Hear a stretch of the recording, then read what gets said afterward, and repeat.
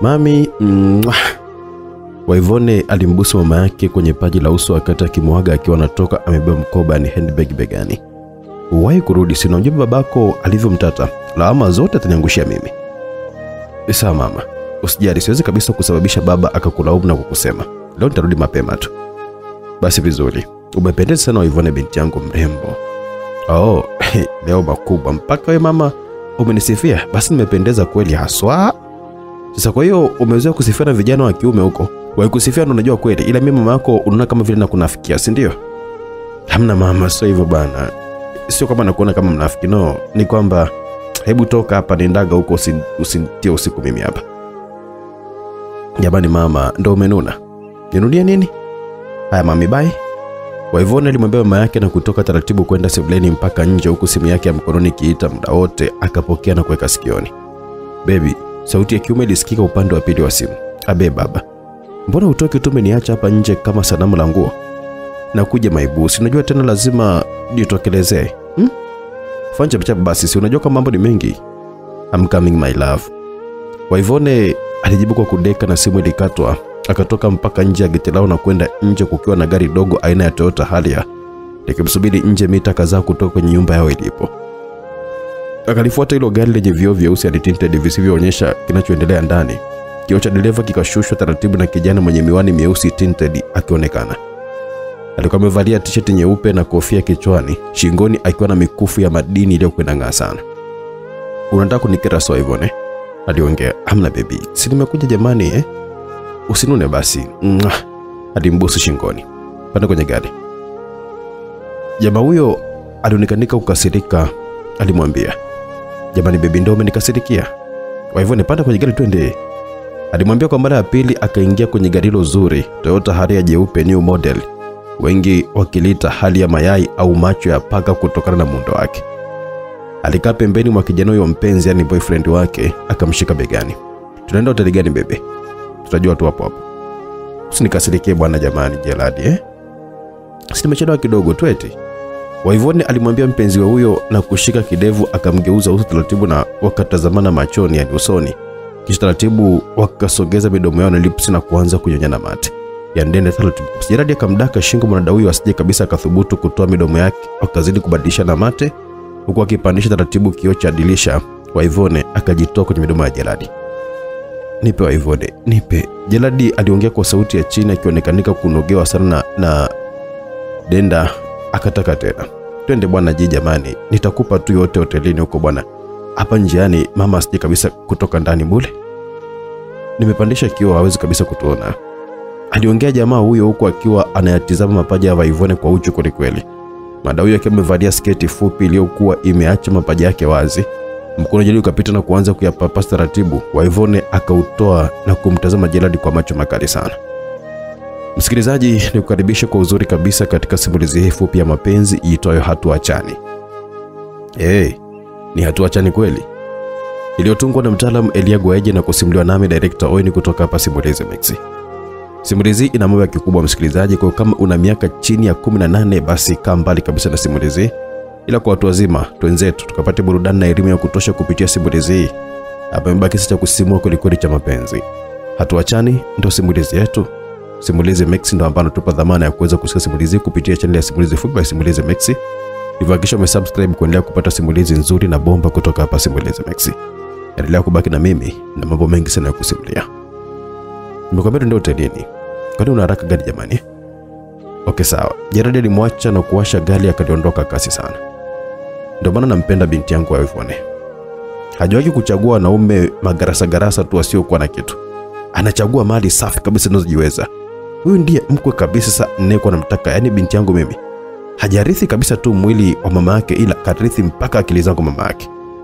Maivone mwanamama Kezia aliongea mwenyewe akiwa kwa dirishani amesimama sebuleni akitazama nje binti yake alivyokuwa ameingia kwenye gari la mwanaume mpaka alivyokuwa ameondoka. Shangazi aliitwa nyuma akageuka. Unasemaje? Shikamoo. Zungumza unachotaka kuzungumza ana. Alimwambia msichana huyo ambaye alivaa gauni refu kuukuu tu la mtumba akiwa ameshika kisu na kitunguu mkononi, ametokea jikoni akitazama chini kiwogawoga. Alikuwa anasema vipi kuhusu suala la kwenda shule shangazi, kama ulivyokuwa umeniahidi? Shule? Shule gani na utu uzima huo? CQT. Ulisema kwamba nikija kukaa huku kwako utanisomesha. Sasa naona miezi mitatu imeshapita sasa, hakuna chochote kile shangazi. Oh, shida yako ni kusoma tu? Ndiyo, ndiyo shangazi. Basi subiri mwakani, kuna hela yangu na isubiri hapo, nitakulipia ada, nitakunulia na uniform, socks, blouse, sketi e, mpaka chupi. Utaenda tu kusoma tu, hata usijali. Lakini shangazi, mpaka mwakani tena? Mbona mbali sana? Kwani si ulisema kwamba ni mwaka? Kelele, unanifundisha kazi na cha kufanya unanipangia, si ndio? Mwanamke Kezia alimkaribia msichana huyo mpaka kashtuka Hapana shangazi, sikupangi. Huli, hunywi, huvai hapa ndani, haunyi chooni. Hapana shangazi, sijamaanisha kwamba pumbavu. Na ungeendelea kukaa kijijini uzidi kupauka tu, mshenzi wewe. Kila siku kusoma kusoma, shule shule, unaenda bure shule eh? Ni haribu pesa zangu mimi kukupeleka shule? Fanya kazi utafute za kwako, uende shule. Binadamu gani wewe ambaye usiyeridhika eh? Samani shangazi, hebu kapike nitokee hapa nisije kabisa nikakuzaba makofi bure hapa, alimwambia msichana. Ana akageuka na kuanza kuondoka taratibu kuelekea jikoni alipokuwa anapika, huku machozi yakiwa mlengalenga machoni. Alipofika jikoni, machozi yalizidi na kuanza kumchuruzika mpaka mashavuni, huku akijifutafuta.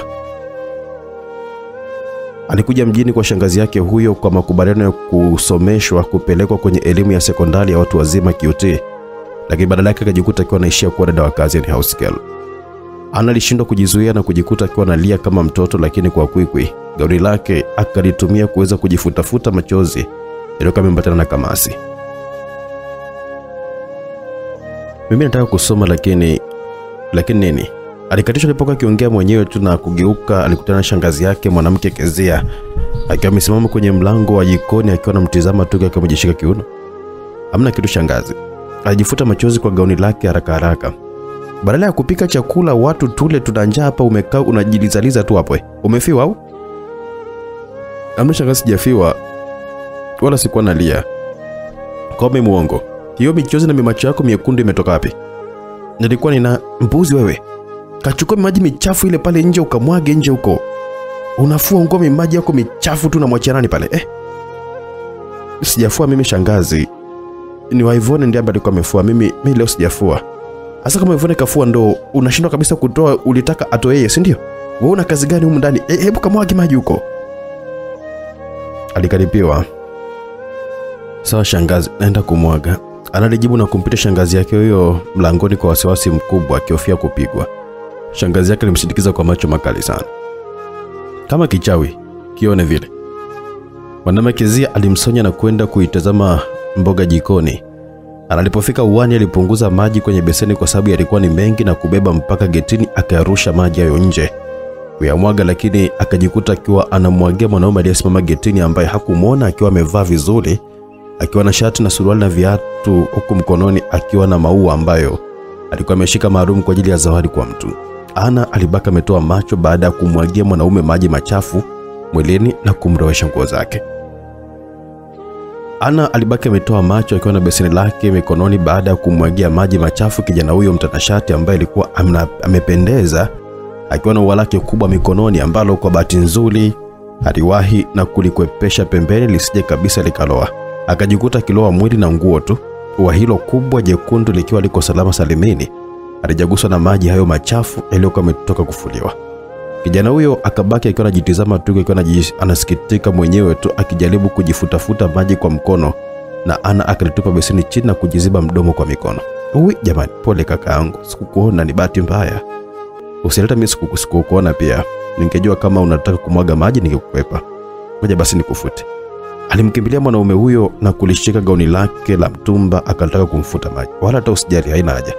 Nitajifuta tu mwenyewe. Nitakwenda kubadilisha chumbani. Cha msingi ni kitu muhimu ndicho nimebeba akijarona na maji. Kipi hicho? Hili hapa. Mm, jamani. Yaani huwa ndo muhimu kuliko nguo zako kaka. Ya, ni kwa sababu nimeleta kwa mtu maalum. Angalau basi nikufute hata usoni maji. Analimwambia akamshika kichwa kijana huyo ambaye aligoma kuinama, lakini akamlazimisha na kumfutafuta tu maji usoni kwa gauni lake refu alikuwa upande na kufanya kama kitambaa. Oh, asante sana, imetosha, usijali, nipo sawa kabisa, nitabadili tu nyumbani nguo. Sawa, pole sana Ises, sikukusudia eti. Analijibu kiunyonge na kuokota beseni lake chini, kisha aligeuka kutaka kurudi ndani akiwa amejaa masikitiko. Oh, samahani dada, unaitwa nani vile? Yule mwanaume alimwambia. Naitwa Ana. Oh, Ana. Samahani tena kwa maswali yangu mengi, ila hili litakuwa ni swali langu la mwisho. Hivi unaishi ndani? Ndio, naishi. Kwa nini? Ni house girl eh? I mean, eh, dada wa kazi. Mm, kwani unanionaje kaka? Nimekaa kidadada wa kazi eh?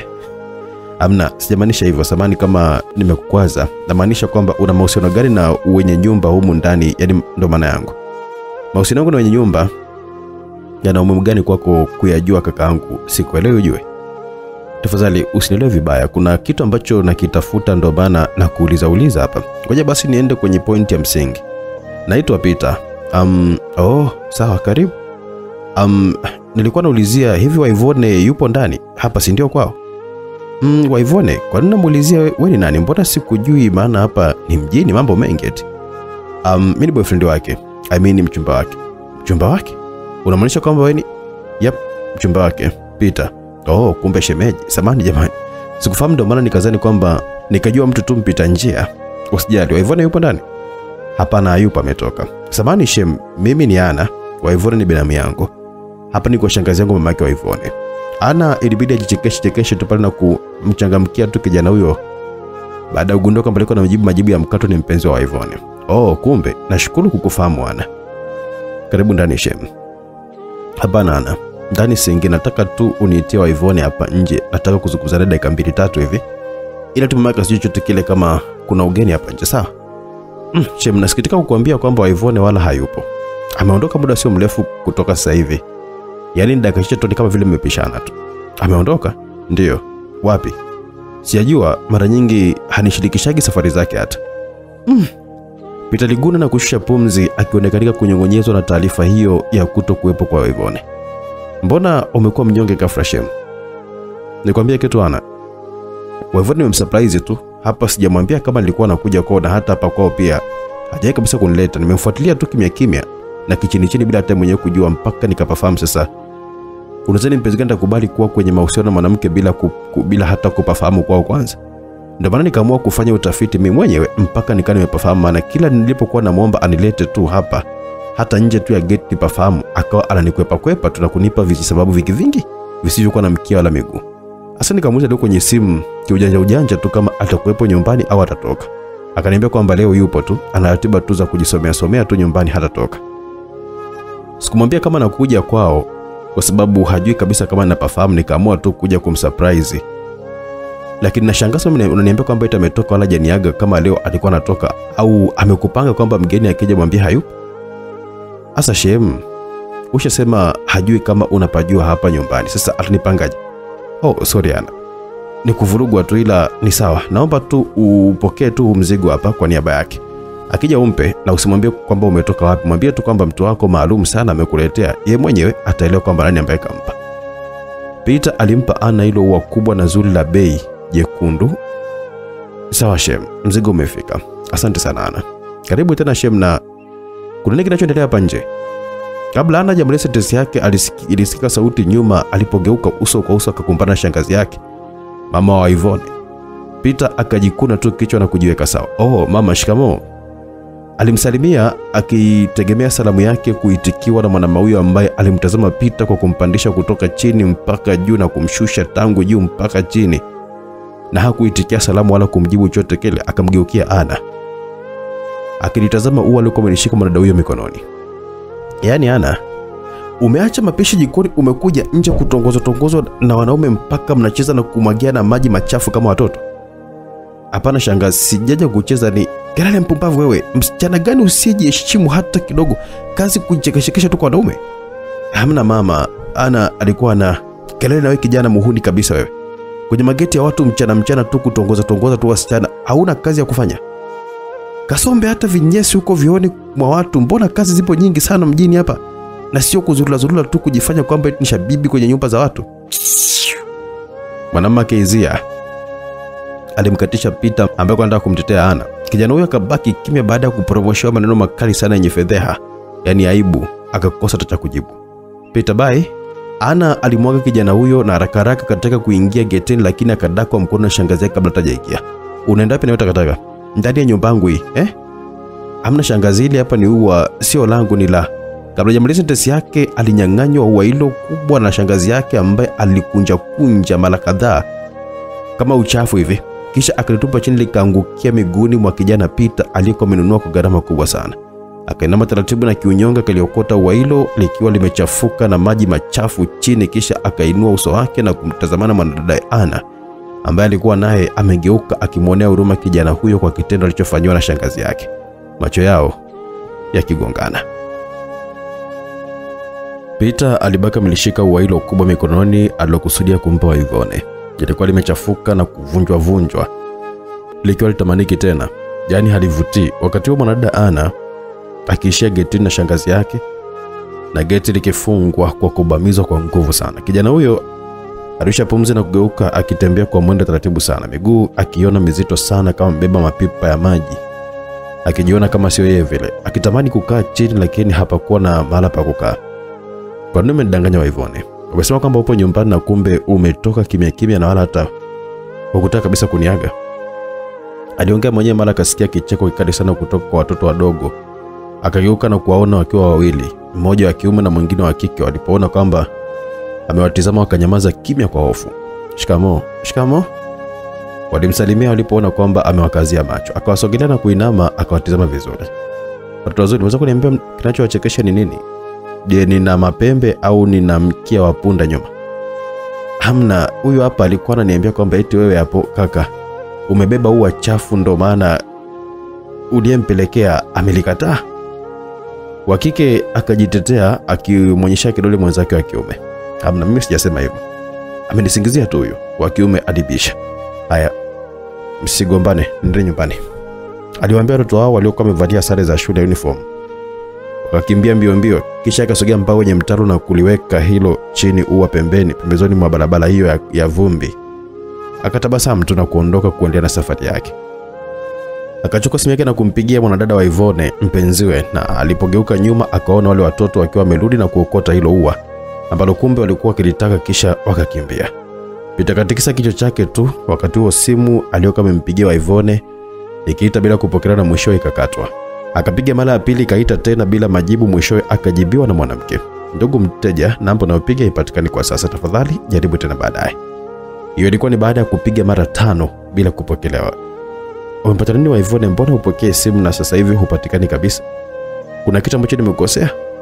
Alijiuliza mwenyewe bila hata majibu, akatikisa kichwa kwa masikitiko makubwa sana. Pipi! Mara alipigiwa honi kali ya pikipiki, akatazama na kukutana na pikipiki hiyo ya bodaboda ikiwa tayari imeshafika miguuni mwake, kwa sababu akili na mwili wake vilikuwa viko mbali. Alijikuta akitembea kwa barabara hiyo ya vumbi, yani kokoto, bila hata uangalifu wote ule.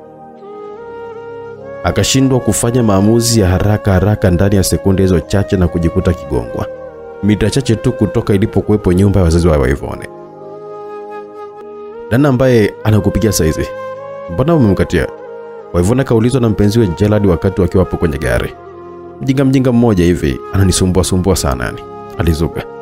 Si ungepokea tu tumsikie huyo mjinga mjinga anasemaje? Mbona sasa umemkatia simu? Haina haja bibi, mbona unakuwa na wasiwasi hivyo? Wasiwasi ndo akili. Jamaa huyo aliguna huku akiwa anaendesha gari kwa mwendo taratibu sana. Yaani Gerald, wewe una mawivu ya ajabu ajabu. Mm. Waivone aliongea akiwa anamwegemea mwanaume huyo begani ambaye alisimamisha gari kisha akamtazama. Kwa hiyo wewe Waivone hauna wivu juu yangu? Ninao, ila ji wewe umezidi maana. Mm.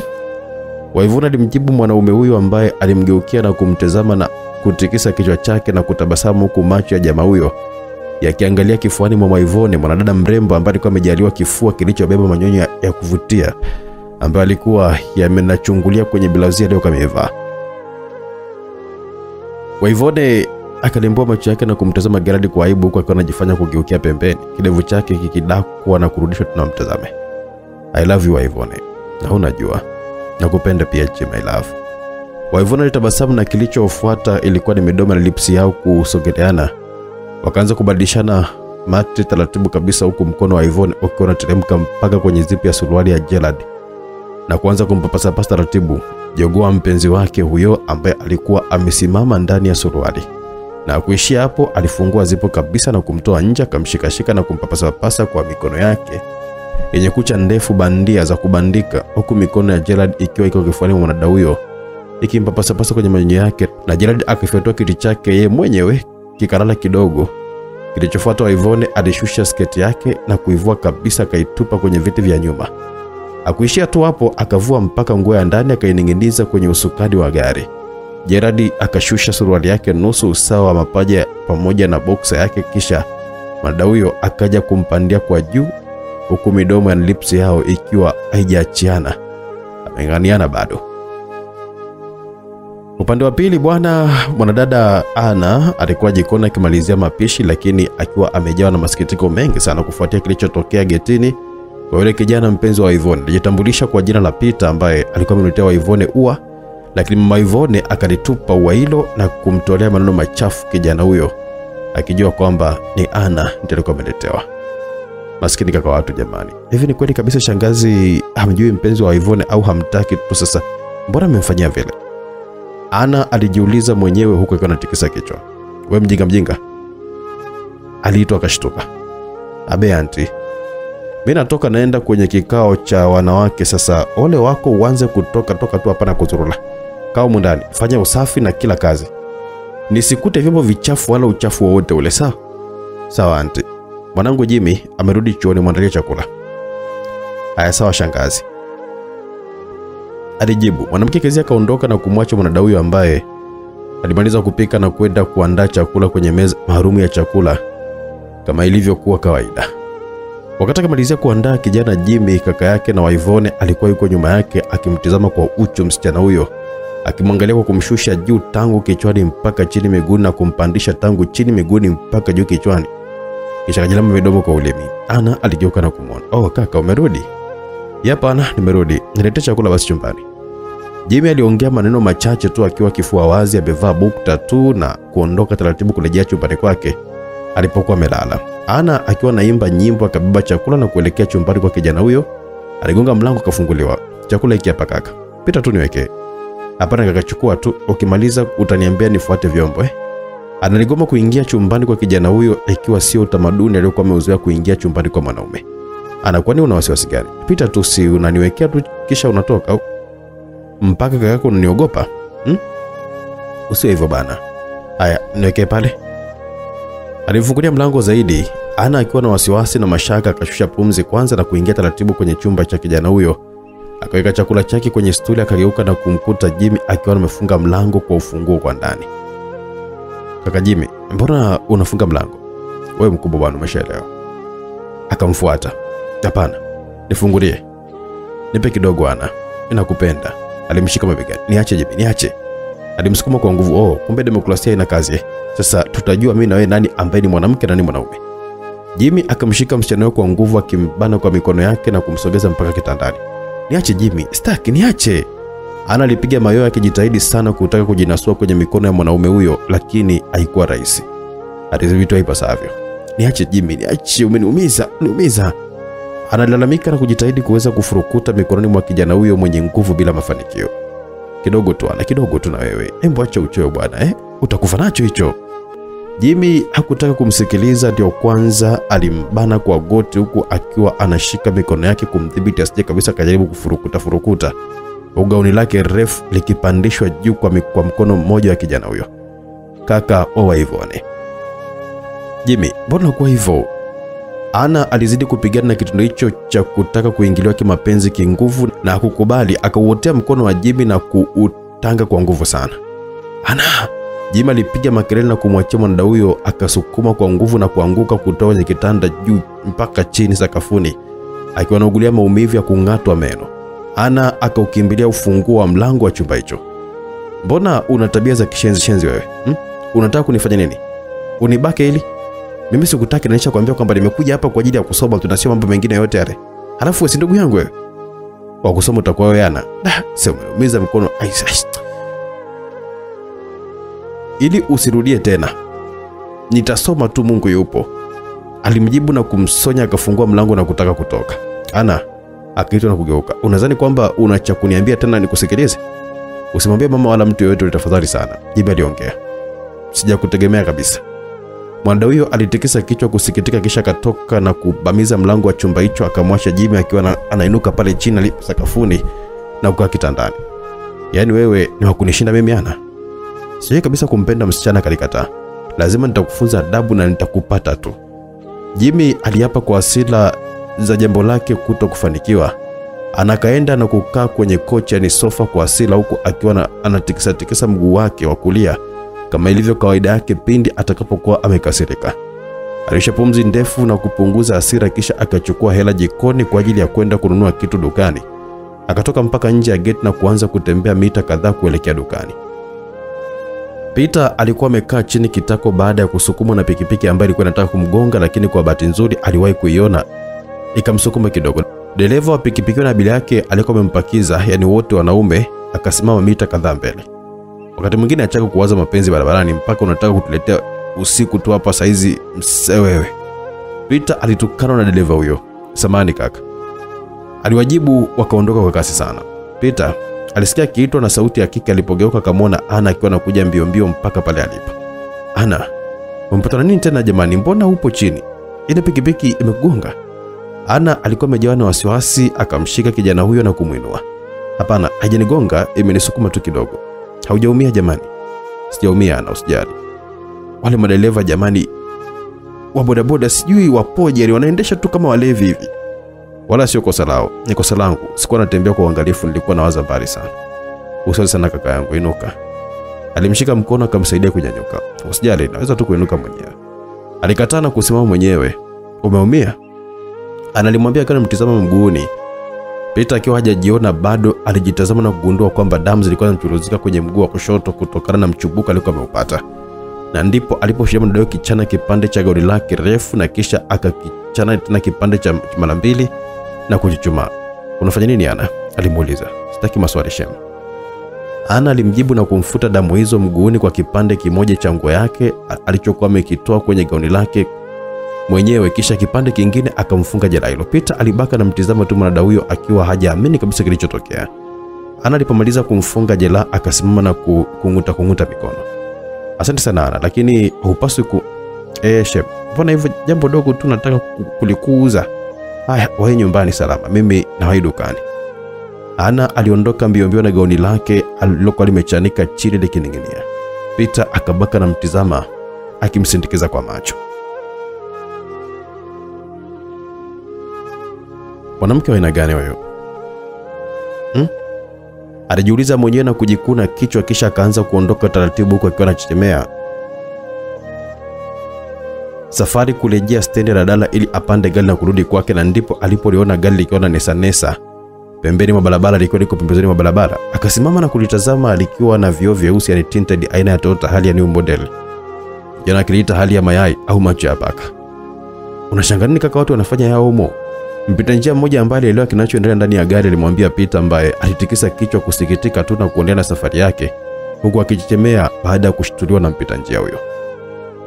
Ndani ya gari hilo, shughuli ikiwa inaendelea, mwanadada wa Ivone alikuwa amevua nguo yake ya ndani, yani sketi na kipi yake, amemkalia G Gerald kiunoni, akimpa penzi mpenzi wake huyo ndani ya gari. G jamani, uwi basi twende hotelini basi kwanza. Alalamika. Tutaenda tu kwanza nitoe gundu hapa hapa, si unajua kabisa ni wiki sasa sijaona tamu yako eh? Ush. Jeradi aliguna akiwa ameshika kiuno cha mwanadada huyo mrembo, ukakamisha suruali na boksa usawa magoti, akiwa amekalia kwa juu na kiti amekilaza kidogo kwa nyuma. Macho ya mwanadada wa Ivone yalikuwa anatizama dirishani, akashtuka alipomwona mpenziwe pita akiwa anakatiza nje. Peter alijikuta kiropoka. Peter ndo nani? Gerald akauliza baada ya kusikia jina la mwanaume mwenzake likitajwa katikati ya mchezo wakati akimalizia kazi yake ya dakika takriban sita hivi na kushusha mzigo kwenye kisima cha mwanadada huyo. Hamna, sijasema Peter, nimesema tu ni Kabla Ivona hajazungumza, Gerald akamsukuma na kumtoa juu yake. Mwanadada huyo akajikuta akiwa anakalishwa kinguvu kwenye kiti chake. Mwanaume huyo akachukua kitambani leso na kujifutafuta mtalimbo wake baada tu ya kumaliza kazi. Yaani unamtaja Peter masikioni mwangu nasikia, alafu eti unanikatalia? Ina maana kwamba mimi sisikii vizuri, si ndio? Je, mpenzi wangu jamani, kuna mtu, kuna mtu tu ambaye nimemwona nimemfananisha nje ameshuka kwenye gari yangu Ivone. Jamani baby, kwani si tunaenda hotelini, mbona tunagombana tu kama madogo madogo kama haya? Kwa mambo madogo sio? Chukulia picha, mimi ndiye ambaye nitaje jina la mtoto wa kike hapa, mfano Angela, sijui Jennifer au Rose au yoyote ule, katikati ya tendo, wewe ungechukuliaje? Ungefurahia sio? Hapana babe, please nisamee tu, usichukulie kitu serious jamaa. Get out of my car please. Akamwonyesha kwamba toka nje ya gari tafadhali. Gerard aliongea kwa msisitizo na kwa ukali akimtaka mwanada huyo atoke kwenye gari huku aki- aki- akivaa suruali yake. Yaani kisa mambo madogo tu ndo unanigeukia namna hiyo Gerard? Out. Okay, naenda. Usinitafute tena. Waivone alijibu kwa hasira na kuvaa nguo zake haraka haraka, akafungua mlango na kutoka kwenye gari hilo. Gerard akauvuta mlango na kubamiza kisha akaliondoa gari kwa kasi sana. Gerard, kwani unanifanyia hivi?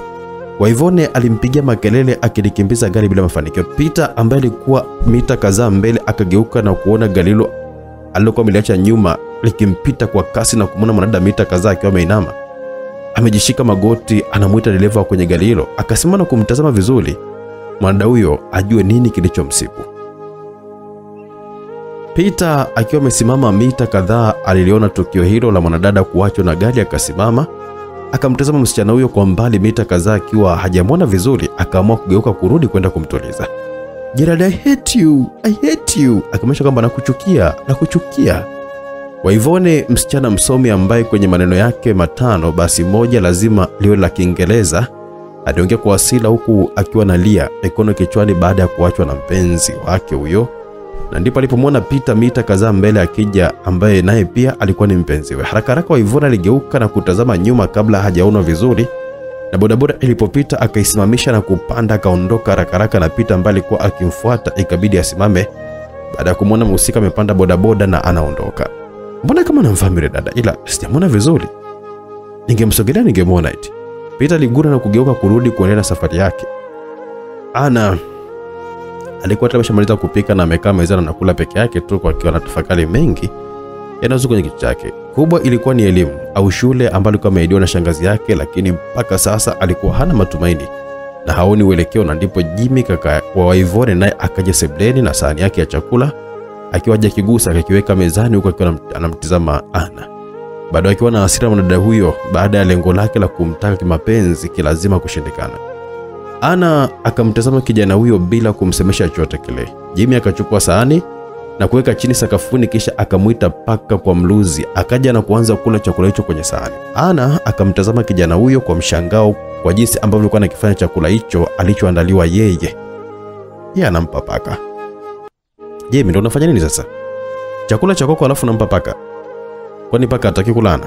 Paka si nimeshampelekea chakula chake tayari. Vichwa vya samaki nje kwenye chombo chake.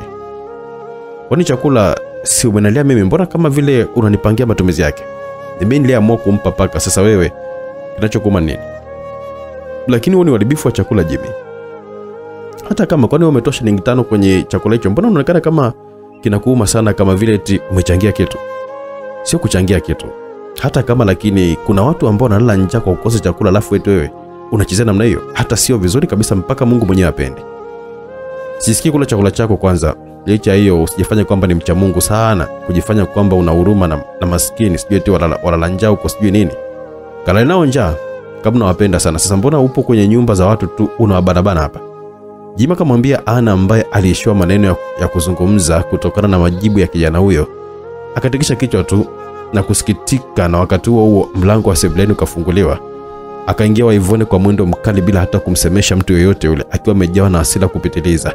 Akaenda moja kwa moja mpaka chumbani kwake. Ana na Jimmy wakabaki wanatizamana tu. Waivone amepatana nini tena jamani? Ana akajiuliza. Fuatilia nayo kuhusu ya watu achana nayo. Jimmy alijibu na kuondoka taratibu akimwacha mwanadada huyo peke yake mezani.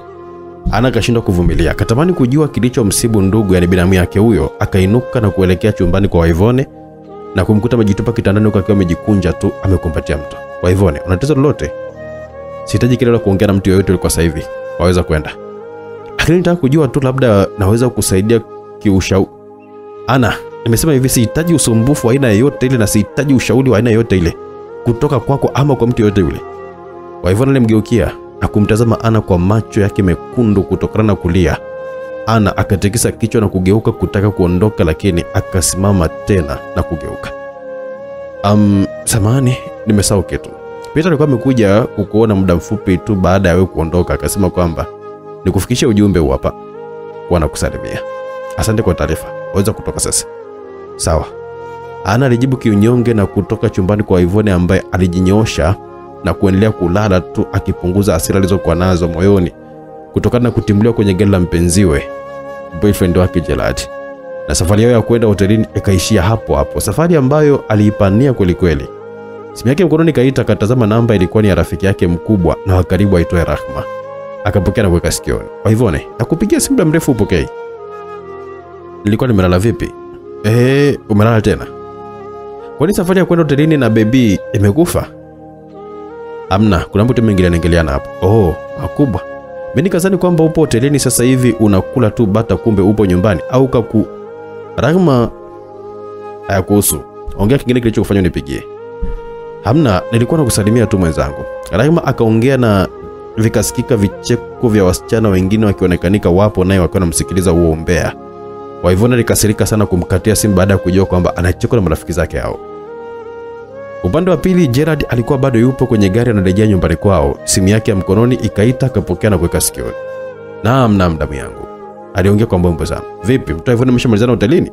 Rafiki yake huyo akamuuliza, hotelini wapi? Mimi na hela hiyo ya kumpeleka demo hotelini, nimemla kwenye gari, kuisha habari sasa hivi, narudi zangu tu kwa home mwepesi. Hotelini ilikuwa ni gia tu ya kuweza kumnasa ndege kwenye mtego tu aingie mazima, yani du, sio poa mzee. Hasa kangama ameshaanza kuliulizia gari lake aisee, harakisha basi jiradi ulirudishe tu gari hilo kabla hajagundua kwamba nilikuwa nimekuazima. Eh, usiniponze damu yangu. Usijali kaka, nakuja na gari tu la bro wako hapo. Mishango nimeshamaliza ya kula mtoto anayependa tu maisha mazuri. Kwa Ivone, gari tu limeshamchanganya mpaka sasa hivi anajua kwamba ni la kwangu. Jeladi alicheka kwa furaha huku akiwa amefungulia mziki mkubwa kwenye gari na ndipo macho yake yalipokuwa amemwona mwanadamu mrembo anatembea kando kando ya barabara. Gerard akatoa macho akiwa na simu sikioni. Baji, mbona kimya? Rafiki yake aliita upande wa pili wa simu. Angoja mwanangu, kuna pisi kali hapa nimeiona hapa. Alimjibu na kumkatia simu akikunja kona rakalaka kulitoa gari barabarani, ndipo pikipiki ambayo ilikuwa pembeni kwenye yenye mwendo ambayo alikuwa aiona ikampigia honi na kuja kulibamiza ubavuni gari hilo. Gerard akafunga breki na kusimamisha gari baada ya kusababisha ajali. Haraka alishuka kwenye gari na kuangalia ubavuni, alikuta gari likiwa limebonyea. Huu msara sasa nimeshaharibu gari la watu, nitamuuliza nini rafiki yangu? Alijishika kichwani akisikitika mwenyewe, kwa askari akija na watu wengine kutazama madhara ya ajali hiyo ya barabarani.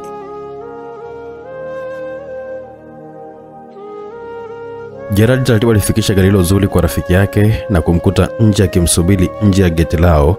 Alishuka taratibu na ufungua gari na kukiunyonge sana. Ungechelewa kidogo tu je, ese ungekutana na mzee wangu yupo njiani anakaribia hapa ise. Rafiki yake alimwambia, ufunguo hapa, shukrani kwa kuniazima gari. Hebu nisimulie, kwa hiyo ume mnaniliu tu yule wa Ivone? Eh, nishamaliza kazi. Yaani umetumia mbinu gani? Yaani ulifanya fanyaje tu? Hebu uh, nipe maujuzi basi. Ah, story ndefu kaka. Kwa hiyo umemalizana naye kwenye gari? Da, sisi umechafua ise gari yenyewe ya mzee ujue. Awala hajachafuka gari, iko fresh tu skonde. Jirani akamjibu rafiki yake huyo huku akizibaziba asije kabisa akaona ilipokuwa imebonyea upande baada tu ya kugongwa na pikipiki barabarani. Nataka kuliingiza ndani jamaangu, hebu nipishe basi. Rafiki yake alimwambia, maana Gerard alikuwa amesimama njiani, lakini hakuwa na jinsi zaidi ya kuweza kumpesha rafiki yake huyo ambaye aliona gari lilivyokuwa limeharibika upande, akatoa macho na kushangaa. Lilikuwa limebondeka ubavuni. Akageuza uso wake taratibu na kumtazama Gerard.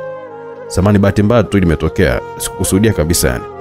Gerard alijikuna kichwa akiona aibu mbele rafiki yake baada tu ya kuliharibu gari. Umezingua sana rafiki yangu, gari lenyewe la mama ili sio la baba. Sasa baba akigundua nimelitoa na kumpa mtu si hatani ah, se ilikuwa jukwaje kwani Jeladi mpaka watu ukagonga ah. Bahati mbaya tu jamaangu, nilikuwa nataka kukunja tu kona hivi roundabout pale. Sasa mwenye pikipiki amekuja na, kujiba, na, na kujibamiza tu pa ah, se sikuachi tena gari siku nyingine rafiki yangu da, yaani hizi lawama hizi na baba ndo, ndo huyo hapo anarudi sasa. Rafiki yake alimwambia Gerard, akageuka na ni kweli kabisa wakaliona gari la, la baba wa rafiki yake lilikuwa linakuja. Wote wawili Waliingiwa na wasiwasi, wakabaki wakiwa wanatizamana. Jeradi akiwa amejawa na wasiwasi zaidi baada tu ya kuharibu gari la wazazi wake na rafiki yake, ikiwa ni kawaida yake kumwazima tu gari ili aende akachukulia wasichana hasa wavioni wanaopenda wanaume wenye magari na pesa, akiwemo Ivone.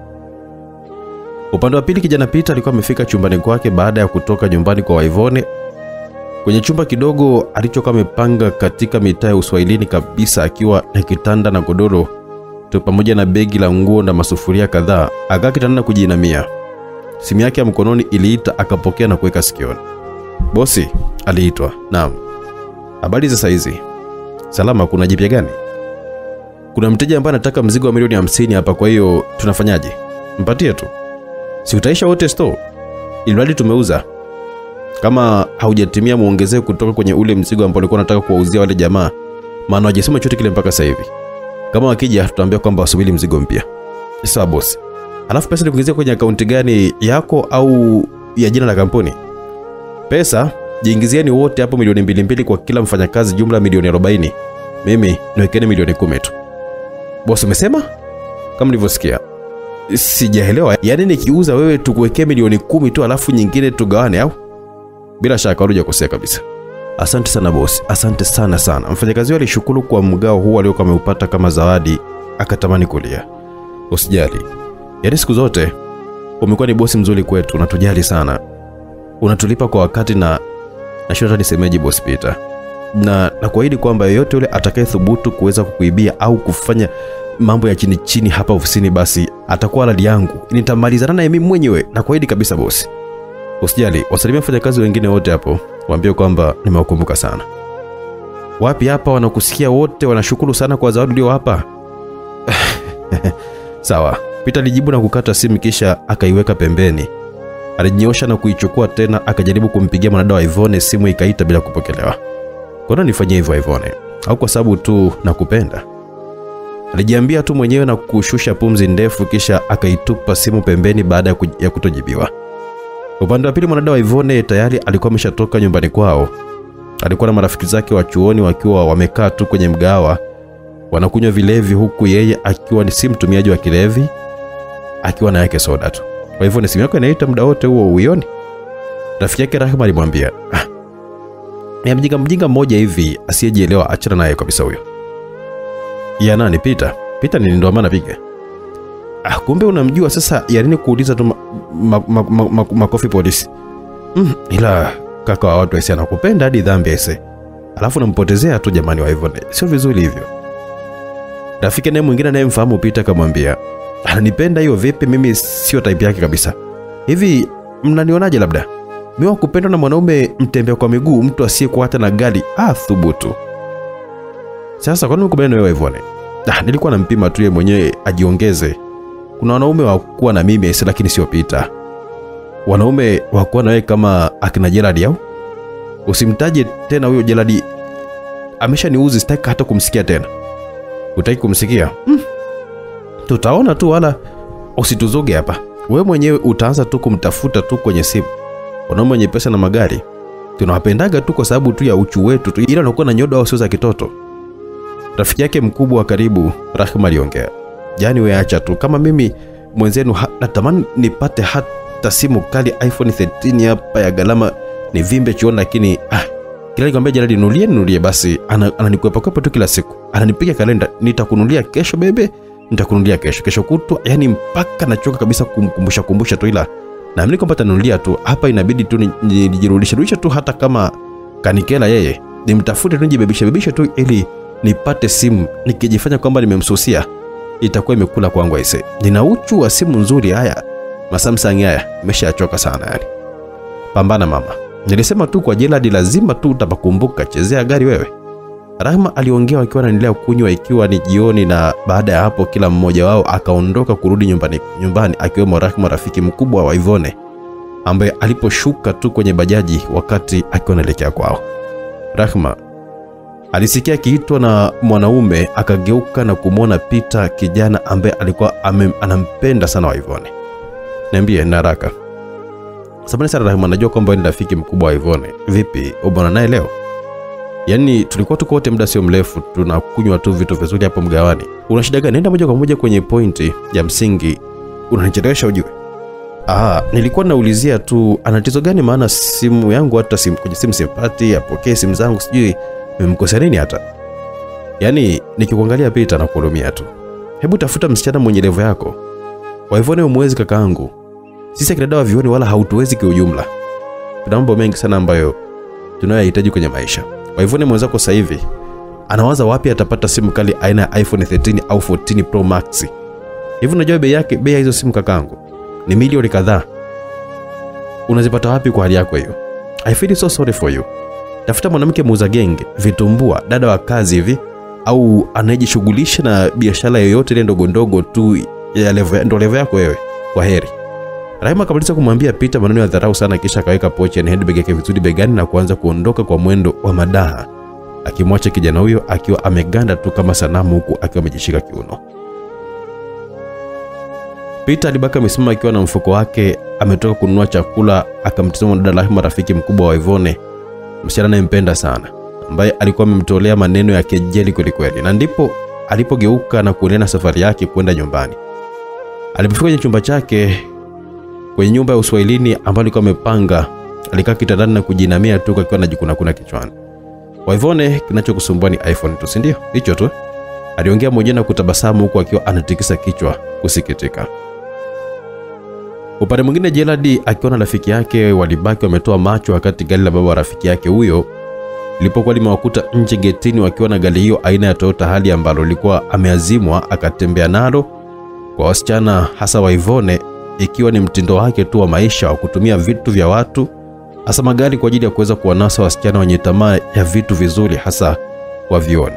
Safari hii akiwa yupo kwenye mahusiano na msichana wa Ivone, mlembo na mwanachuo ambaye anajua Gerald ni mwanaume tajiri mwenye pesa na magari bila kujua kilicho nyuma ya pazia kilichojificha kwa kijana huyo. Da, kaka nisaidie tu kumweleza babako. Nisaidie tu kaka, sijui kama mimi atanielewa ujue. Alimnong'oneza rafiki yake huyo. Mm, mzee wangu namjua ni mtoto sana. Sijui kama atanielewa. Ila yupo na mama hapo. Ngoja nijaribu kwa mama. Rafiki yake alimjibu, gari likasimama mbele yao na vio vikashushwa. David, mbona umesimama getini hapo na gari yangu amwingizi ndani? Hmm? Mama yake alimuuliza. Ah, mama, gari lako limwazima rafiki yangu wampeleke mama yake ni mgonjwa wa hospitali, sasa likapata shida kidogo. Alidanganya huku Gerald akiwa yuko nyuma nyuma tu amekunja mikono nyuma akiwa amejawa na wasiwasi. Mzee mwenyewe baba wa rafiki yake huyo alikuwa yuko kimya tu, mke wake kwenye usukani akimwacha mke azungumze. Shikamoni, ni kule David aliniazima gari sasa kwenye harakati za kumwaisha mama ndo likawa limepata ajali kidogo. Gerald naye akaongea. Mwanaume huyo mama wa rafiki yake akashuka kwenye gari akimwacha mmewe ndani. Akalitazama gari lake hilo na kumtazama mtoto wake na Gerald ambaye alimtazama kwa muda mrefu. Sasa Gerald alipoona kwamba anatazama na mwanaume huyo, akatazama pembeni kwa uoga, akiogopa ukaripiwa. Mara rafiki yake huyo akaiweka vizuri miwani yake machoni.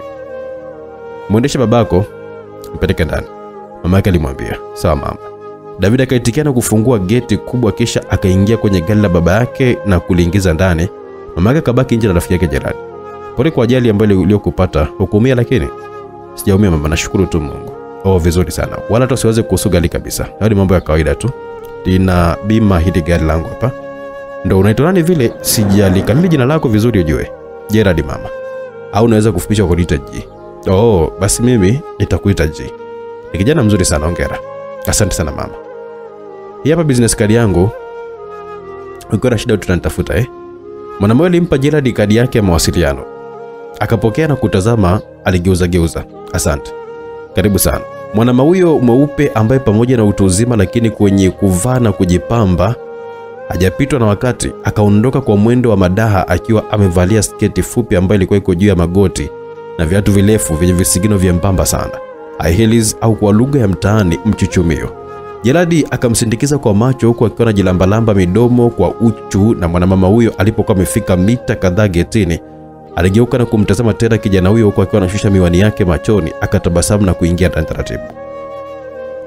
Huyu mama inaonekana amenielewa. Sasa kifuatacho hapa ni kazi kazi, haijalishi kwamba ni mama yake na nani. Ndio mambo yangu haya. Aliongea Jeradi, kijana mtanashati, yani handsome, huku akigeuza geuza ile kadi ya mawasiliano aliyokuwa amepewa na mama wa huyo rafiki yake David.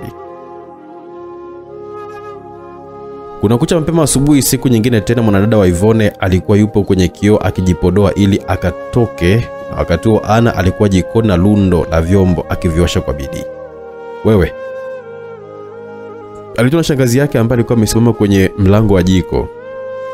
Abe shangazi, wakimaliza hapo uende sokoni ukanunue mahitaji, alafu nilikwambia haya mapazia madilishani milangoni hapa na mashuka ya vyumba yote haya yawe safi leo. Sasa wewe legeza legeza tu mikono yako tu hapo, kana kwamba vile una kazi moja pekee. Ni sawa shangazi, aliitikia, na wakati huo geti dogo lilikuwa linagongwa uani. Mtu wa maziwa anagonga, hebu chukua chombo kachukue.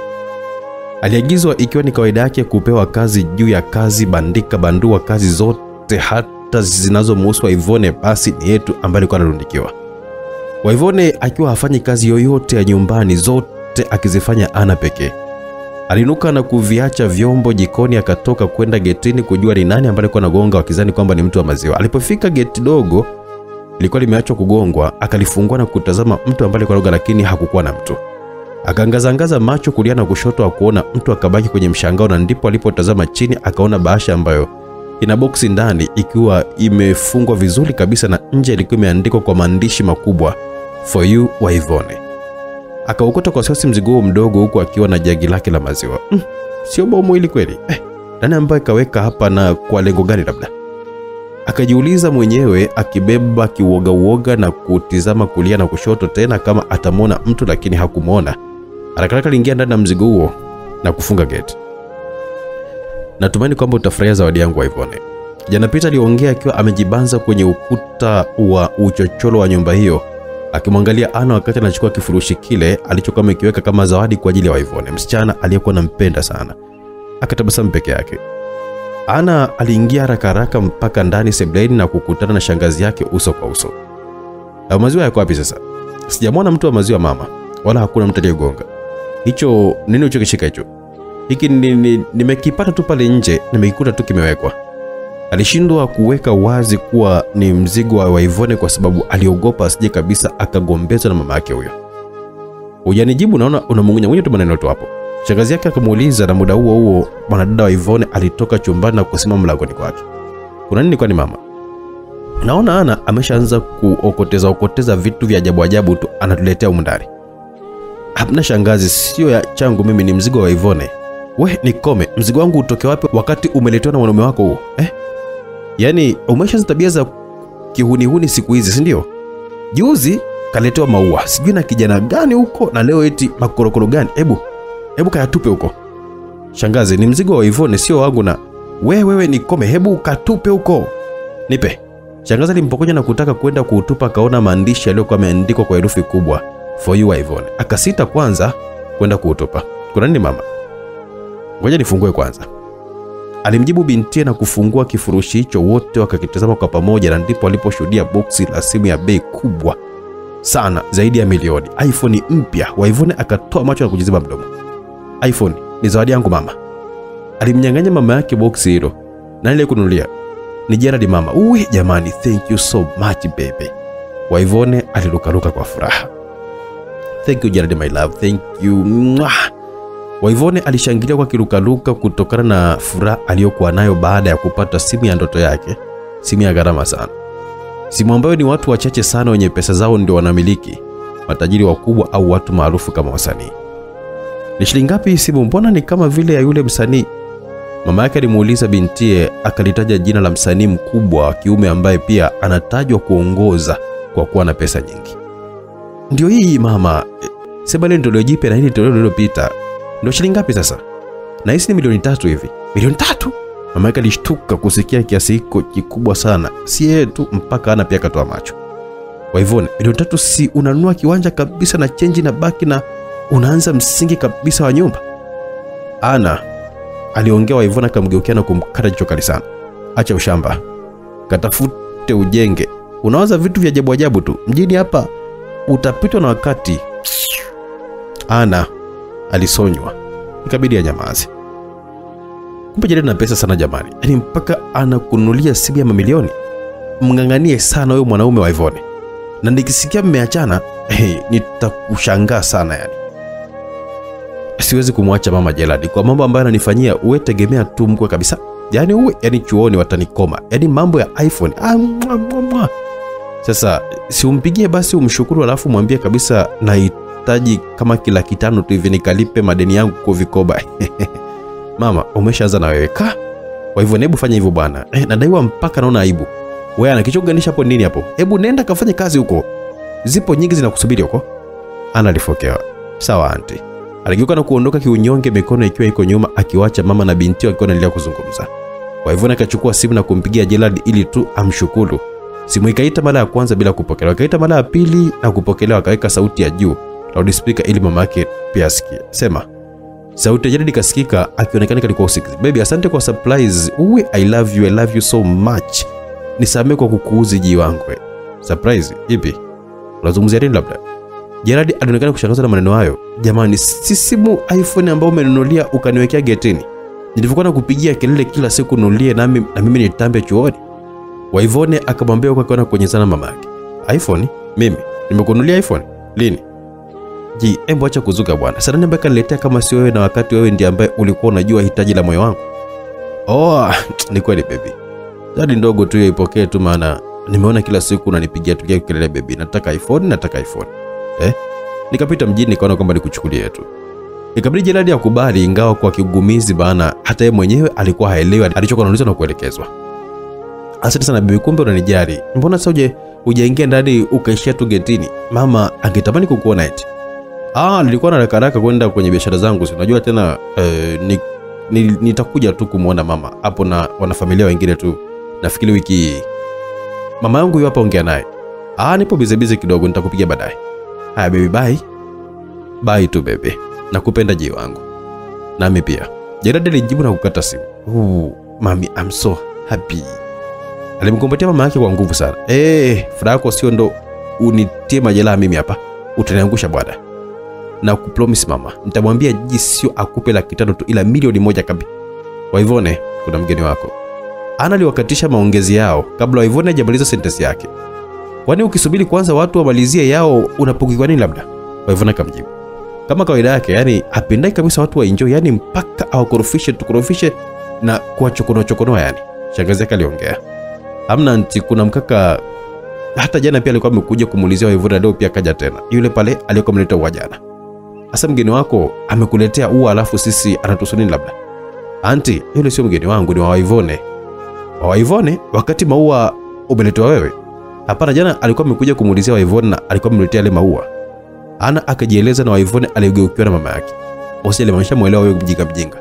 Ngoja nikamalizana naye. Amepajuaje hapa nyumbani? Aliongea na kutoka kuelekea nje getini, mama yake aka, hakutaka hata kupitwa naye, akaanza kumfuata nyuma nyuma, akimwacha Ana, akimwacha na sebuleni, ambaye naye ilibidi aende huko huko kutazama kinachoendelea. Peter alibaki amesimama tu getini akiwa anasubiri kuonana na mwanadada wa Ivone ambaye alikuwa amemtuma Ana kwenda kumuita, na taratibu geti dogo likawa limefunguliwa. Macho ya Peter akatazamana na mwanadada huyo mrembo ambaye anampenda sana kuliko kitu chochote kile. Wa akiwa anatafuna bigiji akazitupa nywele zake ndefu pembeni. Peter akajikuta na tabasamu. Mama Ivone akajibanza kwa ndani ya geti ili asionekanike, akitamani kusikia mazungumzo kati ya binti na kijana huyo ambaye jana alimkaripia na kumtupia ua lake akizani kwamba ni mwanaume wa Ana. Mambo Pita, safi hivyo, naendeleaje? Naendelea vizuri tu. Nimekupigia simu upokee wala message ujibu. Nikaona kwamba nije nionane tu nawe kama una tatizo lolote lile. Maana alishaingiwa na wasiwasi. Hapa mimi tatizo ila nilikuwa niko busy tu sana Peter. Si unajua mambo mambo ya chuoni. Assignment zilikuwa nyingi hata muda wa kushika simu nakosa kabisa. Oh, pole sana. Mama ajambo? Hajambo, yupo. Ya, yupo ndani ameji- amejipumzisha. Tunaweza kupata wasaa tukazungumza mimi na wewe. Mm, hapana, wiki hii sasa nimebanwa sana Peter. Zeni kama nitaweza kuonana na wewe labda next week. Aliongea huku akiwa ameshika simu hiyo nzuri na ya gharama aliyokuwa amelitoa kama zawadi. Sawa, na zawadi kwa ajili yako. Alijibu na kutoa ua dogo hivi pamoja na apple aliyokuwa amelifunga kwenye mfuko. Ivone akataka kucheka, akafumba mdomo na kujizuia. For me? Yeah. Unanitania Peter. Vizawadi gani hivi kama vya watoto tu wa shule ya msingi? Apple la shilingi 500. Sijui shilingi 1000 na akaua. Anyway, asante sana. Alipokea. Sawa. Nilikuja kusalimia tu kwa sababu nakupenda sana Ivone. Na unajua hilo. Alimshika viganja vya mikono yake miwili. Peter, mwanadada huyo alisha pumzi akionekana kuna kitu alikuwa anataka kumwambia lakini anamwonea huruma. Naam, niambie Waivone. Mimi naona nisiendelee kupotezea muda wako. Kiufupi ni kwamba hatufanani. Nakili kwamba ni mwanaume mzuri sana, una huruma na unajali kwa uwezo ulionao, mkalimu na mpole. Mimi naona kwamba nilikuwa nimekosea tu kujibu kwamba nakupenda, nilikurupuka sana. Sikuwaza mbeleni nitakuwaje. Naomba tuishie hapa Pita, hatufanani kabisa. Mungu yupo atakupa kufanana naye. Mimi sio type yako. Nakuombea umpate wa aina yako. Mimi nitakusumbua tu. Asante kwa zawadi. Na hisi siwezi kabisa kuipokea wakati sipo tayari kabisa kuwa na wewe. Tafadhali chukua. Madawa akamwambia Pita kimpa na lake tunda aina ya tofaa ni apple. Alikuwa amempa. Maneno hayo yaliuchoma sana moyo wa Peter ambaye alibaki kwa mtizamo wa Ivone ambaye aliingia ndani na kufunga geti hilo dogo la nyumba yao. Peter aligeuka na kuanza kuondoka taratibu huku machozi yakiwa yanamlengalenga machoni. Kwa jinsi Peter alivyokuwa anampenda wa Ivone tangu siku ya kwanza kumwona, haikuwa rahisi kwake kuvumilia maneno aliyokuwa ameambiwa na mwanadada huyo, maneno makali ya kuvunja moyo, na aliwahi kukubaliwa mwanzoni kabisa wakati alipokuwa amemtamkia mwanadada huyo kwamba anampenda, siku ambayo hata isahau katika maisha yake. Kwa nini unaniepuka hivyo? Ni Kwa sababu tu ya hali yangu hii hapa niliyokuwa nayo, umaskini. Lakini mimi sio maskini, ila tu sitaki kujionyesha kwako kwamba nina pesa.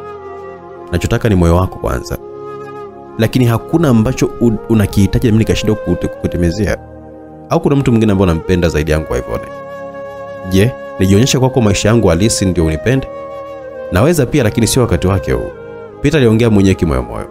Shemeji Peter alisikia kiitwa huku akiwa amebeba mfuko wa tofani apple alomnulia Ivone kama zawadi na huwa dogo ambavyo vyote viwili alirudishiwa. Akageuka na kumwona mwanadada Ana, ndugu yani binamu wa Ivone akiwa anakuja mbio mbio. Ana, unaendeleaje? Sijambo, sijui wewe. Mimi sijambo pia, ila pole. Pole nini Ana? Kwa alichokufanyia Waivone. Kwani ume nimesikia kila kitu, lakini usije kukata tamaa. Mimi naamini kwamba wewe ni kijana mzuri sana na mwenye imani. Ipo siku utampata tu, na mimi nipo tayari kusaidia, kwa sababu wewe unafaa kabisa kuwa shemeji yangu. Ana, kwa nini? Hauna mambo mengi, ila potezea hayo. Shika hapa, utanunua maji njiani au utapanda hata bodaboda tu, usitembee kwa miguu. eh. Ana alitoa noti mbili za shilingi elfu moja moja, jumla elfu mbili shilingi za Kitanzania. Akataka kumpa Peter ambaye alimzuia kwa kumshika viganja vyake vya mikono. Ana, ya nini kujisumbua? Nipo vizuri. Unadanganya shem. Mbona unatembea kwa miguu kama upo vizuri? Si ungechukua hata bodaboda? Ni maamuzi tu, nafanya mazoezi. Ulikuwa unalia? Alimuuliza baada ya kuona alama za machozi machoni mwa mwanaume huyo. Oh, amna sili, ni jua tu ndo linaniumiza macho na miwani yangu nimesijabeba leo. Hakuna siku ambayo nisiyotembea na miwani, kwa sababu nikiacha tu macho yanakuwa yananisumbua. Peter alizuga. Mm, shem. Maisha za uongo. Mbona hata jana pia haukuja na miwani pia? Um, hamna, si unajua tena, ila shika hapa shemeji. Shika shemeji yangu, hata kama unayo na kuongezea tu. Sawa, umeniongezea nawe, chukua hivi vitu. Mimi siwezi kabisa kwenda navyo tena, havina kazi. Mm, sasa hivyo si zawadi maalum ya Waivone, nitakulaje mimi? Waivone kaikataa, ila ukila wewe shemeji yangu ni kama mkula yeye. Mimi mwenyewe siwezi kabisa kula kilichokataliwa na, na mhusika. Na kuomba na please please, kula kwa niaba ya ndugu yako. Alimembeleza Ana akabaki kimya kwa sekunde kadhaa bila kuzungumza chochote kile, kisha akashusha pumzi na kupokea tunda hilo aina ya tofaa ni apple. Nachukua ili apple tu. Huwa hapana. Lina maana kubwa sana kwako na kwa Ivone. Chukua tu hata ili pia huwa. Si kumpa shemeji yangu tu kama zawadi? Wewe shindwa. Hakuna shemeji kwangu. Bai shangazi atanigombeza tu maana nimetoka na kimya wajui. Haya, safari njema shemu. Ana alikataa kuchukua ua hilo, akamwaga Pita akigeuka na kutaka kuondoka, lakini pikipiki kapita ghafla ghafla na kimya kimya ikataka kumgoka Pita. Akamwahi mwanadada huyo na kumshika mkono akamvuta mpaka kifuani mwake. Wase, mnaleta habari za mapenzi barabarani? Katongoza nini chumbani huko? Dereva bodaboda akasema. Ana akajikuta tu ameegemea kifua cha mwanaume huyo huku akitazamana usoni bila kujali matusi ya dereva huyo wa bodaboda ambaye ni yule yule aliyemsukuma Pita jana alipokuwa anarudi peke yake. Upande mwingine Gerald alikuwa bado ameshikilia simu baada ya kumaliza kuzungumza na Waivone. iPhone? Mimi nimemnunulia zawadi Waivone ya iPhone? Sio kweli. Nani ambaye amempa zawadi hiyo mpaka anajua ni mimi? Ina maana kwamba ana mwanaume mwingine kimya kimya tu kibopa, si ndio? Anatuchanganya, sio? Basi nitafuatilia nijue, maana nikicheza vibaya na nyang'anya utonge mdomoni hapa. Aliongea mwenyewe na kuweka simu pembeni kitandani, akiwa amejilaza tu kitandani, amejinyosha. kifua wazi na bukta tu kutokana na joto, jasho lilikuwa linamchuruzika, akiwa hana kazi yoyote ya kuweza kumwingizia kipato inayomweka mjini, akitegemea kuwazima kwa marafiki zake wenye nazo na kudanganya danganya tu watu na kuwatapeli. Mlango wake kwa gongo wa mfululizo, akainuka na kwenda kufungua. Alikutana na mpangaji wa kike ambaye alimnyoshea mkono. Hela ya umeme kaka, naomba. Sina, kwani sinikwambia kesho au? Hasa utakaje bila umeme leo nadhani? Watu wote wameshamaliza zamu zao na za kulipia umeme na umebaki wewe tu. Kwa hiyo sasa kama sina kwa sasa hivi ndo uning'anize tu kiasi hicho. Hebu utoe babue. Kila ikifika zamu yako ni ngumu kutoa. Kaka mzuri wa uso, mwili na HB lakini mfukoni hauna kitu. Hutaki kazi, ushughulishi kutwa kulala tu kujifungia tu ndani. Sasa hiyo hela ya umeme itakuja tu yenyewe. Si ukabebe zeki au kauze hata maji kwa, kwa mkokoteni upate chochote kile. Mpangaji mwingine mwanamama aliamua kufunga bila hata kupepesa macho. Alafu we mama wewe, na kuheshimu ujue, nitakuja kukupasua, chunga maneno yako. Oho.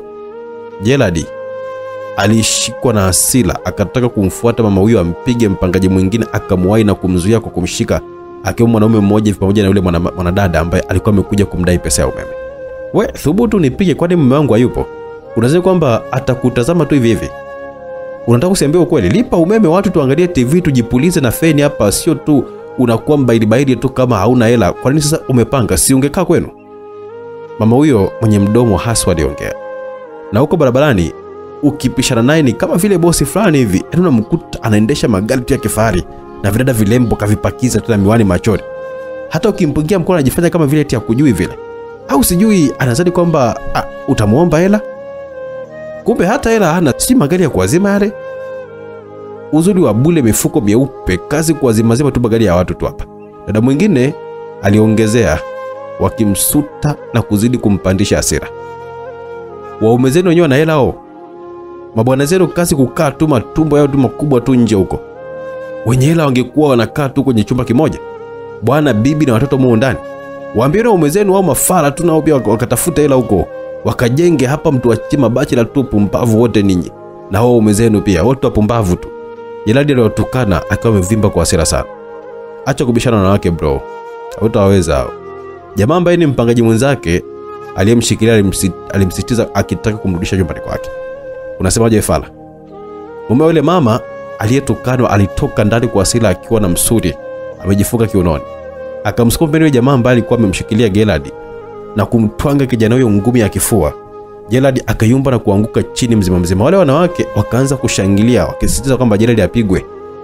Akataka kuinuka ajitetea, akaongezwa tena teke la kifua mpaka baba huyo msuli ukamwanguka kiunoni. Gerald akalala chali huko akiwa anakohoa. Pumbavu. inalikohoa kohoa baada ya kutandikwa teke la kifua. Basi mme wangu, utamua kijana wa watu. Mtu mwenyewe mla chipsi huyo hakuwezi kabisa. Mke yule mwana, mwanaume alimshika mumewe na wapangaji wengine wakamzuia asiendelee kumpiga. Si wengine kuua mtu sio jambo dogo. Tulishawekwa gerezani, sasa nisikie ukimtukana mke wangu au mimi mwenyewe nitakuwa dogo. Jamaa huyo aliongea kwa hasira sana. Nisamee blaza, sirudi tena, nisamee. Gerald ikabidi awe mpole ese. Akainuka na kujikunguta tu vumbi, kisha akaingia ndani taratibu, akiwa bado amejishika tu kifua, akiguda maumivu akiacha nje watu wakiwa wamejaa minong'ono inaendelea tu, akajifungia tu mlango kwa ndani na kukaa kitako kitandani. Akavuta mto na kuutupa chini kwa hasira sana, kisha akajinamia na kujishika kichwa. Pumbavu, nimewa kudhalilika leo namna hii? Lazima nitafute hela kwa namna yoyote ile eh? Niwafunze adabu hawa manyang'au. Aliapa huku akiwa nasaga meno, na muda huo simu yake ikaita. Alipotazama namba, ilikuwa ni ya mama wa rafiki yake David. Akapokea na kuweka sikioni. Jana nimeona upokee simu zangu nimekupigia muda mrefu sana. Hamna mama, nilikuwa niko na kazi tu kidogo. Alijibu kwa kikoa. Unaumwa? Hamna, nakoa tu. Nenda hospitali basi. Ah, Gharama zake kwenda hospitali ndo sina, nina ya kula tu hapa, nitaenda duka la dawa tu. Fanya hivyo na kutumia pesa ya dawa sasa hivi. Uende duka la dawa ukapate dawa, sawa? Sawa, asante sana kwa kujali. Usijali vipi, una nafasi baadaye tuonane? Wapi? We jibu tuna nafasi. Ah, ndio leo nipo tu. Basi sawa, baadaye nataka tuonane mahali. Ngoja basi nikamilishe mizunguko yangu hapa, nitakwenda kuambia. Sawa, nasubiri. Gerard alijibu na simu ilikatwa. Zikapita kama dakika tatu hivi, kaingia message kwenye simu yake. Alipofungua alikutana na muamara wa pesa shilingi elfu hamsini na tano. Akatoa macho na kumpigia mama huyo. Simu ikapokelewa. Ah, ya dawa hiyo, nenda kanunue sasa hivi. Ndo yote hii jamani? Eh, mbona jambo dogo tu sana hilo Gerard? Utapata makubwa zaidi hayo. asante sana. Da, sikutegemea kutegemea kabisa. Haya, baadaye Mayo alikata simu. Gerard akatizama na kurukaruka kwa furaha, kisha akajibwaga kitandani. Chali, utanisamehe sana David, rafiki yako. Mama yako siwezi kumwacha hivi, lazima nimle. Ndo mambo yangu hayo, siwachagi salama watu wa namna hii kabisa. Yani Jeradi aliongea mwenyewe na kutabasamu. Jeradi alikuwa ametulia tu chumbani kwake tuli, akiwa ameshika picha wa Ivone mikononi, akiitazama huku akitabasamu peke yake tu. Unaweza kwamba naweza kukusahau kirahisi rahisi wa Ivone? No, siwezi. Hakupenda sana. Najua kwamba upendo wote ule lazima ulipiwe gharama, lakini vipi kama nikijionyesha kwako kwamba nina kila kitu, utanipenda kwa ajili ya vitu vyangu? No, sipendelee mapenzi ya sababu fulani. Acha niendelee tu kupambana kwa staili hii, nitarudi tena kwako waivone Peter aliongea mwenyewe na kuibusu picha mwanadada huyo mrembo, kisha simu yake ya mkononi ikaita. Anapokea na kuiweka sikioni. Mama, Peter uko wapi? Niko mbali kidogo mama, ila nitakuja. Kwa nini? Kwa nini kinachoendelea? Nimeambiwa kwamba hata ofisini kwako pia haupo tena siku hizi. Hakuna kazi muhimu sana naifuatilia huko mama. Kazi gani hiyo msiyoijua mimi? Utajua tu mama, usijali. Kuna msichana namfuatilia, si ndio? Mama yake alimuuliza Peter akajikolesha. Umejuaje mama? Mimi ni mtu mzima, hakuna nachoweza kukifanya nisikielewe na kukijua. Lakini wewe una pesa nyingi sana na una mali, sidhani kabisa hili swala la kupata binti wa kumoa linahitaji muda mrefu na mambo mengi sana. Kutumia pesa yako ikuletee matokeo. Lakini mama, nadhani kwamba nikitumia pesa nadhani napata mkwe sahihi anayestahili anayestahili kumpata. Ili mradi mkwe tu awe mrembo na msomi. Kama usiniletee mwanamke wa ajabu ajabu hapa. Nataka mwanamke wa hadhi yako wewe Pita Nadhani tumeelewana, si ndio? Sawa, tutajitahidi mama. Nitakufuatilia. Maka alijibu na kukata simu. Pita alishusha pumzi na kuweka simu pembeni. Kisha akalala chali akitazama pembeni akaona zile e, noti mbili alizokuwa amepewa na mwanada Ana. Yaani shilingi elfu mbili. Akazivuta na kuzitazama. Ana, msichana mwenye moyo wako wa peke yako. Natumai utapata mwanaume mzuri sana. Atakaye kujali na atakaye kupata tafaidi sana. Natamani ningemjua ili nimpe onyo huyo mwanaume anayekuhitaji. Asithubutu kabisa kufanya chochote kile kibaya. Asithubutu kuumiza moyo wako, kwa sababu kwa jinsi ulivyo, wala hata ustahili kabisa kuumizwa. Unastahili kupendwa na kutunzwa na kujaliwa.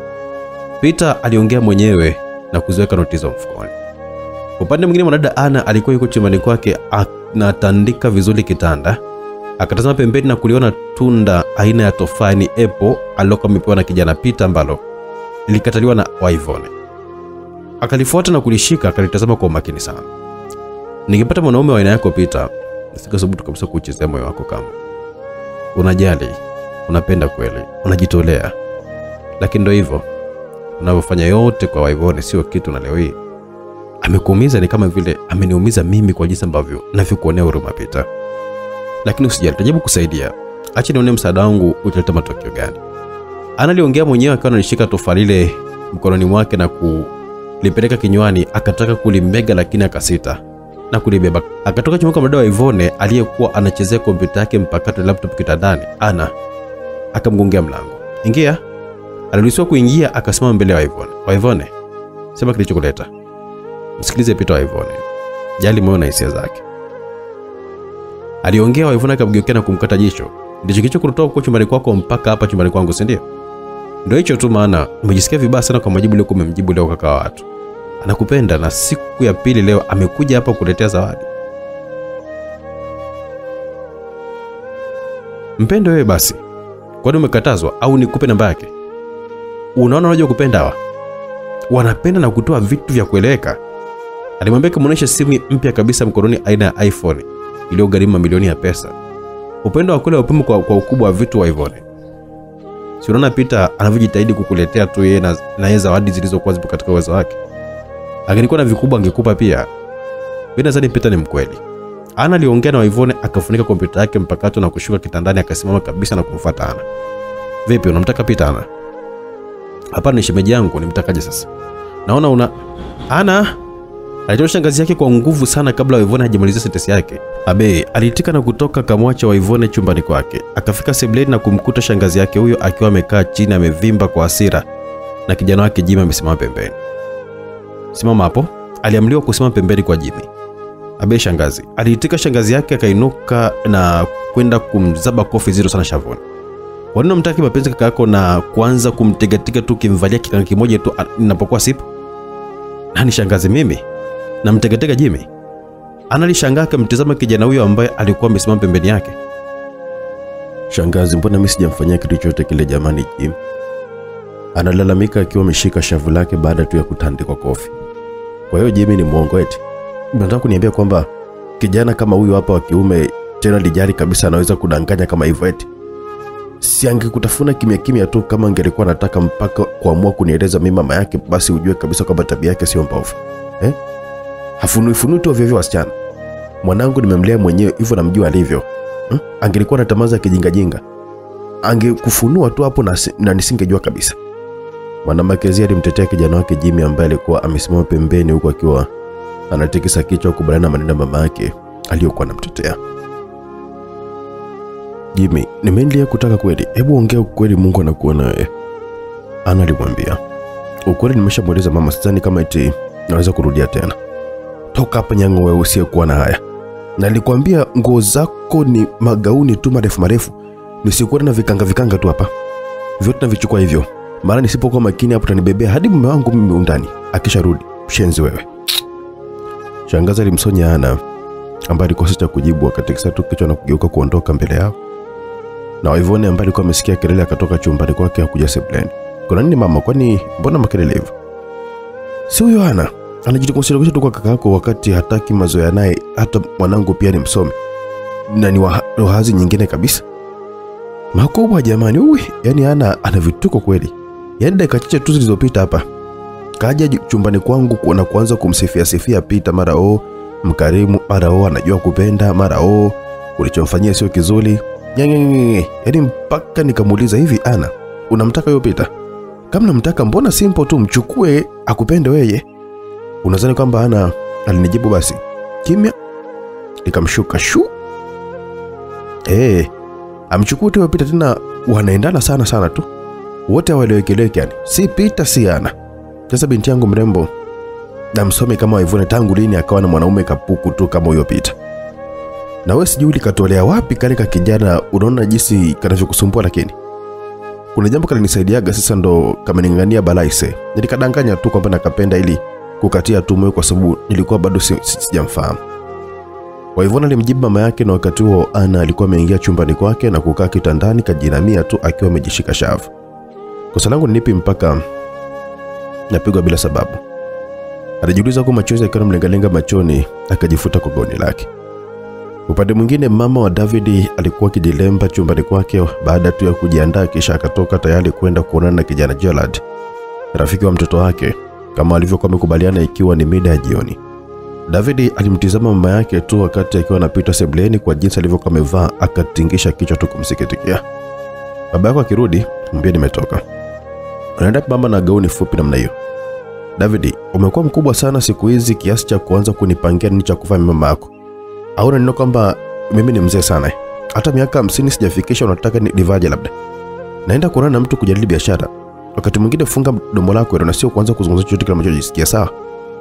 Mama yake alimjibu akiwa amevalia gauni fupi ambalo lilikuwa limeacha mapaja wazi na nusu ya kifua chake wazi, akiwa amejipodoa kapodoka kweli kweli, amebandika mpaka kope za bandia. David hakuzungumza tena, alichokifanya ni kumtazama tu mama yake wakati akiwa anatoka. Huenda mama ameshapata mwanaume nje, hilo sikubali, lazima nimfuatilie.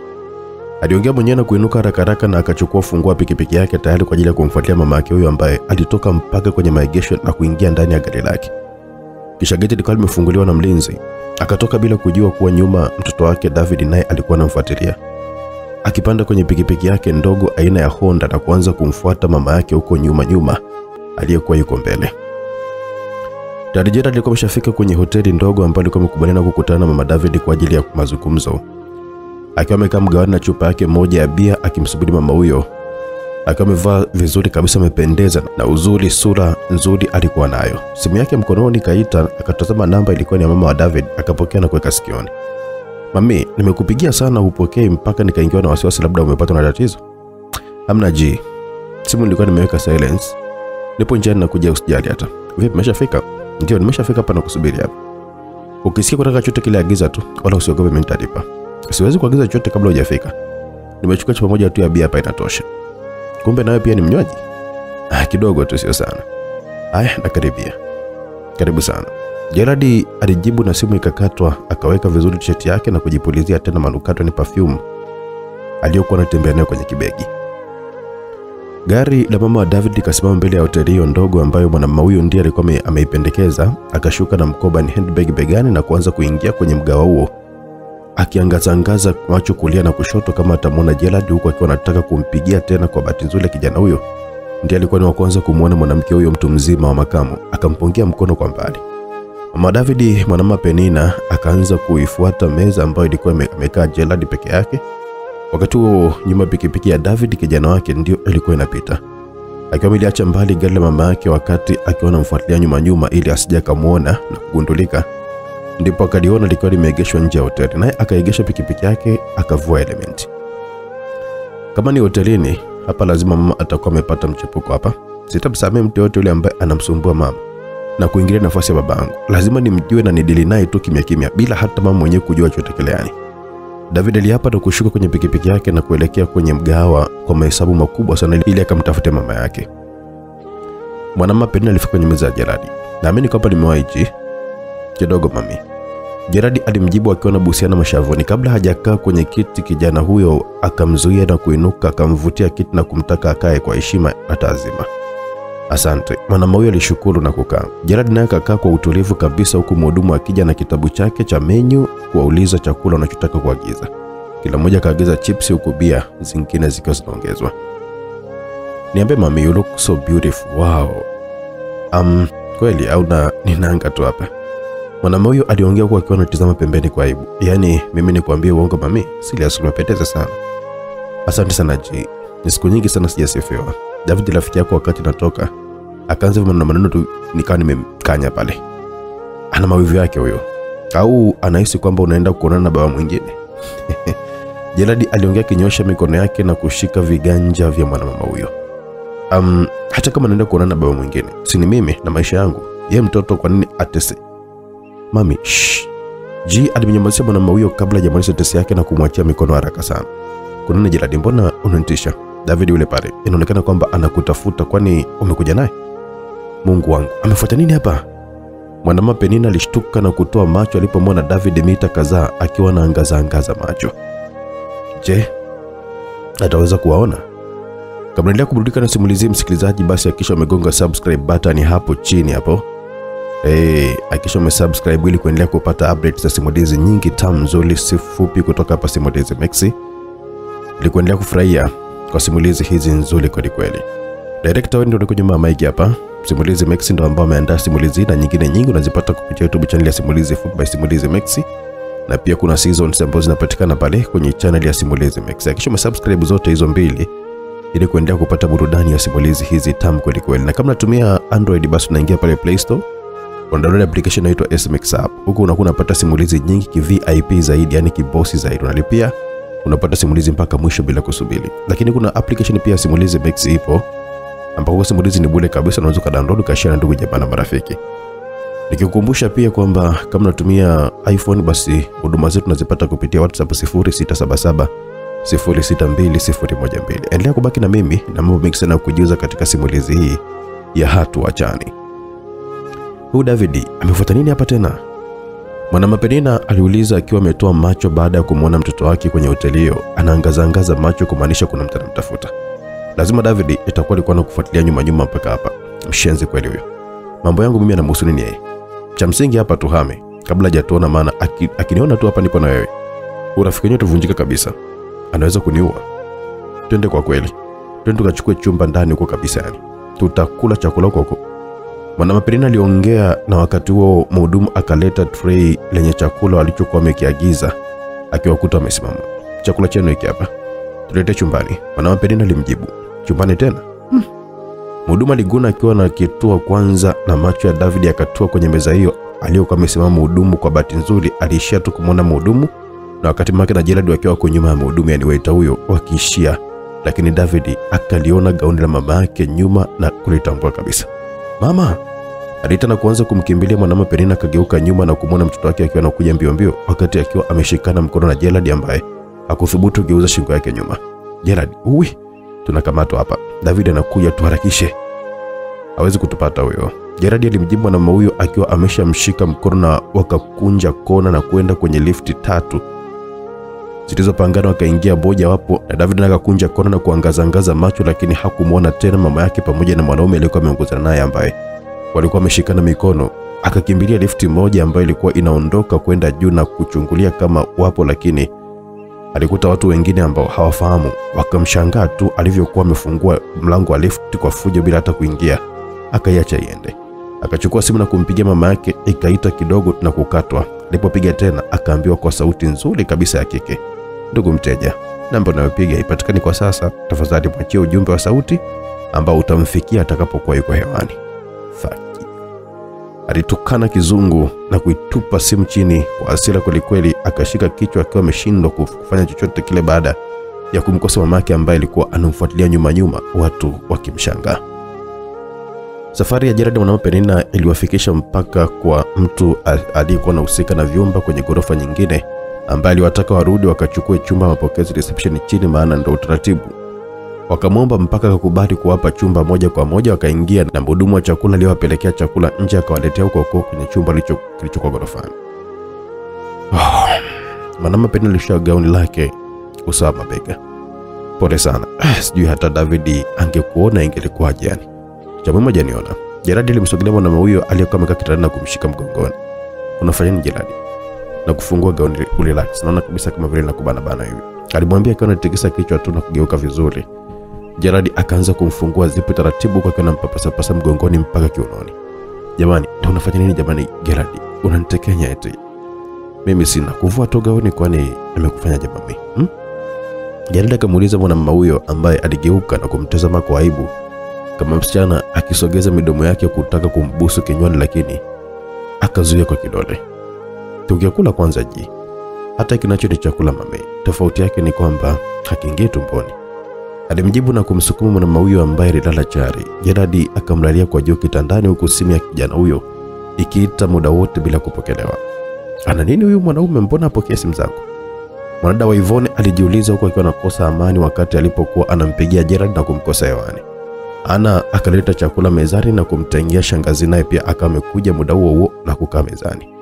Karibuni chakula. Mwanadada huyo aliyekuwa amejawa na mawazo aliwakaribisha, hakuna aliyemjibu. Moja kwa moja mwanadada wa Ivone akainamia chakula kile ili achukue kijiko. Unywele wake mmoja ukaangukia kwenye sahani ya chakula, akiwa iko bize na simu yake, akachota kwa kijiko na ukutana na unywele huo, akasimamisha kijiko akakichunguza. Nini wa Ivone, mbona uli?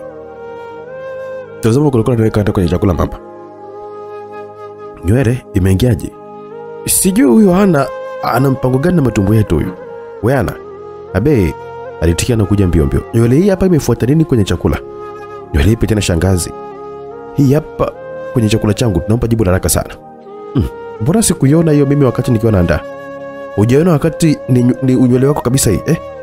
Nia yako ni kwamba tuuma matumbo, si ndio au? Ah, mimi sina nywele kama hiyo Waivone. Hiyo nywele uoni kabisa kama ni laini kama zako hizo. Hiyo itakuwa imetoka kwenye nywele zako hapo mwenyewe na wala sio zangu mimi. Mei zangu sinaziona kabisa nimekata wala hata hazina hazina madawa kabisa. Ana alijitetea akiwa anajishika nywele zake kichwani. Waivona akamgeukia mama yake. Mama, hivi unamwelewa huyu? Namsikia ila simwelewi. Mama yake alijibu na kilikuwa ni kitendo cha sekunde. Ana akajikuta akiwa amemwagiwa chakula, wali wa samaki, mboga za majani. Gauni lake likachafuliwa sana, akabaki kinywa wazi akishangazwa na kitendo cha ajabu alichokuwa amefanyiwa na Waivona.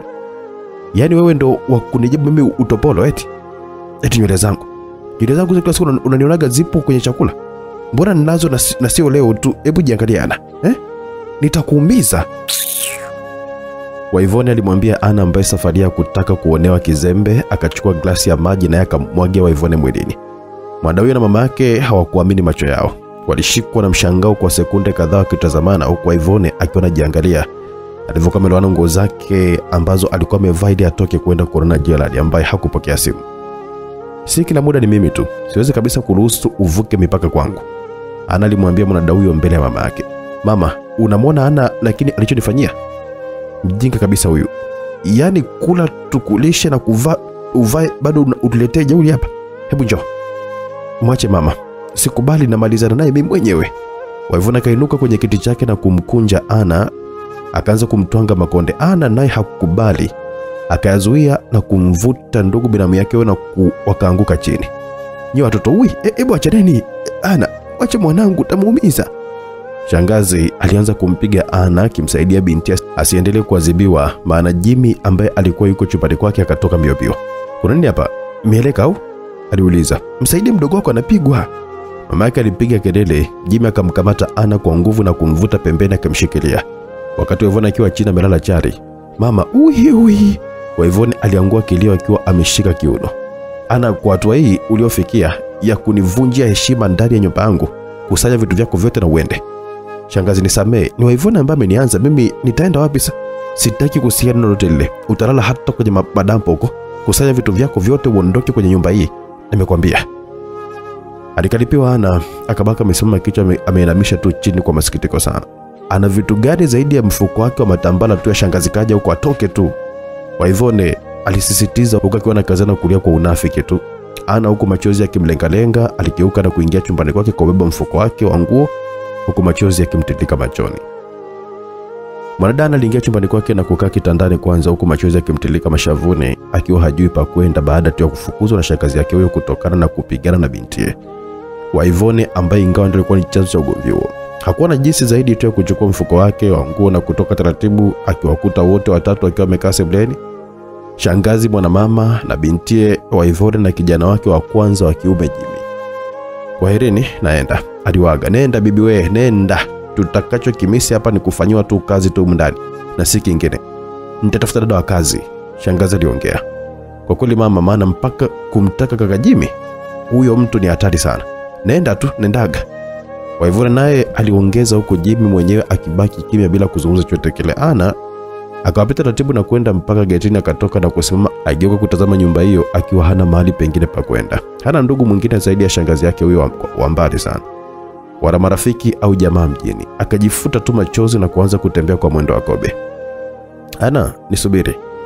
Aliitwa nyuma, akasimama ugeuka akamwona Jimmy akiwa anakuja mbio mbio na kufunga breki mbele yake huko akihema. Abe, ulienda wapi sana? Mimi najua nitakapokwenda kuhusu hilo, hata usijali. Asante sana Jimmy. Aligeuka na kutaka kuondoka, kijana huyo akamwahi na kumshika mkono. Nisikilize Ana, wala usiondoke, niachie mimi. Nitazungumza na mama, kila kitu kitakuwa sawa. Hakuna haja ya kujisumbua kwa ajili yangu Jimmy. No, wala sikusijisumbui. Na mama si unavyonijua mimi anavyonipendaga kuliko Waivone, nitamweleza atanielewa tu kwamba uwe niamini mimi. Alimwambia Ana ambaye kwa sababu alikuwa hana pa kwenda akabaki akiwa na tafakari kuhusu kubaliana na ombi la kijana huyo ambaye alichukua mfuko wa nguo mikononi mwa Ana na kuubeba yeye. Sawa, nimekubali Jimmy. Nitarudi ila shangazi akikukatalia wala hata usijali, mimi nitakuwa sawa tu. Hawezi kunikatalia Ana. Mimi ndo jembe lake, si umeona kabisa nilivyokuwa niko kimya pale wakati akiwa na kusema mimi najua kabisa kweli kwa Waivone. Ndiye alianza kukorofisha sasa. Wewe twende tu na utarudi nyumbani na maisha yataendelea tu, ila kwa sharti moja. Sharti gani Jimmy? Utakuwa mtu wangu, tutakuwa wapenzi, ila kimya kimya. Usiniambie nitarekebisha kila kitu tu, baadaye nitakuoa sawa? Jimmy aliongea kauli ambayo ilimfanya Ana asimame na kumtizama kabla ya kumjibu. Kumbe ndo lengo lako hilo? Mbona umezunguka sana? Ana, mbona mambo madogo tu hayo eh, tunabadilishana tu, kwani ugumu uko wapi? Mimi siwezi kuwa na wewe Jimmy. Kwanza ni ndugu yangu na pili sijai kabisa kukupenda namna kwa namna hiyo. Nakupenda kama kaka yangu, tunakuheshimu siku zote. Na tatu, wewe una mtu wako na sio tu mtu. Ni watu, yaani wasichana kila siku naona getini pale unaondoka nao.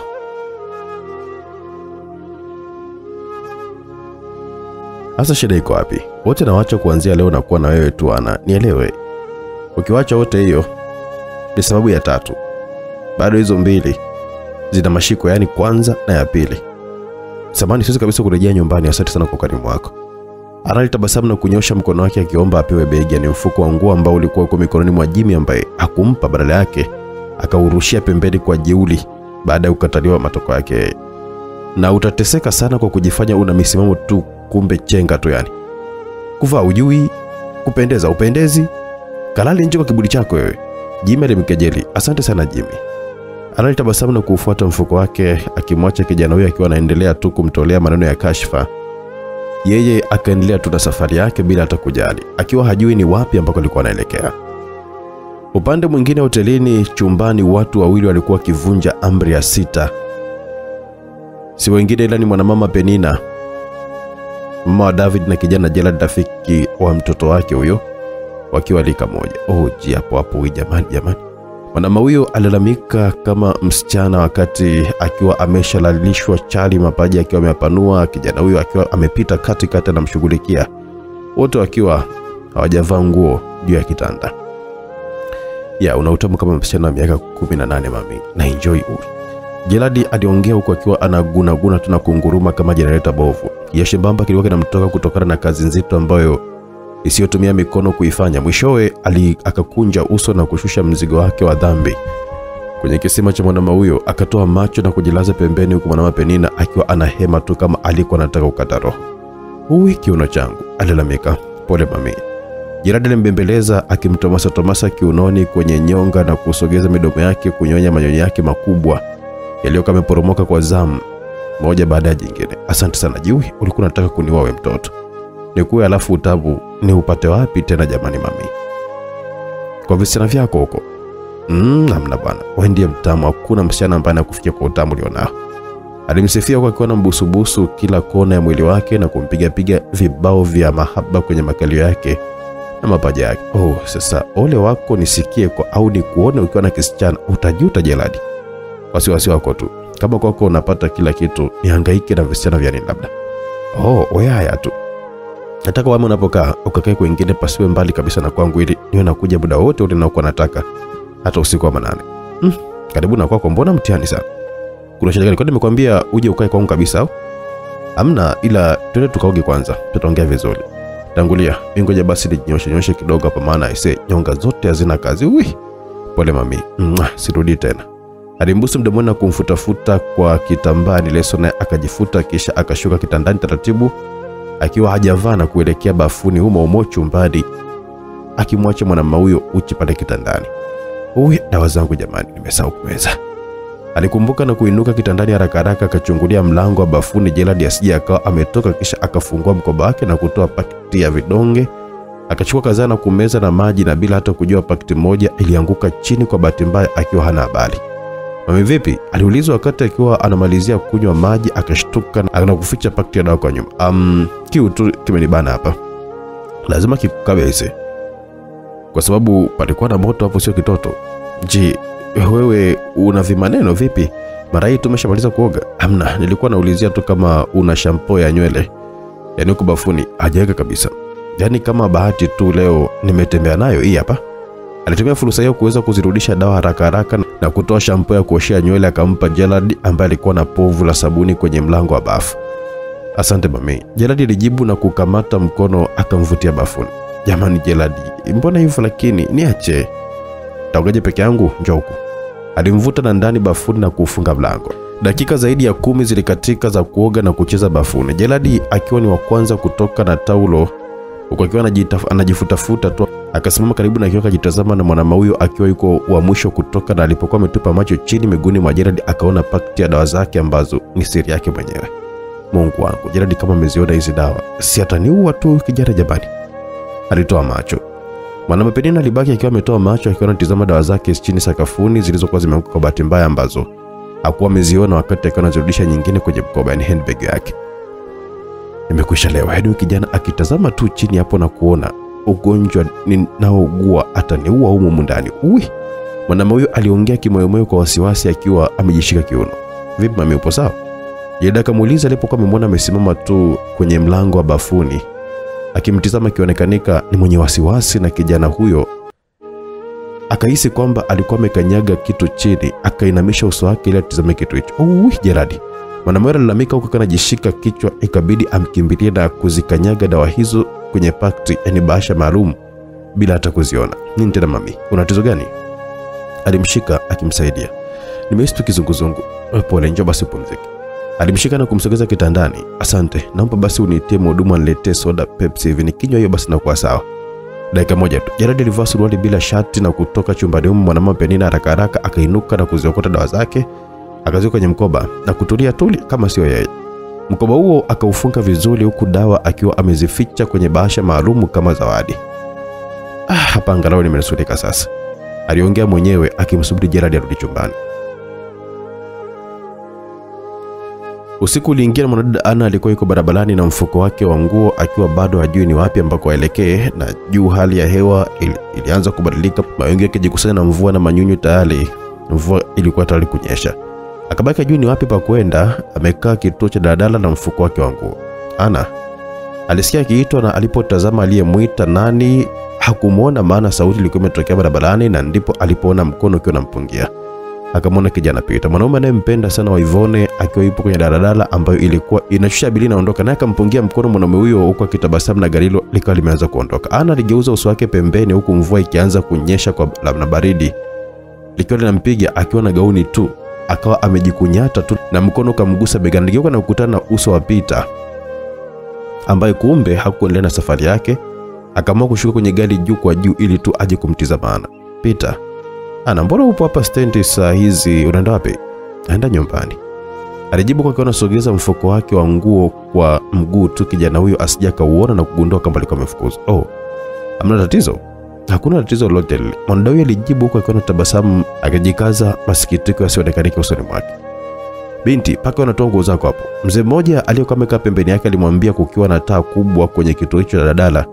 ana akatizama chini na kumkuta paka akiwa amebeba nguo yake ya ndani ana, anaivuta. Paka huyo asiyekuwa na makazi anayelala stendi, kumbe alikuwa yuko uvunguni mwa walipokuwa wamekaa Bilia, na alipoona mfuko huo akaanza kupekua pekua ili aone kama atapata riziki yoyote ile. Jamani, huyu toka toka! Analimfukuza paka huyo. Pita akampiga teke na watu wakiwatizama. Rakaraka akazirudisha nguo zake kwenye mfuko zilizokuwa zimevutwa zikichungulia nje, na hakuona haja ya kuendelea kukaa tena stendi hapo. Akainuka na kutaka kuondoka kwa sababu ya watu walivyokuwa wakimshanga, huku mvua ikiendelea. Ana, unaenda pita mvua yote hii hapa? Si utaloana? Hakuna shida Pita, acha niloane tu. Twende basi nikupeleke nyumbani basi. Hamna, nitafika tu mwenyewe, hata usijali analimjibu mwanaume huyo ambaye aliona majibu ya mwanadada huyo hayajamridhisha kabisa. Akamkamata mkono na Ana aligeuka na kumtizama huku akionyeshwa na mvua. Niambie ukweli Ana, umefukuzwa nyumbani? Hapana, sijafukuzwa. Kwa nini? Hasa nguo za nini saizi? Afu usiku wote afu unanificha. Pita, niache bwana, uone kama tunaloana. Hebu niache bwana, siwezi kukuacha mpaka uniambie ukweli. Umefukuzwa? Ndiyo, sipo nyumbani. Umelizika sasa? Analiongea akionekanika kujawa na hasira ambazo hazikuwa zinamuhusu Peter, lakini alikuwa anataka kuzibatizia kwa kijana huyo. Nitazungumza na Waivone, haina haja, ninajua pa kwenda mimi. Analimjibu na kujitoa mikononi mwake akitaka kuondoka, lakini Peter kamdaka mkono kumzuia tena. Twende kwa ngalale usiku, afu kesho asubuhi tunajua nini cha kufanya. Hali ya hewa sio nzuri, kwa hiyo kutembea tembea na kulala nje. Jina ndugu na marafiki nita Huwezi kunidanganya, najua habari yako tayari kwamba hapa mjini hauna ndugu wala jamaa. Unaonaje kama nikiwa ndugu yako kwa usiku tu leo? Utalala nje kwa liji silivyo? Pita kamuuliza, na wakati huo radi zilikuwa zinapiga sambamba na mvua hiyo ya upepo. Ana akatizama huku akiwa anatetemeka kwa hofu. Kila mtu alikuwa anakimbia kwa nyumbani kwake, wengine wakiwa na miamvuli, wengine wakiwa wanajifunika makoti. Pita akiwa amesimama kwenye mvua na mwanada huyo wakiwa hawajakubaliana, bado wanaoana tu. Kijana huyo akachukua mfuko wa nguo wa, Ana ambaye alikuwa njia panda kuhusu kukubali ama kukataa kuongozana na Pita. Ungurumo wa radi ukapiga kwa nguvu mwanada huyo, kwa hofu akajikuta akimkumbatia Pita akiwa hata ajua amefika jifikaje kifuani mwanaume huyo na amejificha kana kwamba ni sehemu salama. Pita akataka kumshika kichwani, lakini akasita na kuishia kunyoosha tu mkono. Mm, huyu msichana na mamvu haya sijui atakuwa wapi hivi sasa yani. Mwanamama Kezia alijiuliza akiwa anachungulia dirishani. Si umemfukuza mwenyewe mama, sasa unategemea nini? Mbona namuulizia ulizia tu umemmisi au? Wala sijamisi mimi. Kwanza unajua historia yake, ni mtoto wa kakaangu lakini hakuzaliwa na kakaangu, yani ni mwanaharamu. Kakaangu aliuziwa tu mbuzi kwenye gunia. Nachofia mimi ni huko kwao kijijini, sijui mkoani, taarifa zi- zisije ikafika huko kwamba nimemfukuza hapa nikaonekanika mbaya bure. Yaani mama, unaogopa hilo tu. Wewe mwenyewe unabidi ucheze na wakati. Piga simu waambie kwamba kapata mimba kachukuliwa na, na, na mwanaume basi. Si mwenyewe anayo ya kuwapigia huko kijini si alipoteza kiswaswadu chake? Hapo umeniambia maana wa Ivone yaani kumbe kuna wakati unakuaga na akili nyingi sana ila tu unajitwaga sana we ah mama kwa hiyo mimi pungu sio? Hebu kaniletee chakula nile sitaki maswali hapa mwanamwali alimwambia binti yake ambaye alienda jikoni na kurudi na sahani ya wali kwa nyama na kumpa mama yake huyo ambaye alikuwa amesimama akiwa anautazama tu wali huo akiutolea macho mara mbili mbili na kumtazama binti wa Ivone Vipi mbona kama vile una kinyari chakula changu? Hiki chakula au mauji? Ubwabwa gani huu? Mama na wewe umeshaanza bwana. Kwa nini ulikuwa unataka ubwabwa wa aina gani mimi? Mbona nimepika tu vizuri jamani? Umepika vizuri, haya bokoboko, mboga hata mchuzi haueleweki, manyanya manyanya mazima mazima. Sili mimi hiki chakula. Jimmy, chukua basi mwavuli ukaniletee chipsi huko nje. Kome ndo nile chakula peke yangu mama. Na mimi sili. ee usile tu. Tutakula chipsi. Ulizoea na yupa na kaangiza kazi unayo. Jimmy alimwambia mdogo wake huyo. Na wewe usinitafute Jimmy, nitakubadilikia sasa hivi nita. Kabla hivyo hajamalizia sentensi yake, wakasikia honi kali ya gari nje. Mwanamke hizi akamtaka Jimmy kijana wake katizame ni nani nje ya geti huku mvua ikaendelea kunyesha. Jimmy akatoka na mwamvuli mpaka getini, lakini akarudi mbio mbio sebuleni mpaka akateleza chini na kuanguka, akiwashtua mama na mdogo wake wa Ivone. Kulikoni Jimmy? Mamake alimuuliza nao wakitaka kukimbia. Polisi mama, polisi. Jimmy aliwaambia na kukimbilia chumbani kwake, na wao kama kimbilia vyumbani mwao kwa hofu sana. Wote walikimbia vyumbani, mama na watoto wake wawili kwa hofu ya askari. Geti lilikuwa limeachwa wazi na Jimmy ambaye ndio wa kwanza kuwakimbia askari hao. Akajifungia chumbani kwake, mama yake akamfuata na kumgongea mlango. Umefanya nini kwani Jimmy? Mbona maskari wanakuja nyumbani wa... umeiba au e... hebu rudisha licho hebu sitipa tatizoni hapa. Sijafanya kitu chochote kile mimi mama. Sijaiba. Au umebaka? Sijabaka mama. Sasa kwa nini askari waje hapa nyumbani? Hata mimi mwenyewe sijui mama. Jimmy alijibu wakati mvua ikiendelea kunyesha na mlango ukaanza kugongwa. Mwanamke Zia na binti wa Ivone wakatazamana, kila mmoja akiwa anachungulia kwenye mlango wake kwa hofu sana. Kafungua mlango wa Ivone. Kafungua wewe mwenyewe mama, yani hakumistai kabisa. Wa Ivone alimjibu wakirushiana mpira. Mwanamume huyo akashusha pumzi kupunguza wasiwasi na kufuata mlango huo mkubwa wa sebuleni, akaufungua na kukutana na askari watatu wakiwa na makoti yao makubwa ya mvua, wawili wa kiume, mmoja wa kike. Yaani tunagonga mlango muda wote huo kama machizi na kumbe kuna watu ndani. Askari wa kike aliongea kwa hasira sana. Hamna afande, sikusikia. Karibuni sana, piteni tu ndani.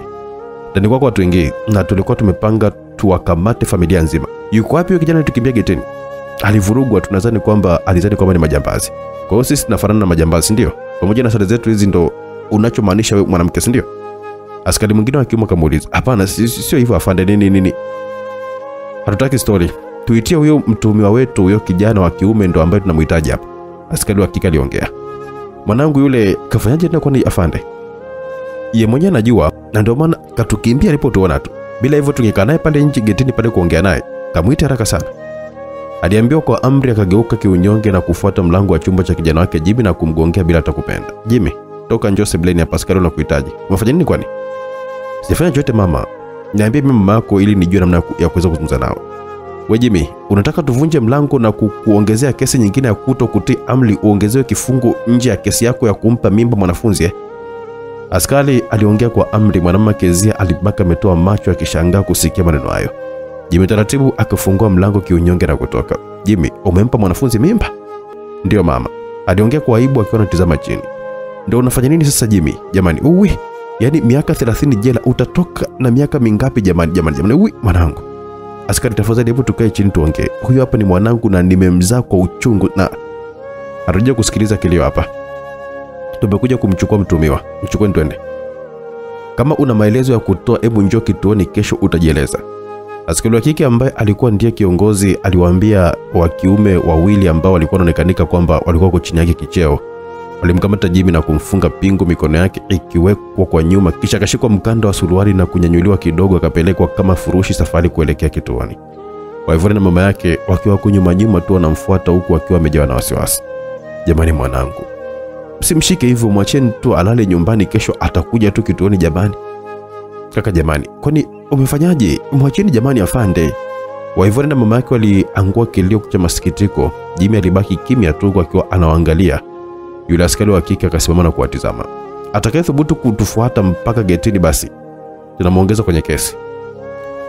Ubaya hata nani kijana, kwa sababu ni jinsia tofauti. Sijui nani sasa ambaye atakayeweza kumsaidia mwenzake kufuatilia dhamana na makorokoro mengine kama wote mkiwa ameshasoka ndani.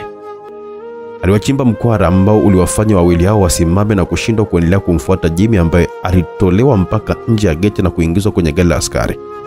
Wakaondoka naye, mvua ikiwa bado inaendelea kunyesha. Mama yake na mdogo wake wa Ivone wakabaki wakiwa wanachungulia, wakati gari hilo dogo la askari likiwa linaishia kwenye upeo wa macho yao. Upande mwingine, baada ya Ana kukubali kuongozana na Peter, walifika mpaka kwenye, kwenye nyumba aliyokuwa anaishi kijana huyo. Karibu sana, Peter alimwambia wakati akiwa anafungua mlango. Asante sana, Ana alijibu kwa aibu, huku muda wote akiwa anatazama pembeni, akiwa amejawa na wasiwasi sana. Katika maisha yake yote hajawahi kuingia chumbani kwa mwanaume yeye peke yake. Sasa leo ilikuwa ni mara yake ya kwanza kabisa. Ukiacha alivyokuwa ameingia kwa Jimmy kwa kufusiwa tu, mlango ulifunguliwa. Peter akaingia na kumwona msichana huyo bado amesimama mlangoni. Anaingia, alimwambia kwa mara nyingine kiunyonge. Ana alikuwa ameingia na kwenda kukaa kwenye stuli ambayo ilikuwa ipo kwenye kona ya ukuta. Alijibana. Peter alivuta jiko la gesi na kuwasha moto, akiwa amebeba viungo vya mboga kwa ajili ya kuweza kupika ili wale mchele ukiwa upo ndani kwenye ndoo. Ana akamfuata. Acha tu nitapika, alimwambia akimzuia. No, no, no, Ana, usiache, niendelee. Hapana, niache mimi nitapika shem. Alimnyang'anya kiberiti na kukaa yeye kwenye kitanda, akasuuza masufulia na kukaangiza Pita akimtizama tu. Kijana wake kumbuka mbali sana jinsi alivyokuwa ametembelewa na mwanadada wa Ivone ambaye siku moja alivyokuwa amemtembelea kwa mara ya kwanza na ya mwisho, pamoja na kukuta viungo, mboga na mchele, lakini alitaka kula viazi vya kukaanga, ni chipsi na kuku na sio kupika. Peter akabaki kumtizama Ana ambaye aligeuka na kukuta akiwa anaangaliwa. Ali iliyomkosesha amani mpaka akajikuta akiwa anagusa sufuria kwa kidole na kujiunguza. Peter alimsogelea ndani ya sekunde na kumshika mkono wake. Upo sawa? Nipo sawa tu, Ana alimjibu, mkono wake wa kulia ukiwa umeshikwa na mwanaume huyo huku wakitazamana macho kwa macho. Hapana, umeungua, ngoja basi nikupake asali. Peter, eh, nipo sawa tu. Ana aliutoa mkono wake. Oh, sawa sawa, nilidhani kwamba umeumia. Peter alijishtukia na kurudi kwa kitandani. Basi unaambiwa msikilizaji, kuna kucha mapema, Peter akajinyoosha na kufumbua macho akiwa amelala chini sakafuni kwenye nguo zake alizotandika, akimwacha Ana alale juu ya kitanda, akimtizama na kumkuta mwanadada huyo ayupo kitandani. Akashtuka na kuinuka, akakaa kitako na sauti ya vyombo vikigongwagongwa ilisikia mlangoni kwake, na akalifuata dirisha na kuchungulia, akamwona Ana akiwa anaosha vyombo vya jana usiku vya, kula, vya chakula. Akatoka na kusimama mlangoni. Usingejisumbua Ana, eh? ningevyosha tu wala sijisumbui, na wajibu wangu shem. Umeamkaje? Ana alimsalimia mwanaume huyo huku majirani wapangaji wengine wakiwa wako milangoni mwao na madirishani wakiwa wanachungulia kinachoendelea huku wakiwa wanajikuna kuchezana. Si jambo. Peter alimwitikia mwanada huyo ambaye aliinuka na kuingia chumbani akachota maji ya kusuzia vyombo hivyo vichache. Peter akabaki mlangoni akiwa amesimama wakati Ana alipokuwa ameingia ndani chumbani. Hodi ikasikia sauti ya kike. Peter alipogeuka kutazama ni nani aliyekuwa amepiga hodi nje, alikutana uso kwa uso na Waivone, mwanadada anayempenda sana. Waivone amekuja kufanya nini hapa na akijua kabisa kwamba Ana yupo ndani, sili, itakuwa ni balaa hili? Peter akajiuliza kimoyomoyo huku akiwa anaangalia ndani chumbani kwake, akamwona Ana akiwa yuko ndani. I say. Sawa. Unaambiwa Peter libaki ametoa macho baada ya kumwona Waivona amekuja kwake asubuhi, na ubaya mwanada Ana alikuwa yuko ndani chumbani ameka, ana, anapeleka vyombo. Mambo vipi Peter, mbona unishangaa? Hmm? Kujitegemea kuniona kwako nini? Waivona alitabasamu. Oh, ah. Nimemsaidia tu Ana wala hata hakuna chochote kilichotokea kati yetu. Sasa mbona nataka kumkosa Waivona Maziba? Atakapomwona chumbani kwangu, si atanifikiria vibaya kwamba tuna mahusiano ya kimapenzi ya kisirisiri, tena ndio atapata sababu ya kuweza kuniacha mazima nionekane mimi ndio kikwazo, wakati sio kweli. Peter alijiuliza kimoyomoyo, akili na mwili vikiwa havina ushirikiano, mwili ukiwa mbele ya Waivone, lakini akili ikiwa iko mbali, kiwaza kitakachofuata baada ya Waivone kumwona Ana akitokea chumbani kwake. Vipi, upo sawa Peter? Yep, nipo sawa, alijibu. Na wakati huo Ana ambaye alikuwa ndani akasikia sauti ya Waivone nje alishtuka na kusogea dirishani ili kuhakikisha alichokiona, akagundua kwamba ni kweli Waivone alikuwa nje.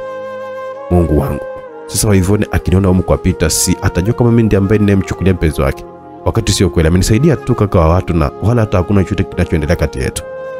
Ana alijiongelesha mwenyewe kimoyomoyo, huku akiwa ametoa macho lilishani kwa kufunga pazia. Karibu sana Waivone, mnisurprise kweli, yani sikutegemea kabisa kuweza kukuona hapa kwangu tena asubuhi yote hii. Ni siku nyingi sana hujaje kunitembelea, huenda kuna jambo la heri. Vipi, umekuja ili tuzungumze? Kuzungumza nini na wewe Peter? Jamani, ha, yani nimekuja kuchukua vyeti vyangu tu vile ambavyo nilivyokuwa nimekupa nitunzie. Hakuna haja kuendelea kukaa tu navyo wakati hatuna mahusiano ya kimapenzi tena mimi na wewe, si vipo? Yapo, vipo, vipo salama kabisa, ngoja nikakuchukulie.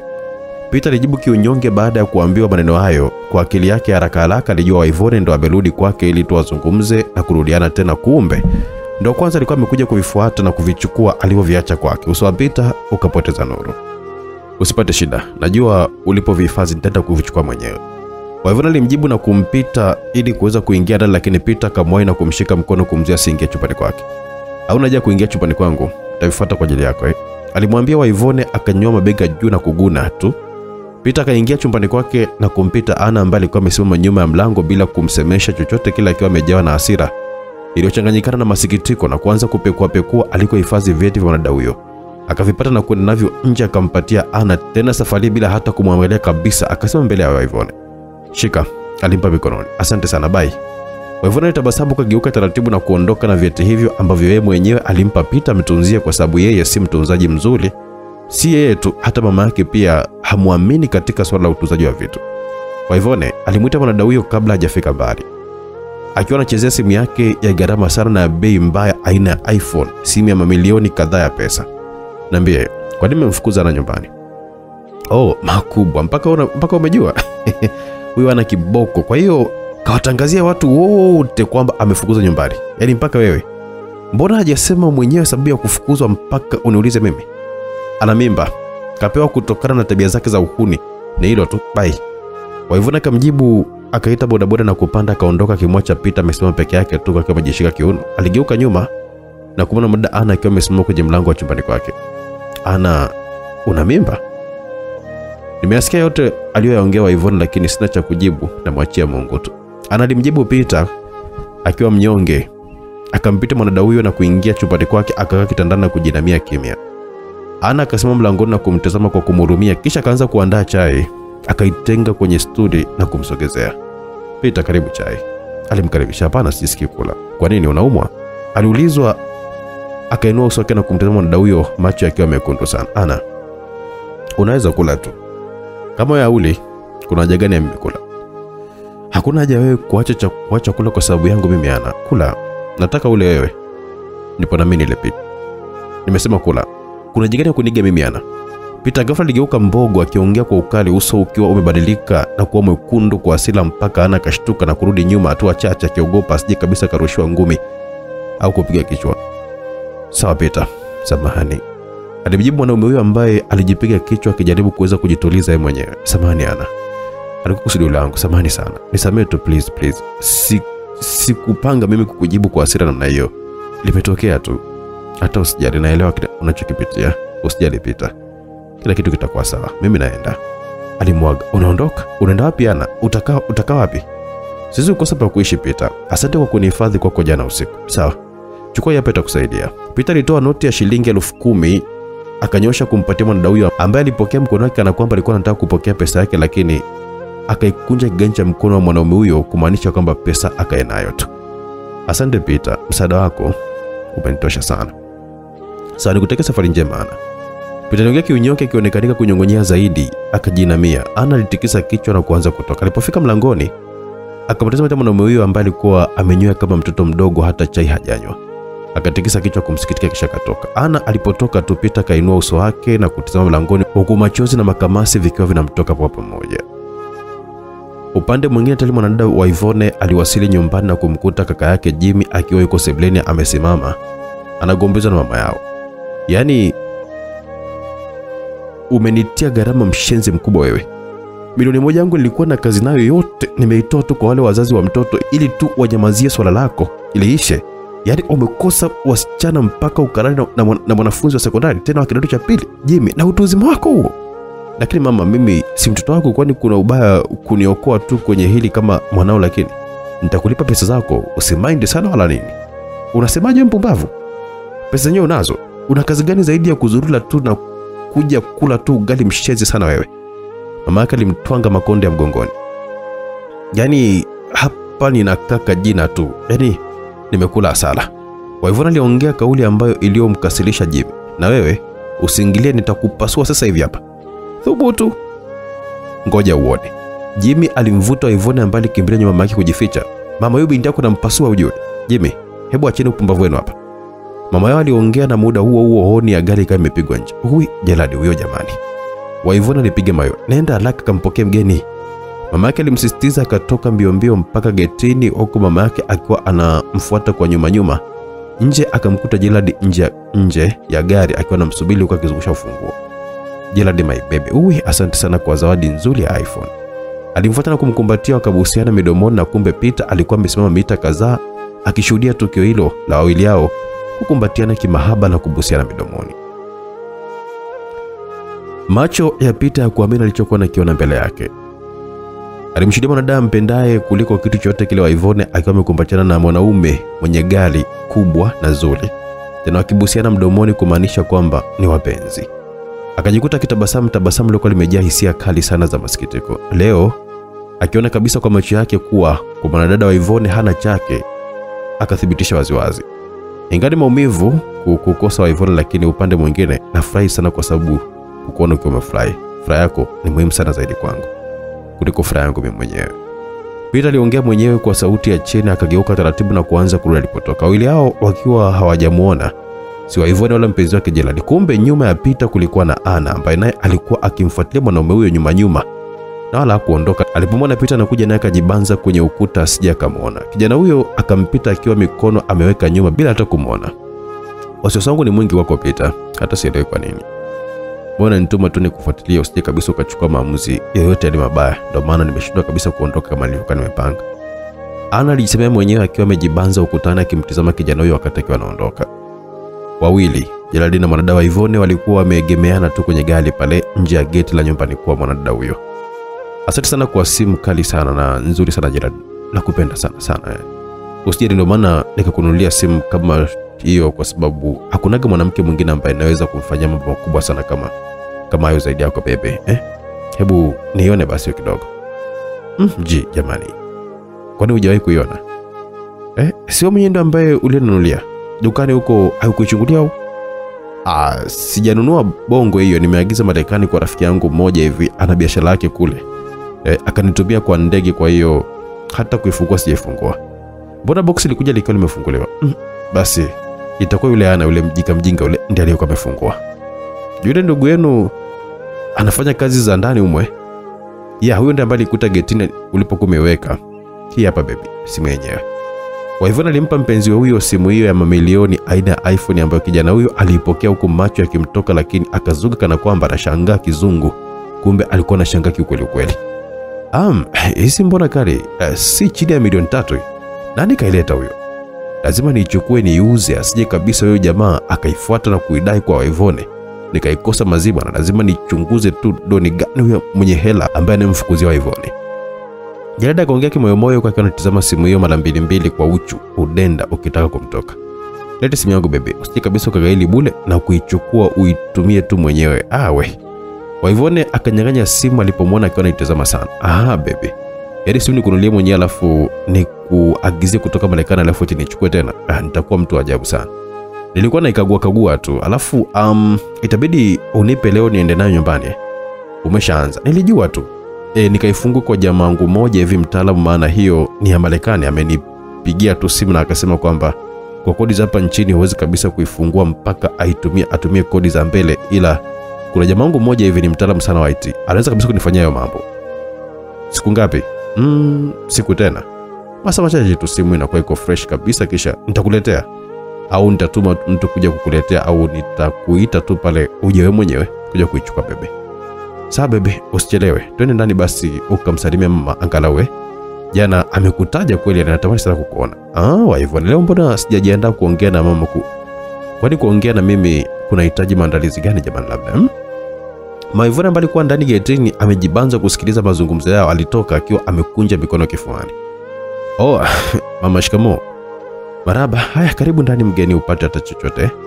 Mama da, aise mimi na haraka ise kuna kikao cha biashara hapa cha kiofisi na ndio maana nimeishia tu nje ila wiki hapa wiki nitatafuta siku nitakuja hapa nishinde hapa mniandalie mambo mazuri sana. Aho basi sawa kama ni mambo ya kibiashara basi nakupa baraka zangu eh. Siku zote napenda vijana wawajibikaji na watafutaji kama wewe. Yaani ha. Asante sana mama. Basi mimi naomba niwaache. Haya, kuna jambo langu Ivona haja kueleza. Mama, shh, si nitamwambia. Mbona nataka kuharibu sasa jamani? Waivona alimficha mama yake asiropoke. Jambo gani Waivone? Nitakueleza tu kwenye simu wewe ai tu. Baadaye si utakuja tena kunichukua tutoke? Ya ya, nitakuja. Bye love. Bye. Waliagana na kubusiana midomoni huku Ivone akimpa Gerald simu yake hiyo nzuri na ya bei mbaya. Kijana huyo akaingia kwenye gari na kuwapungia mkono kuwaaga, akaliondoa gari kwa kasi sana. Sasa na wewe mbona hujamwambia kuhusu ile ishu ya hela niliyokuwa nimekuambia Ivone? Mama na wewe, si tuliongea sisi? Naona sasa ulivyokuwa unataka kuharibu kuongea mbele yake, utaniudhi ati. Eh, ndio mwambie sasa, twende ndani huko. Sijamalizana na kaka yako huyu aliyejifungia ndani, hataki kabisa hata kumwona shemeji yake huko. Mama yake aliongea, wakaingia ndani ya geti. Wakati huo Gerald akiwa anasimamisha gari akiwa anakaribia barabarani, kisha akashika simu hiyo aina ya iPhone ina ya Yvonne na kuigeuza geuza kuitazama kulia na kushoto. Imekula kwa kwa Ivone. Ani hii simu naipiga bei. Hizo milioni na kula, huwezi kabisa kuwa na simu ya bei mbaya namna hii alafu eti nitazame tu hela namna hii. Ah. Aliongea mwenyewe akitabasamu na kukanyaga mafuta, akaliondoa gari kwa kasi sana. Upande mwingine, kwa mwendo taratibu sana, huku akihisi miguu mizito, Pita alifika kwake usiku wa giza likiwa limeingia tayari, akiwa amepitia ufuko na alipokuwa amekaa muda mrefu akijaribu kupoteza mawazo, akiwa sio mtumiaji wa kilevi cha aina yoyote ile, lakini alipokuwa amepita dirishani kwake akasikia harufu kali na nzuri ikiwa inatokea ndani. Mbona kama vitu vinapikwa? Nani huyo? Alijiuliza na kwenda mpaka mlangoni akagonga mlango ambao baada ya sekunde chache ukafunguliwa na uso kwa uso kukutana na mwanadada Ana. Karibu. Wewe, Ana.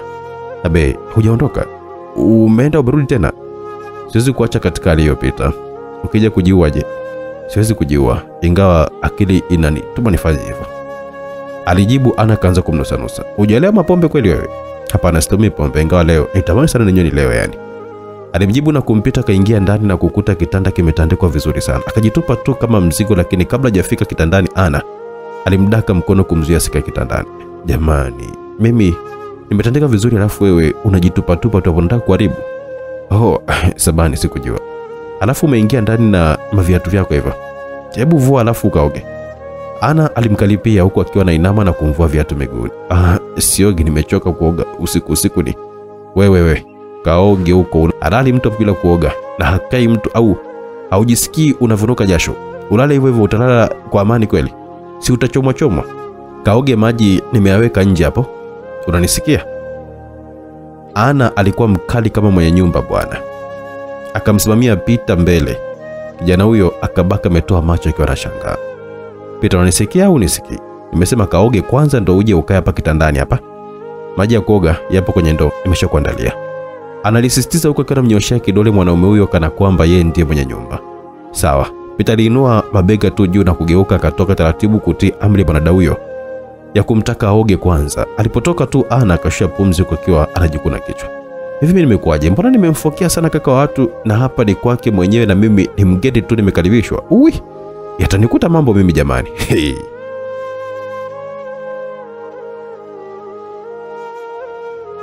Alijipigapiga kichwani kwa wasiwasi akijutia kitendo chake cha kumpa amri mwanaume huyo ili hali yeye ni mgeni tu amekaribishwa kwenye chumba na tena sio karibishwa, awamu hii amejirudisha mwenyewe.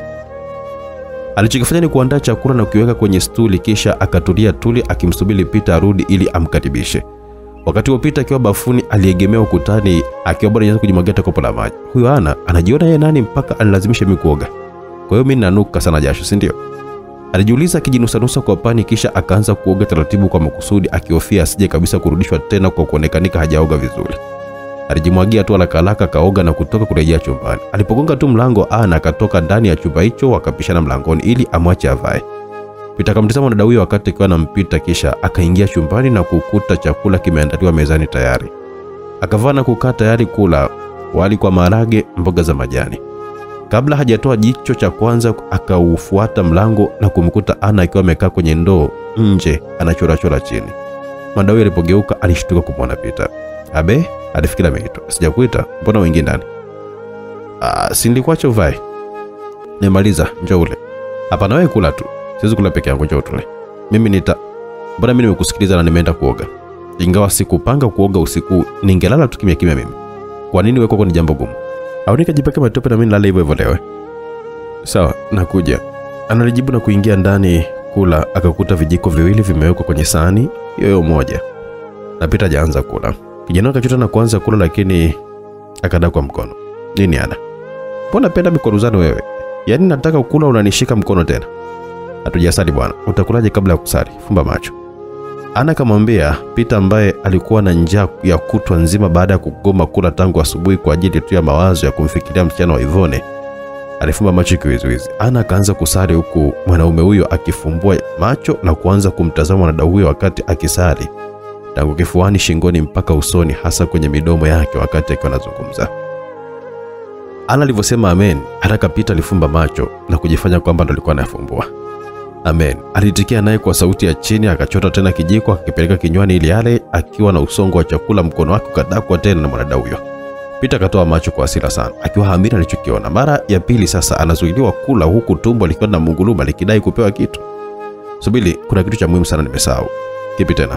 Vipi, kuna sala ya pili ya kuombea mboga peke yake au? Ah, basi sili na chakula chenyewe ikiapa sili tena. Peter alikishia kijiko kwenye sahani. Nilikuwa nacha nikasahau jamani. Eh, haujala kitu chochote tangu asubuhi. Bila chai tumbo linaweza kabisa kukusumbua kila vitu vigumu. Eh. Analinuka na kuchukua chupa ya chai na, na kikombe na kumwandalia Pita ambaye alikuwa akimsubiri bila kula kwanza. Alimaliza likana kwenye kitanda hicho cha pembeni na kuanza kula, wote wakila huku macho ya Pita akimtazama kiweziwezi. Ulifunguaje mlango wangu? Ufunguo ulipata wapi? Oh, simewacha chini ya tambala pale Pita. Jana nilikuona ulivyokuwa unautoa. Nikajua moja kwa moja lazima na leo pia ungekuwepo pale pale. Nilipotazama nikaukuta kweli upo. Ana alimjibu kwa kitabasamu Peter katikisa kichwa. Aisee, chakula kitamu sana ila nikimsifia mapema huyu atavimba kichwa. Ngoja nikaushi. Adonge kimwemo. Vipi chakula Pita kimeiva vizuri? Maana nimepika wali tu kwenye gesi, sijawahi kabisa kujaribu mara nyingi sana kwa shangazi kule. Nilikuwa napika kwenye mkaa. Analiongea Peter katikisa kichwa bila hata kujibu kwa mdomo. Ana akaamua kunyamaza baada ya kutegemea kusifiwa kwa chakula chake, lakini haikuwa hivyo. Peter alipomaliza kula akataka kunawa mwenyewe, lakini mwanadada huyo akachukua bakuli na kutaka kumnawisha. Mtanao mwenyewe, haipunguzi kitu nikikunawisha. Ana alimjibu huku naye akimaliza kula akainuka na kutoa vyombo, huku Peter akimsindikiza kwa macho. Alipotoka alichukua maji na kuenda bafuni kuoga. Peter akatumia muda huo kuanza kupekua pekua tu mfuko wa nguo nguo wa Ana ambao alikuwa amekutana na nguo chache tu za mwanadada huyo za mitumba. Akazirudisha haraka haraka na kurudi kukaa. Ana akarudi akiwa amevalia kuku bafuni, kisha akaanza kutandika chini ili alale. Unafanya nini? Natandika ndale. Jana nani ambaye alilala hapo sakafuni? Wewe. Sasa mbona unabadili utaratibu wetu Ana? Hamna Peter. Wewe lala tu huko juu kitandani, mimi pananitosha kabisa hapa. Usijali kuhusu mimi. Maisha haya nimeyapitia sana na yaweza, alafu ni kwa siku chache tu nipo hapa kwako. Okay, kwa nini umerudi? Si ulikuwa umeondoka? Niliona kama vile utakuja kujifanyia kitu kiba. Ah, amna, nitaondoka tu kesho. Leo mambo hayajakaa sawa. Ana ligaili kumalizia sentensi yake. Mimi nitajifanyia kitu kinini? Amna, usiku mwema. Ana limjibu na kujigeuza akilala na gauni lake tu jingine. Peter naye akajitupa kitandani na nguo zake kuutafuta usingizi. Masaa yakaendelea majira ya saa tano usiku, kila mmoja akiwa usingizini. Peter alijigeuza na kukohoa, akafumbua macho na kumkuta mwanadada huyo akiwa amejikunyata tu kutokana na baridi kwenye nguo alizokuwa amelalia sakafuni bila, bila shuka. Shuka lenyewe lilikuwa moja. Peter ambaye alikuwa na kikohozi akalitoa shuka lake na kushuka kitandani, kisha akamfunika mwanadada huyo akiwa bado anauchapa usingizi, kisha akarudi kitandani kuendelea kulala. Ana akafumbua macho baada ya kijana huyo kurudi kulala, kisha aligeuka na kumtazama kiweziwezi. Alijikunja vizuri ndani ya shuka akiutafuta usingizi wake. Kumbe wakati akiwa anafunikwa shuka alisikia kinachoendelea, alijikausha tu. Usingizi ulipokuwa umemwelemea ghafla ukakata baada ya kumsikia Pita akikohoa sana kitandani akiwa yuko usingizini huku akiwa anaweseka weseka. Ana ikabidi amke na lile shuka zito, yani blanketi, kisha akamsogelea mwanaume huyo taratibu na kumfunika bila hata kumshtua lakini mikono ya Pita akiwa usingizini amefunika macho, ghafla akamshika na kumng'ang'ania tu kwamba asiondoke. Ana akatoa macho wakati akiwa ameshikwa na Pita tena kiunoni. Ulikuwa unafanya nini hapa? aliulizwa. Pita, niache. Ana akamlalamikia mwanaume huyo ambaye kumbe alikuwa usingizini. Akafumba macho yake na kutazama, akamkuta mikono yake imemshika mwanadada huyo kiunoni, haraka akaitoa. Oh, sorry, kwani ulikuwa unafanya nini hapa? Nilikuwa nakufunika baridi. Ah, kwani si mimi ndo ambaye nilikuwa nimekupa hilo blanketi? Mbona mimi nipo sawa tu, hata nisipolelana na blanketi mimi ni mwanaume eti? Na hicho kikozi ulichokuna koa umekisikia? Kawaida, hata usijali. Peter alimjibu kuna, na wakati huo Ana akaanza kujikuntakuta vitu mwilini mwake. Peter akamwangalia, vinini ambavyo vinakutembea tembea jamani eh? Alalamika. Peter akachukua simu yake ndogo, yani kisusadu na kuwasha tochi. Oh, ni amekupanda jamani. Alimwambia na kumulika chini, na kweli sisimizi walikuwa wanatembea tu kwa mstari na wengine wakiwa wanatawanyika. Ana akabaki anajikuta kuta. Kijana ikabidi ainuke na kumsaidia kuchukua nguo yake nyingine na kuanza kumkung'uta mgongoni. Wameshatoka, asante, alijibu. Hapo chini hapafai tena, ungalala tu hapa kitandani. Kitandani? Analitoa macho akimtizama jamaa huyo ambaye alitikisa kichwa na kutabasamu, kisha akasogeza akasogea ukutani na kumwachia nafasi ya kulala mwanadada huyo pamoja na nusu ya shuka kujifunika. Sikulazimishi, ni juu yako mwenyewe. Peter aliongea na kujinyosha nyosha tu pale akiwa amegeukia ukutani huko. Mm, kulala na huyu kaka hatunisumbua kweli. Nikisema lale chini, lakini mgongo unauma ise. Nikisema nipande, ataniona muoga. Ole wake anisumbue, atanitambua. Ana aliongea kimoyomoyo na kupanda kitandani, akageukia upande mwingine wakigeuziana mgongo, akavuta na nusu ya shuka ni blanketi lilokuwa limebaki akajifunika. Dakika matatu zilipita bila yeyote yule kati yao kuzungumza chochote kile. Peter akageuka taratibu na kumwangalia Ana kama alikuwa amelala, kisha akageuka tena ukutani. Muda huo Ana akageuka na kumtazama Peter kama alikuwa amelala, kisha akageukia upande wake mwingine. Baada ya dakika kama tano hivi, Peter ambaye usingizi uligoma kuja, akageuka tena kumchungulia Ana kama alikuwa amelala. Kumbe wakati huo huo mwanadada huyo naye alikuwa akigeuka kimya kimya kumtazama Peter kama alikuwa amelala. Wakajikuta wakiwa nakutana katikati, na kila mmoja akafumba macho na kujifanya kwamba alikuwa na uchapa usingizi, lakini wakiwa wamegeukiana. Oh, huyu naye vipi kugeukia huku huku jamani? Pita aliongea kimoyomoyo, Mungu wangu, mi nageukia huku naye pia anageukia huku huku. Hey! Ana aliongea kimoyomoyo akifumbua macho kwa machali. Pita naye akafumbua macho akatizama na uso kwa uso. Ana akafumba rakaraka, lakini Pita akufumba macho yake, akabaki kana mtizama na huyo usoni. Ana hatimaye alipitiwa na usingizi moja kwa moja bila hata kugeukia tena upande wake. Peter naye hakuchukua muda akapotelea usingizini. Masaa mawili yalikatika na hatimaye saa sita za usiku ikielekea saa saba mwanadada Ana mwenye tabia ya kugeuka geuka kitandani, yaani mlalavi, alihama eneo la mipaka yake la kulala na kufika upande wa Pita, akamwekea mguu kiunoni, akamsogelea kabisa mpaka kichwa akamwekea kifuani, akiwa hana habari alichokuwa nakifanya. Macho ya Pita yalifunguka katikati ya usiku na kukuta mwili wa Ana ukiwa ubavuni mwake, mguu wa mwanada huyo ukiwa kiunoni mwake na kichwa kilikuwa kipo kifuani. Aisee, kazi ipo. Lolote likitokea hapa, sidhani kama eti nitalaumiwa mimi. Aliongea kimwemwena kutaka kumshika kichwani mwanada huyo, lakini alisita na kumtizama tu. Ana akiwa bado usingizini, akaanza kutabasamu huku akiwa anapapasapasa kifua cha Pita bila hata kujua alichokuwa anakifanya, huku akitafunafuna meno mwenyewe tu kana kwamba kuna kitu alikuwa anakula. Jana huyo akamtazama usoni na kama mwanaume aliyekuwa amekamilika dijadi mwenye hisia alishindwa kabisa kujizuia kutokana na miguso ya mwanadada huyo ambaye aliendelea ku- kuuchapa tu usingizi. Kijana huyo akajisogeza na kumshika Ana kiuno kwa nyuma. Akuishia hapo, akapandisha mpaka kifuani kwa mwanadada huyo na kuanza kumpapasapasa taratibu, na- ndipo macho yalifunga na kutazama Peter usoni. Akashusha macho na kukuta mkono wa mwanaume huyo ukiwa kifuani mwake. Unafanya nini wewe? Peter kaulizwa, akishindwa kutoa mkono wake kwa sababu tayari alishikwa na kidhibiti. Twende upande mwingine wa simulizi, msikilizaji. Teamo ni kuite jina gani bebe miamol Wimbo wa mwanamuziki wa Bongo Flava Malio ulikuwa ukisikika kwa sauti ya juu kabisa kwenye spika ndani ya klabu ya usiku. DJ akichanganya vyema kabisa nyimbo na kuwafurahisha wateja, akiwemo Gerard na mwanamama Penina, mama wa rafiki yake David, ambao alikuwako miongoni mwa wanaoserebuka wawili wawili kwenye jukwaa alimaarufu kwa jina la kizungu Dancing Floor. Mwanamama huyo alinyonganyonga na kupindapinda mbele ya Gerald akimnengulia kijana huyo ambaye alikuwa amemshikilia kwa nyuma akicheza kimahaba mpaka baadhi ya watu wakiacha kucheza muziki na kubaki wakiwatizama na kuanza kuwapiga picha na kuwarekodi kwa simu zao janja na smartphone huku wakipiga mayowe ya kuwapa sifa kwa jinsi mwanamama huyo mtu mzima alivyokuwa anajua kumnengulia kijana huyo barobaro. Mami, mimi nafikiri kwamba tungeenda kukaa alimnong'oneza sikioni huku akiwa amemshikilia kiuno akiwa anaendelea kucheza. Mm, hapana, unachokaje kucheza haraka hivyo eti? Angalia watu wote hapa wanavyokukubali, wanavyotukubali yani. Mwanapenina alimjibu kilevi akiendelea tu kumkatikia mauno akiwa na chupa ya bia mkononi ndani ya gauni jepesi la wavu na fupi sana alilokuwa amelivaa likiwa limeacha mapaja yote nje na nusu ya matiti yake kifuani yakionekana. Um, akiwa amevaa kama mojawapo ya mabinti wale wanaojiuza barabarani. Endelea, mimi niko pale. Jeladi alimjibu akiwa tayari ameanza kuchukizwa na macho ya watu waliokuwa wanaangalia kwa jinsi walivyokuwa wanacheza kimahaba na mwanamama mtu mzima, vijana wakiita kwa lugha ya mtaani jimama au kwa lugha ya kizungu sugar mami. Akaendelea kukaa kwenye meza waliokuwa wakinywa na kumwacha mwanaume huyo peke yake tu akiwa anacheza. Ikabidi naye aache kucheza, akamfuata Jeradi na kumshika mkono, kumvuta, akamuinua ili wakaendelea kucheza. Jeladi, hebu inuka tu tukacheze sasa, unaniachaje peke yangu? Angalia jinsi walikuwa wanatukolea macho. Mimi siwezi kabisa mambo kama hayo, si bwana. Uwezi, kwa nini uwezi? Tuondoke, muda umeenda, tukapumzika na Kabla Jeradi amalize tesi yake, mwanaume huyo akashusha chupa ya bia kwa nguvu kwenye meza na kuikita mpaka watu akageuka na kuwatazama. Jeradi mwenyewe kabaka amemtolea macho. Muoneni huyu mwanaume, huyu kijana Mario, kila anachokitaka nampa.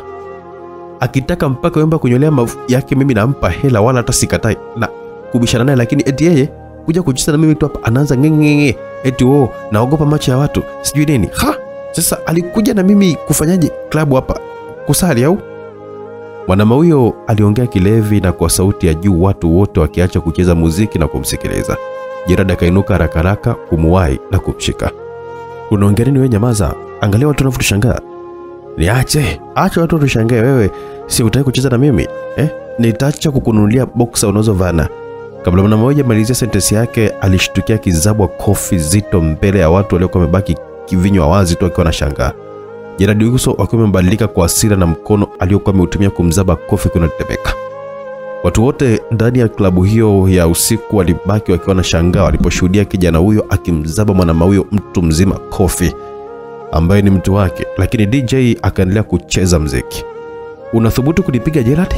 Mwanaume huyo alitoa macho akimtizama. Oh, asamani mabini, bahati mbaya tu sikukuu.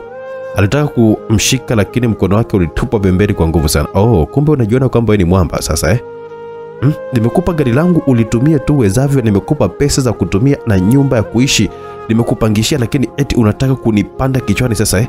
Unataka kujionyesha kwamba wewe ndiye ndio wewe, si ndio? Unaweza kunifanyia utakavyo, si ndio? No, mimi sijamaanisha hivyo. Eh, useme basi mambo haya mbele za watu bwana eh? Haujui kama kila mtu hapa atasikia tu na ataniona kama mimi ni kama aliongea kwa kunong'ona tu kwa aibu, mwanaume huyo akiongea kwa sauti ya juu na kwa makusudi kabisa, ili kila mtu ajue. Kama nini eh? Kwa nini uongo? Si nimekufanyia hayo yote jamani eh? Jitazame mwenyewe na ujiangalie vizuri, hata hizo nguo ambazo ulizovaa si nimekunulia kwa shilingi laki mbili tena jana tu hapa, au umesahau? Kwa hiyo ndio umeamua kunidhalilisha, si ndio? Sikudhalilishi wala ako, mimi sio mzalilishaji hata kidogo. Nimekwambia tu kweli na watu wajue, wasione kwamba eti unanipiga tu kofi wakazani kwamba eti unanipa kula hapa mjini bule waka samanini.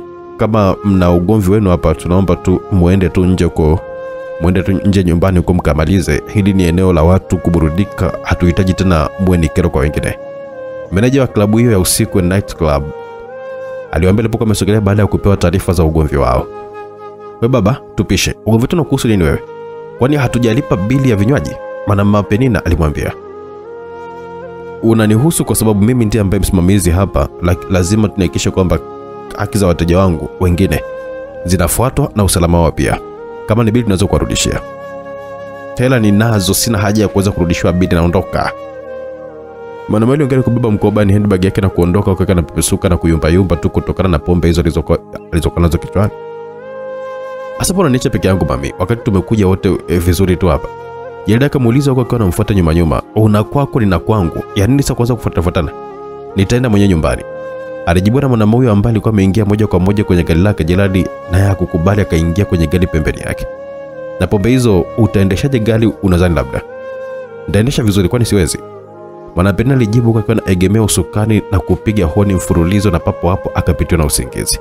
Jeradi ikabidi ashuke kwenye gari na kwenda upande wa dereva, akamtoa na kumbeba kwa tabu sana mwanamke huyo mtu mzima mnene na mzito, akamsukumia kwenye viti vya nyuma huko akilala kabisa, kisha akarudi kwenye usukani na kuliondoa gari hilo ambalo liliwashwa tayari na simu yake ikaita muda huo. Alipotizama namba ilikuwa ni ya rafiki yake David, akapokea na kuweka sikioni.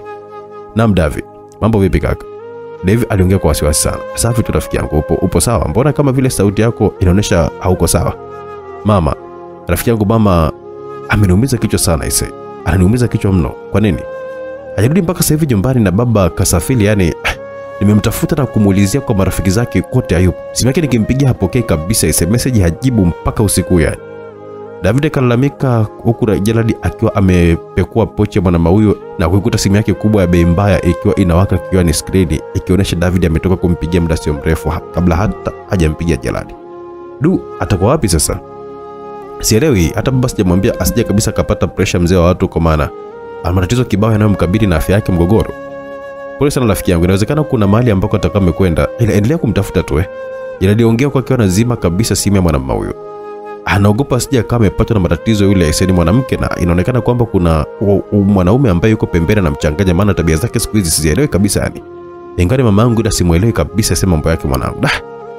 Mara avai nguo za ajabu ajabu. Yaani kama msichana mala ajipambe pambe tu ovyo ovyo yani eh, ila na hapa rafiki yangu siku nitakapokuja kugundua huyo mwanaume anayemchanganya mama yangu na kumvizia amlie vipesa vyake nitamua hadharani nitamchinja na kuambia nitamtenganisha kichwa na kiwiliwili chake. David aliapa mpaka Jeradi akashtuka na kuitoa simu mkononi akaitazama kwanza kisha akairudisha sikioni. Kweli kabisa anafanya vibaya eti. Njoo basi wewe rafiki yangu, tusaidiane kuweza kumtafuta mama. Yule ni kama mamako pia. Du, kuna mgonjwa ambaye nimembeba kwenye gari na mpeleka nyumbani. Ni anti yangu, ngoja basi nikifika nageuza kama nikiwahi sawa. Poa bro. David alijibu na kukata simu. Jared akamgeukia nyuma mwanamama Penina, mama wa rafiki yake huyo. Mwanao maskini ajui kinachoendelea. Akijua kwa kweli ataniua. Lakini kabla hajaniua, basi nitahakikisha kwamba nimepata vyote ninavyovitaka kutoka kwako, hasa pesa na hili gari hapa. Jared akaongea huku akiwa na tabasamu, mkono mmoja akiwa ameshika usukani na mkono mwingine akiwa anaupitisha kwenye siti ya nyuma na kuanza kumpapasapasa mapaja ya mwanaume huyo ambaye alikuwa yako wazi mpaka usawa wa kiuno. Gauni lake lilikuwa limepanda kwa juu, akiwa ameuchapa usingizi kutokana na kulewa. Tukirudi upande wa Peter na mwanadada Ana walikuwa wamebaki wakitazamana tu kitandani, wakati msichana huyo akiwa ameushika mkono mwanaume huyo uliokuwa umeanza kumpapasapasa akiwa yuko usingizini. Mbona umenitolea macho? Nimekuuliza ulikuwa unafanya nini? Samani, lakini umenisogelea sana Ana, nikajisahau tu nikadhani kwamba ulikuwa nimeshika mto, kumbe alijibu kwa kusita. na akajitazama na kujikuta ni kweli ameshahama sehemu yake na ameiacha wazi na kumbana kijana huyo ukutani, akimgusa kabisa. Yani taratibu akaanza kujisogeza kurudi eneo lake. Kwa hiyo mimi nafanana na mtu au? Hapana, sijamaanisha hivyo, ila tu ni itakuwa umenisogeza nikiwa usingizini. Mimi siwezi kabisa kukusogelea mpaka huko kwako. Mimi sina nagi hivyo eti. Nikusogeze ili nipate nini Ana? Labda una lengo lako mwenyewe. Lengo lipi hilo? Unalijua wewe mwenyewe, lakini mimi siwezi kabisa kusogea mpaka huko. Nifuate nini? Labda umenisogeza wewe. Nikusogeze ili nipate nini Ana eti? Hmm? Mbona umeng'ania tu kwamba nimekusogeza? Nimekusogeza. Sijakusogeza bana. Ni wewe mwenyewe kwa ulalaji wako tu ndiye ambaye uliosogea mpaka huko kwenye nafasi yangu mimi. Peter aliongea kwa ukali. Hujanisogeza eh? Sasa kwa nini unishike na kuanza kunipapasa? Nimekwambia nilijua kwamba ni mtu wangu tu. Kwa nini sasa unielewe? Muongo. Muongo ulikuwa na lengo lako. Mimi sipo hivyo eti. Lengo gani hana? Hebu niambie lengo gani? Peter alinuka akikaa kitako na kumsogelea mwanadada huyo kwa hasira sana. Ulitaka kuni kukufanyaje sema? Alimwambia akimkalia kwa juu na kumbananisha mikono mwanadada huyo kwa hasira sana. Akimnyosha mkono wake wa kushoto na wa kulia. Ana kabaka ametoa macho baada ya kumwona mwanaume huyo akiwa yuko kifuani mwake. Peter akajitazama na kujikuta yuko kifuani mwa mwanadada huyo. Samani anakuwa kukaribia eh. Sikukusudia ila ni kweli ulisogea huu. Samani pia kwa kusogea ni bahati mbaya tu sikukusudia. Alimwekea kidole mdomoni akimnyamazisha kisha taratibu akaanza kusogeza midomo yake taratibu tu kwenye midomo ya dada huyo ambaye alifumba macho yake. Ndiyo msikilizaji, tukiwa tunaendelea na simulizi hii tamu ya hatua chani, ni kukumbusha tu kwamba simulizi hii imetungwa na mtaalamu Elia Goeje na hapa inasimuliwa nami director wenu kutoka hapa Simulizi Maxi. Natumai leo kuenjoy na kujifunza mambo mengi sana kupitia simulizi hii hapa. Lakini pia wewe kama mwanafamilia wa kweli wa Simulizi Max, nichukue nafasi kuweza kushukuru wewe kufika mpaka hapa kutoka mwanzo wa simulizi na kuendelea kubaki na mimi mpaka mwisho kabisa wa simulizi hii. Lakini wakati huo nitumie nafasi kuweza kukujuza kwamba sisi kama wanafamilia tuna t-shirt zetu hapa ambazo ni kwa ajili ya wanafamilia wa Simulizi Max pekee. Unaipata kwa bei poa kabisa na unakufikia popote pale ulipo ndani ya dunia hii ya sayari ya tatu tayari zimeshafika sehemu mbali sana. Kule katali zimeshafika kule Kuwait, Omani, Marekani, USA, au sio bana, na nchi nyingine nyingi sana. Kenya kule ziko nyingi sana. Tushita Simulizi Mexico, cha kufanya tuche kupitia nambari yetu ya ofisi 0677 062 012 uweze kujipatia t-shirt yako uvae na upendeze kweli kweli, kwa sababu wote waliojipatia t-shirt hizo wanapendeza haswa. Sana, yani. T-shirt ambazo zina kiwango cha ubora wa juu kabisa lakini ikiwa na nembo ya Simulizi Max na pia mgongoni kule unachagua uandikiwe kitu gani, simulizi ipi unayoipenda, mhusika gani katika simulizi uandikiwe jina lake kule. Basi tunakuwa tunafanya hivyo msikilizaji. Endelea kubaki na mimi, niendelee kujuza mengi yaliyojili katika simulizi hii tamu ya Hatuachani iliyotungwa na Elia Gweji. Tunaendelea msikilizaji. Unaambiwa ingawa Ana alikuwa amefumba macho kwa aibu ili kutoangaliwa na mwanamume, lakini midomo na lipsi zake zilifunguliwa. Midomo ya Pita ikaigusa na ulimi wa mwanamume huyo ukatoka na kuanza kumnyonya mate taratibu kabisa mwanadada huyo ambaye alikuwa amelala naye usiku wa kwanza kabisa chumbani kwake bila kufanya chochote, lakini usiku huu wa pili uvumilivu ulimshita kabisa. Kama mwanaume aliyekamilika kutokana na miguso miguso ambayo alikuwa anaipata kutoka mwanadada huyo Pita, akajikuta akiwa anaanzisha uchokozi mzuri kabisa ambao Ana aliukubali. Mate yani kaanza denda likaanza kuhusika hapo baina ya watu hao wawili ambao walikuwa wamelala kitandani na nguo zao. Ana alikuwa na gauni lake refu na pana na Peter alikuwa na tisheti na bukta mwilini. Peter staki analiongea baada ya kutoa midomo yake na kupeleka pembeni. Samani Ana. Peter alimjibu kana kwamba alikuwa anataka kusimamisha zoezi, lakini ndo kwanza alianza kumbusubusu shingoni mwanadada huyo huku akiwa anavua tisheti aliyokuwa ameivaa juu na kuanza kumshikashika mwanadada huyo kila kona ya mwili wake huku wakiwa napeana mate. Ana kama msichana kamili na mwenye mwili ambaye alikuwa na hisia pia kwa mwanaume huyo, mpenzi wa ndugu, yani binamu yake wa Ivone, alijikuta akiwa anaruhusu mwili wake uguswe na gauni lake refu likawa limefunguliwa vifungo na kutupwa chini sakafuni na sidilia na kipi yake pia, huku Pita na akivua nguo zake zote na kuendelea kuuandaa mwili wa mwanadada huyo tayari kwa ajili ya kuliwa. Dakika zilikatika na mwishowe hata QP na sidilia vya Ana vyote vilikuwa viko chini na nguo za Pita, wawili wakiwa huko ndani ya shuka wakibadilishana hisia zao za miili juu ya kitanda wakivunja mlia sita.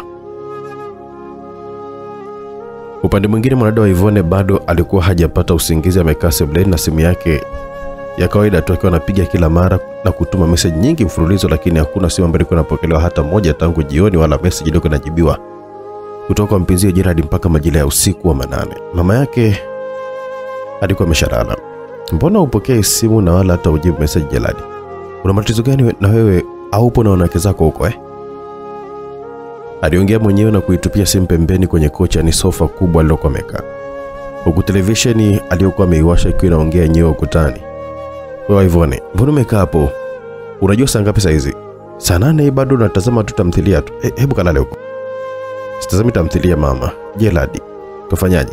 Apokee simu na wala ajibu message tangu jioni, sijui kapatwa na nini huko. Ah, utajuaje kama ana majukumu ya kiofisi bado? Yaani hicho tu ndicho ambacho kinakufanya eti usilale asubuhi, si utamtafuta tu jamani? Majukumu ya kiofisi ndo mpaka usiku wa manane mama. Majukumu gani hayo? Huwezi kujua kama kuna kazi za ziada au kuna mipango ambayo wana- wanaiandaa kiofisi. Yaani kitu kidogo tu hicho ndo kinachokosea usingizi. Mm, mama. Hata kama ungelikuwa ni wewe ungejisikiaje mtu ambaye asipopokea simu na kutokujibu message zako? Kama amempata mwanamke mwingine je? Na hayo ni mawazo yako tu hivyo ni bana. Hebu kalale, acha ujinga wako wa. Kabla mama yake jamalisa ntesi yake wa Ivone alimnyamazisha kwa kidole na kuitazama simu ambayo ilikuwa inaita kisha akaipokea na kuweka sikioni. Baby, sauti ya Gerard ilisikika upande wa pili wa simu ikiongea kwa chini sana. Ndio nini ambacho unanifanyia je? Kwa nini wa Ivone? Wewe upokee simu yangu, ujibu message zangu, wala tangu jioni mpaka sasa hivi usiku wa manane una uchafu gani huko ambao unaofanya? Wewe unaongea utumbo gani wa, wa... Mama yake alimwambia kwa kunong'ona, wa Ivone akam, akamnyamazisha. Upo na nani? Mbona nasikia sauti? Jarada akamuuliza. Kuwa na nani hiyo haikuhusu, naomba majibu. Mimi kuna kazi ya ofisi hapa ilikuwa imenibana na ndio maana nikawa nimeshindwa kabisa kukutafuta Ivone. Wewe unawaza nini? Nafanya starehe na ujinga au? Nitajuaje? Inawezekana?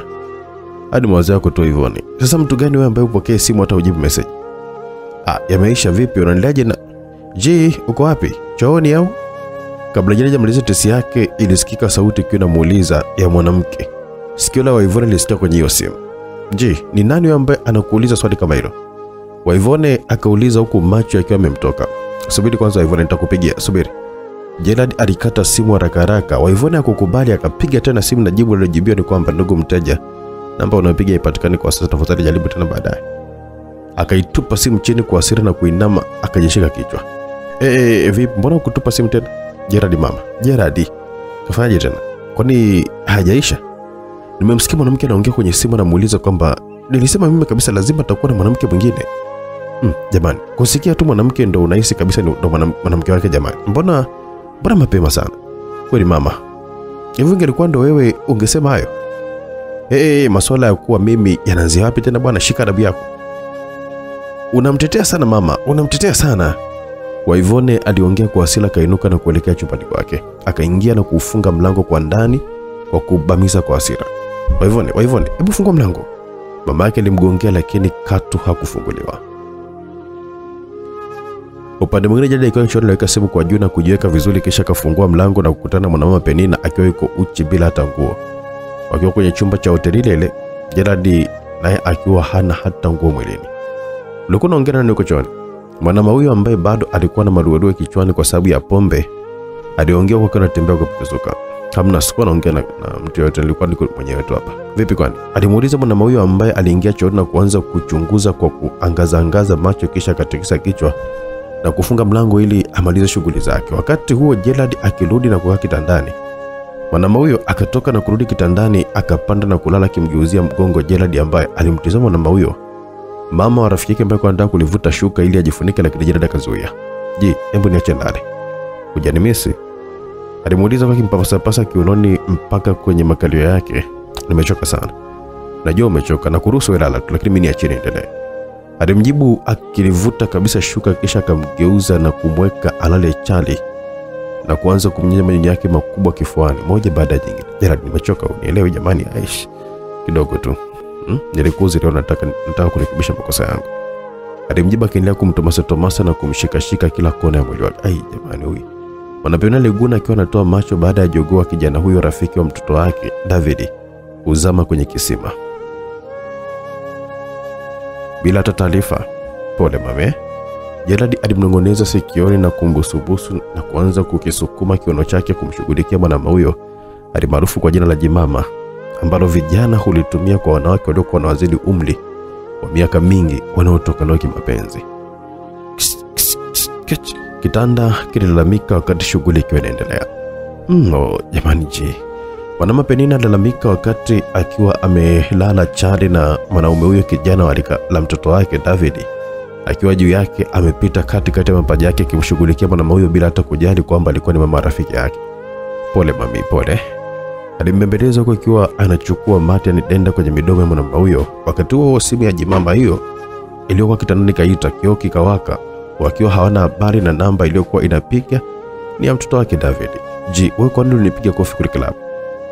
Si alishaisha mami jamani. Sijasahau ila bahati yako tu, ningekufanyia kitu kibaya sana mpaka ungeshangaa. Osh jamani, uwe usingeweza, alijibu akiwa amenyosha mikono ili afinye shuka kwenye godoro. Mkono wa kulia ukafinya shuka na mkono wa kushoto aliokuwa amenyosha ukashika kwenye simu ambayo ilikuwa iko inaita bila sauti, yani silent. Mwanamama huyo akiwa hajui hili na lile, kumbe aligusa kwenye kioo cha skrini ya simu hiyo na kuipokea bila kujua. Oh, jamani, mtaratibu taratibu jamani, alilalamika. Unaumia mami kwani eh? Ush, ah. Jeradi aliunguluma kama jenereta povu akiwa kifuani mwa mwanamama huyo akipiga push-ups. Mama anafanya upuuzi gani? Yaani mimi naangaika kushinda tu macho mpaka usiku wa manane kwa ajili yake nikizani kama amepatwa na tatizo, kumbe mtu anajistalesha tu kwa na, na mwanaume. Mama gani huyo? Au sio mamangu? Mbona ana tabia za ajabu ajabu? Ndo nini kupokea simu yangu na kunisikiliza ujinga wake huo? Huyo jini nani? Yaani nikimgundua nitamtenganisha kichwa na kiwiliwili. Pumbavu! I hate you mama, I hate you. David aliongea kwa hasira na kuitupa simu chini akaibamiza kwa hasira baada ya kusikia miguno na kelele za mama yake mzazi. Ikionekanika yupo kitandani na mwanaume anashughulikiwa. Akaondoka na kwenda chumbani kwa mama yake, akafungua mlango kwa nguvu na kuingia, akaanza kupekua pekua kila kona kwenye chumba cha wazazi wake wote wawili, baba na mama yake, akijaribu kutafuta siri ili ajue ni mwanaume gani ambaye yupo kwenye mahusiano na mama yake. Alipekua kwenye vitu vya mama yake tu, kabati la nguo, vinginevyo, na ndipo alipovuta nguo za mama yake kwenye e, ghorofa moja hivi ya juu ya kabati.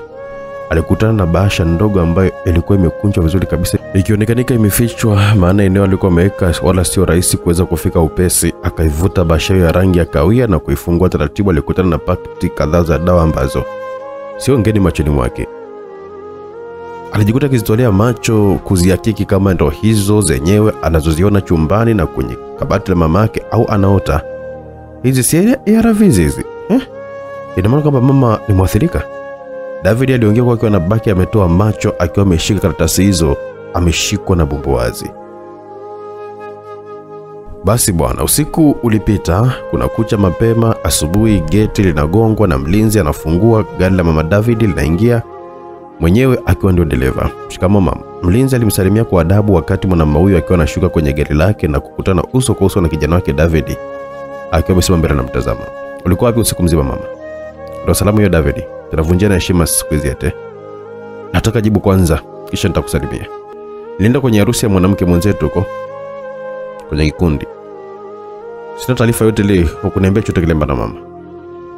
David aliongea kwa hasira sana huku machozi akiwa anamlengalenga machoni. Oh jamani David mtoto wangu, hebu nisamee mama yako, nilipitiwa tu eh. Nilisahau kukuambia, ulikula lakini usiku. Ndio nilikula. Sawa, ina shida. Mlinzi, hebu osha gari langu hilo, nitatoka tena eh. Mwanaume huyo alitoa maagizo huku akiwa anamshika begani mtoto wake na kumpita. Sawa mama. Mlinzi alijibu akiyakimbilia maji. David alimgeukia mama yake na kumtizama kwa hasira sana, huku machozi akiwa anamlengalenga machoni, akiwa amekasirishwa sana na tukio la jana usiku ambalo alikuwa amelisikia kwenye simu wakati alipokuwa amempigia mama yake huyo, na kingine kilichomkasirisha zaidi ni majibu marahisi rahisi kabisa ya mama yake huyo. Mfano, ungepatwa na mabaya huko ulikuwa umeenda kulala, ungesaidikaje? Alimuuliza mama yake, akasema na kugeuka nyuma akamtizama. Mabaya kivipi? Umaanisha nini? Labda kusema nilipolala Naomba jibu tu mama. Kwani una shida gani David? Mbona maswali mengi sana kama vile kachelo wa jeshi la polisi? Mimi ni mama yako, unalifahamu hilo? Nalifahamu sana mama, lakini cha muhimu ni afya yako mama, zingatia sana afya yako na unao. David alijikuta akiwa anataka kufunguka, lakini akasita na kumpita mama yake, huku akiwa anaingia ndani mbio mbio, akaji akajifutafuta machozi ambayo alikuwa akimlengalenga machoni. Almashanini huyu kuniambia kwamba nizingatie afya yangu. Bwana Perina alitoa macho huku akiwa anamtizama mtoto wake huyo mpaka alipokuwa ameingia ndani, naye akaingia ndani na kumpita David ambaye alikuwa amekaa kwenye kochi ya sofa kubwa, ametulia tuli bila kuzungumza neno lolote lile.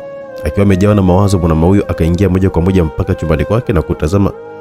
Akahisi kabisa kuwa vitu havipo sawa. Akagundua kwamba kumepakuliwa baada ya kuona baadhi ya vitu alivyopanga vikiwa vimewekwa visivyokuwa isivyokuwa inatakiwa. Moja kwa moja akalifuata kabati lake na kufungua, akakuta nguo zake zikiwa zimewekwa hovyo. Akaziangusha chini na kuvuta bahasha yake ya dawa ya siri ambayo alikuwa ameificha. Akagundua kwamba imechanika kidogo, kumaanisha kwamba kuna mtu ambaye alikuwa anaivuta na kuichukua. Mungu wangu, ina maana David ameingia chumbani kwangu na amepekua na kugundua kwamba na ukimwi? Alijiuliza mwenyewe huku akiwa anatoa macho. Waivone, Waivone, mbona umelala hapo kwenye kochi? Hebu amka, kumekucha. Alitikiswa tikiswa na mama yake akiwa amelala sebleni kwenye kochi kubwa hivi.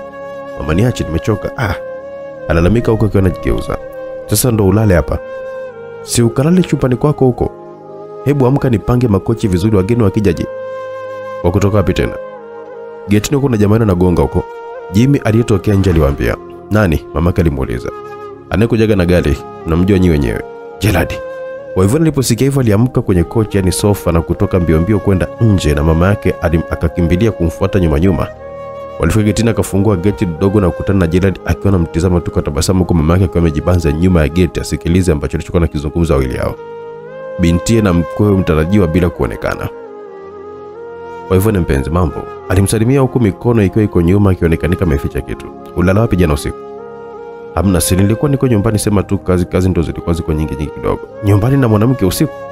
Mwanamke gani tena Ivani? Mbona kabla mwanamume mmoja malizia sentensi yake alishtukia kofi zito likitoa kwenye shavu lake la kulia, kofi lililomwingia kisawasawa mpaka likamtoa mama yake nyuma ya geti. Jeradi akabaka ametoa macho tu akiwa haamini macho yake.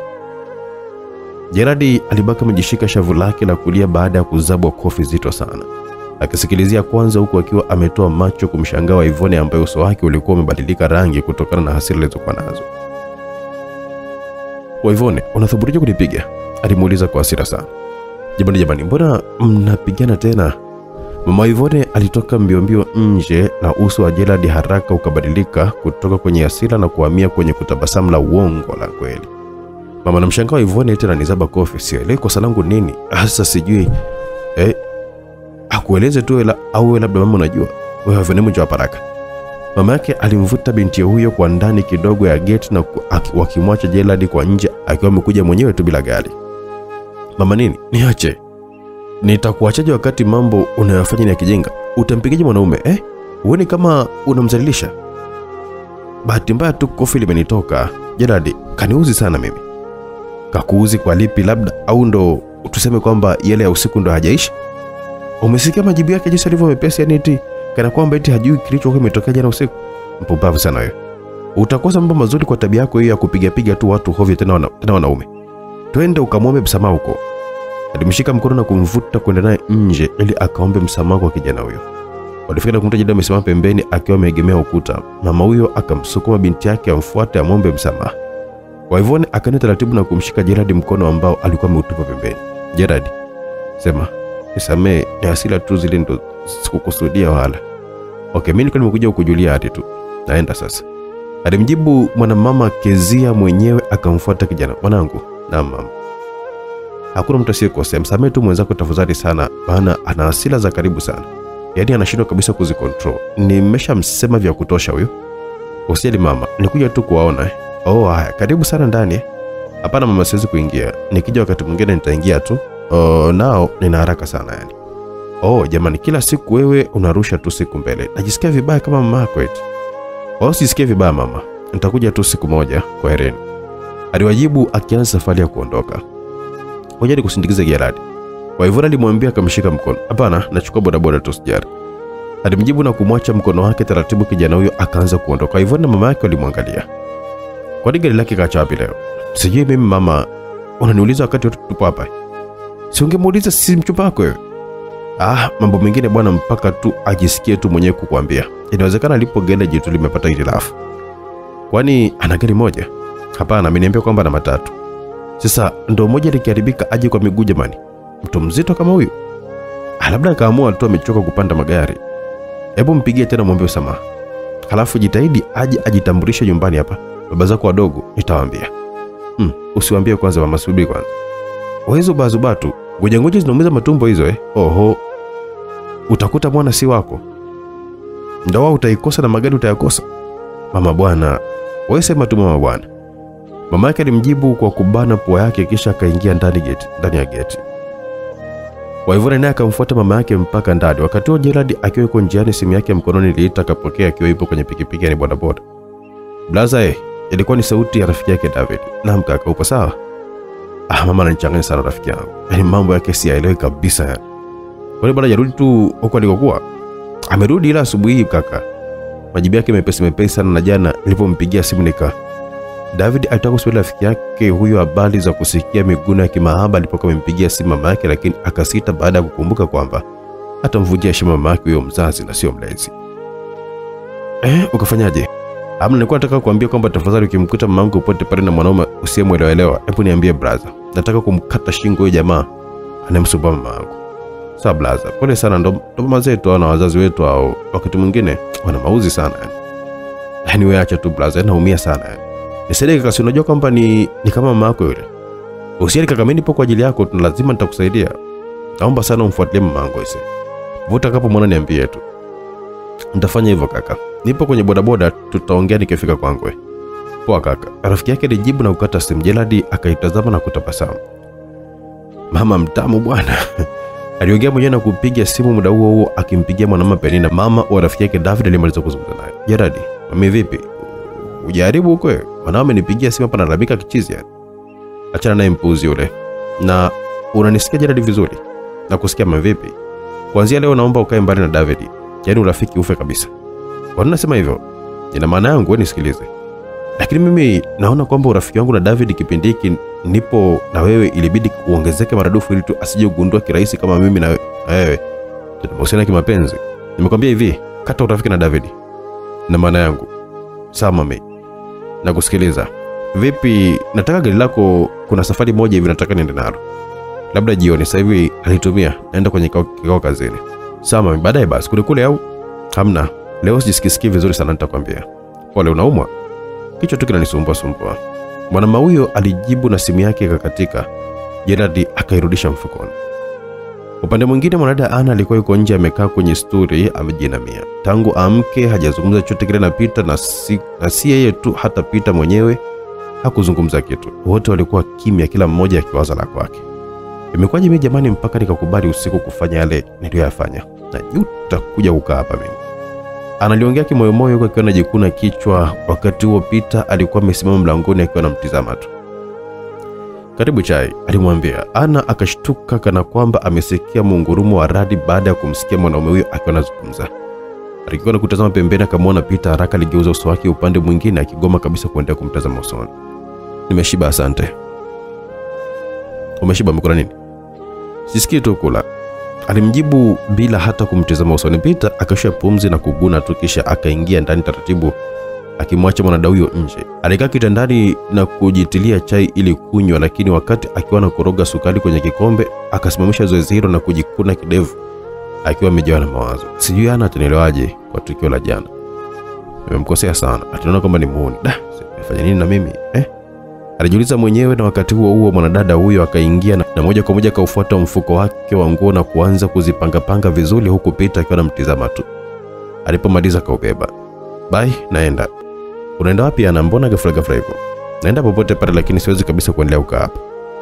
Alijibu Pita akainuka taratibu na kumsogelea karibu. Ana akiwa amegeuza shingo pembeni, hataki kumtazama usoni, akamshika mkono wake, lakini Ana akautupa. Ana, sema, nina haraka. Umenikasirikia? Mawazo yako tu. Ana alimjibu. Pita akampora mfuko wake wa nguo mikononi. Ana aligeuka na kutaka kunyang'anya, lakini akauficha nyuma, akajikuta akiwa amemshika na nyuso zao zikiwa zimekaribiana. Sitaki, niache. Pita, naomba begi langu, sitaki. Nakupenda sana Ana. Peter alimwambia kauli ambayo ilipita kwenye masikio mwanadada huyo mpaka kwenye ngoma na ikasababisha mapigo ya moyo kuongezeka. Akabaka ametoa macho akiwa anashangaa. Mwanadada Ana alibaka ametulia tuli baada ya kusikia maneno hayo mazito kutoka kwa kijana Pita ambaye naye alibaka ametulia kimya, macho yao yakiwa yanatazamana, akiwa hajaelewa alichokuwa amekizungumza hata yeye mwenyewe. Umesemaje Pita? Um, napuuzia tu lakini tafadhali usiondoke Ana, bado nakuhitaji. Ukiondoka utaniacha mpweke sana peke yangu. Niendelee kukaa hapa ili yale yatokee tena Pita, Sitaki mimi. Hapana, yatatokea tena, tafadhali. Na kuheshimu sana. Lilotokea usiku kati yetu, naomba tulisahau.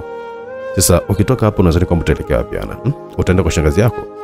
Nitaenda ukote Tepita. kabla ya kuwa hapa kwako kuna mahali ambako nilikuwa nakaa, na pia kabla ya hapo mahali nili- nili- nilipokuwa naishi kuna mahali pengine ambapo nilikuwa naishi. Kwa hiyo swala la, la wapi ambako nitakaa kukaa au nitaishi, hilo lisikupe presha kabisa, na hata usijali kabisa.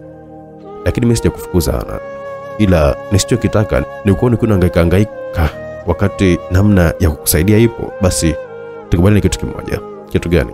Mimi sitalala hapa, nitalala sehemu nyingine. Kwa nini wakati hapa ni kwako? Nina sehemu nyingi sana za kulala, si unajua kuwa mimi nimezaliwa hapa hapa eh? hata kama lakini hiki hapa ni chumba chako Pita, na wewe unajitegemea hapa. Yaani yani sasa uanze kujisumbua kuniacha mimi hapa.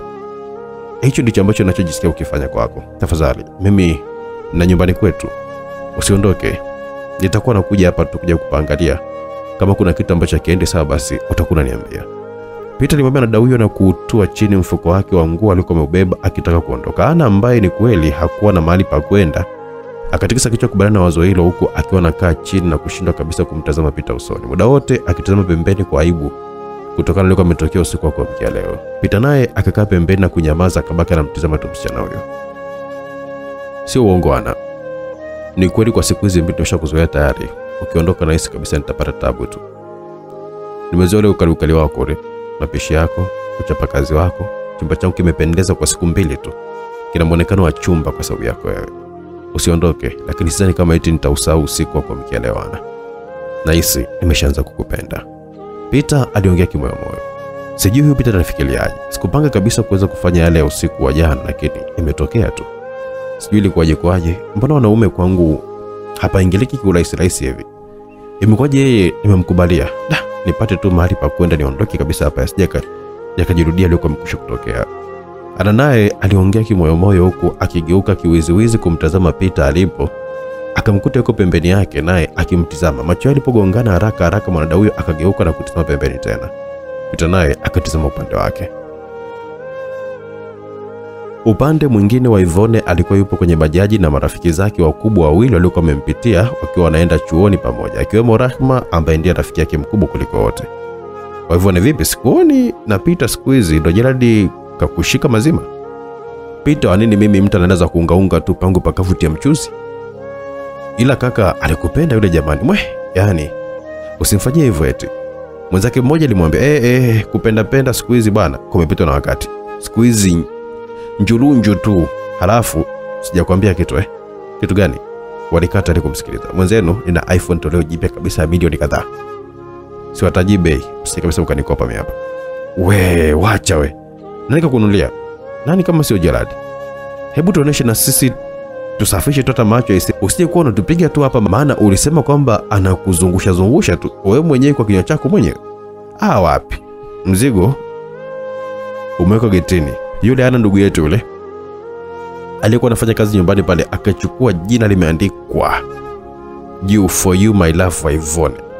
Kufungua bahasha na kutana na boksi dogo, kufungua box na kutana na kitu cha iPhone macho matatu kipya na chaji yake na lisiti na wala hakijatoka bongo hii hapa Marekani, hiyo USA. Sasa sijui niyo York ile ama Washington DC, hata mimi sijui, ila kitu kimepanda ndege na hisi hapa bongo nayo mimi tu. Hebu basi tuione basi, tujithibitishe tu kama kweli jamani. Maneno matupu hayaongezi kitu eti. Sina hapa, bwana mkubwa kaichukua kaenda kuirestore huko kwa mtaalamu wake wa IT ili niweze kuitumia laini za hapa za hapa bongo. Wacha we. Dereva asimamisha bajaji. Waivone aliongea baada ya kuona kitu nje. Kuna nini? Wenzake walimuuliza bajaji ilipokuwa imesimama. Nimeona kama gari la shemeji yenu, hebu nishuke hapa nikalitazame kwanza.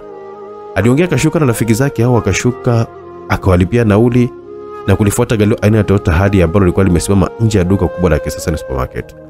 Ndio lenyewe hili gari la shemu wala hata hujakosea. Namba nazikumbuka kabisa. Raima alimwambia aliposoma namba za usajili yani plate number. Eh, taratibu jamani. Gari la shemeji limshaanza kukariri mpaka na namba. Tutapigana eh? We nawe sasa tu, tusikanili hiyo vipi eh? Akitukuta njiani sio rahisi tukapata lifti ya shemu wetu, mume wetu. Yaani Laima sipendi kabisa mwite Geradi au majina. Mume wetu na nani? Eh, jamani, Masiala tu ndo nataka hata kuchukulia kweli kweli na wewe Yvonne bana. Mwingine akaongea. Masiala kuingilia lakini sio kwa boyfriend wange. Tunachora jamani chuoni. Ngojana jeshe mwenu hapa atatupa lift na hela. Mtapata atakuwa yuko ndani ya supermarket. Mpigie basi.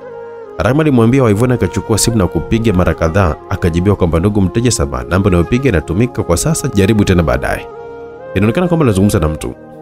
Aliwaambia marafiki zake, na wakati huo wakamwona mwanamama akiwa na mfuko wake wa vitu ametoka kwenye supermarket na ufunguo gari amening'iniza kidoleni.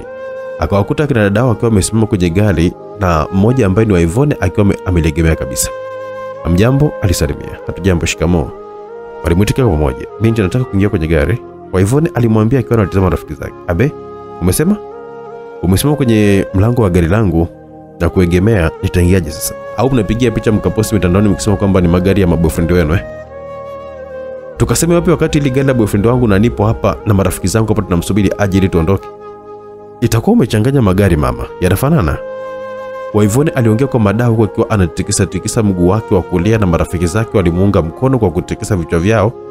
Mwanamume akatabasamu hata akimtizama, kisha tabasamu lake likabadilika ghafla na kumshika Waivone mkono akamvuta na kumsukumia pembeni kwa marafiki zake wawili waliomdaka asiamke. Mwanamama Penina akafungua mlango wa gari lake kwa ufunguo na kuingia ndani, akaufunga na kuliwasha gari, akarudisha nyuma taratibu, akiwa anatizama kina dada hao ambao walikuwa wanamshangaa tu amemtolea macho, hasa Waivone mwenyewe ambaye alibaki kinywa wazi, akageuka marafiki zake. Kwani Waivone, si ulisema kwamba gari la Gerald? Mbona huyu mama anali... Ndio la Gerald. Huyu mama ni nani? Mbona simwelewelewi? Na huyu Gerald yuko wapi? Waivone alibaki anashangaa. Mwana dada wa Ivone alishindwa kuzungumza kwa sekunde kadhaa baada ya kulishuhudia gari hilo lenye namba za usajili anazozijua kabisa na alizozihakikisha kichwani mwake likiondoka kwa kasi, dereva akiwa ni mwanamama asiyemjua kabisa ambaye hata hajawahi kumwona na Jeradi.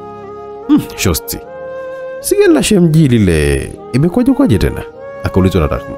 Hata sielewi kama nyinyi ndio lile na plate number ni zile zile na mpaka stika zile zile. Ah, Sasa huyu mama atakuwa nani? Labda mama yake, kwani aliwahi kuonesha picha za- za wazazi wake au mama yake? Hmm, hajawahi. Ngoja basi tutamuuliza. Eh, kamuuliza kwa kweli, asije ikawa tunajua kwamba ni mama yake, kumbe ndo jimama linalomweka mjini hapa. Na rafiki yake mwingine aliongea, lakini kabla jamaliza sentensi yake aligeukiwa kwa macho makali kutoka kwa Ivon. Eh, na wewe funga domo lako. Kwa hivyo mwenyewe unamjua, hakawi kabisa kupigana, atakupiga bure hapa. Rahma alimwambia mm, natania bwana, sijamaanisha kweli eti. Rafiki yake alichekacheka tu baada ya kumwona Ivana akiwa amemkasirikia. Utani mwingine utakuja kukuponza. Waivana alimsonya na kuanza kuondoka huku marafiki zake hao wakimfuata nyuma nyuma akiwa amekasirika haswa. Upande mwingine, Gerard alikuwa amesimama barabarani akimsubiri mwanamama Penina ampitie waondoke pamoja. Gari hilo likasimama wakiwa wameshawasiliana tayari, akaingia na wakabusiana mdomoni. Umechelewa sana mami. Nilikuwa supermarket na nanunua vitu. Oh, okay, twende basi. Kabla hujaenda, nahitaji jibu la, swali lifuatalo. Swali lipi mami? Una msichana ambaye unampakiza kwenye gari langu ile? una girlfriend kimya kimya, si ndio? Mbona swali zito hilo? Kwa nini umeniuliza hivyo? Jibu kwanza swali langu. Hamna. Hamna msichana yote yote, Kulikoni? Nimekutana na msichana ameangania sana gari, amekaa kabisa kwenye gari langu hapa, anamsubiri bwana wake, anadai kwamba ndiye mwenye gari. Gari hili? Eh, kwa nini tunazungumzia lipi? Wapi wapi huko? Supermarket? Supermarket? Msichana? Kavurugwa huyo. Oh, wesema tu kavurugu alafu ije siku nijue kwamba unanizunguka nyuma. Hey, nitakuharibia Jeradi.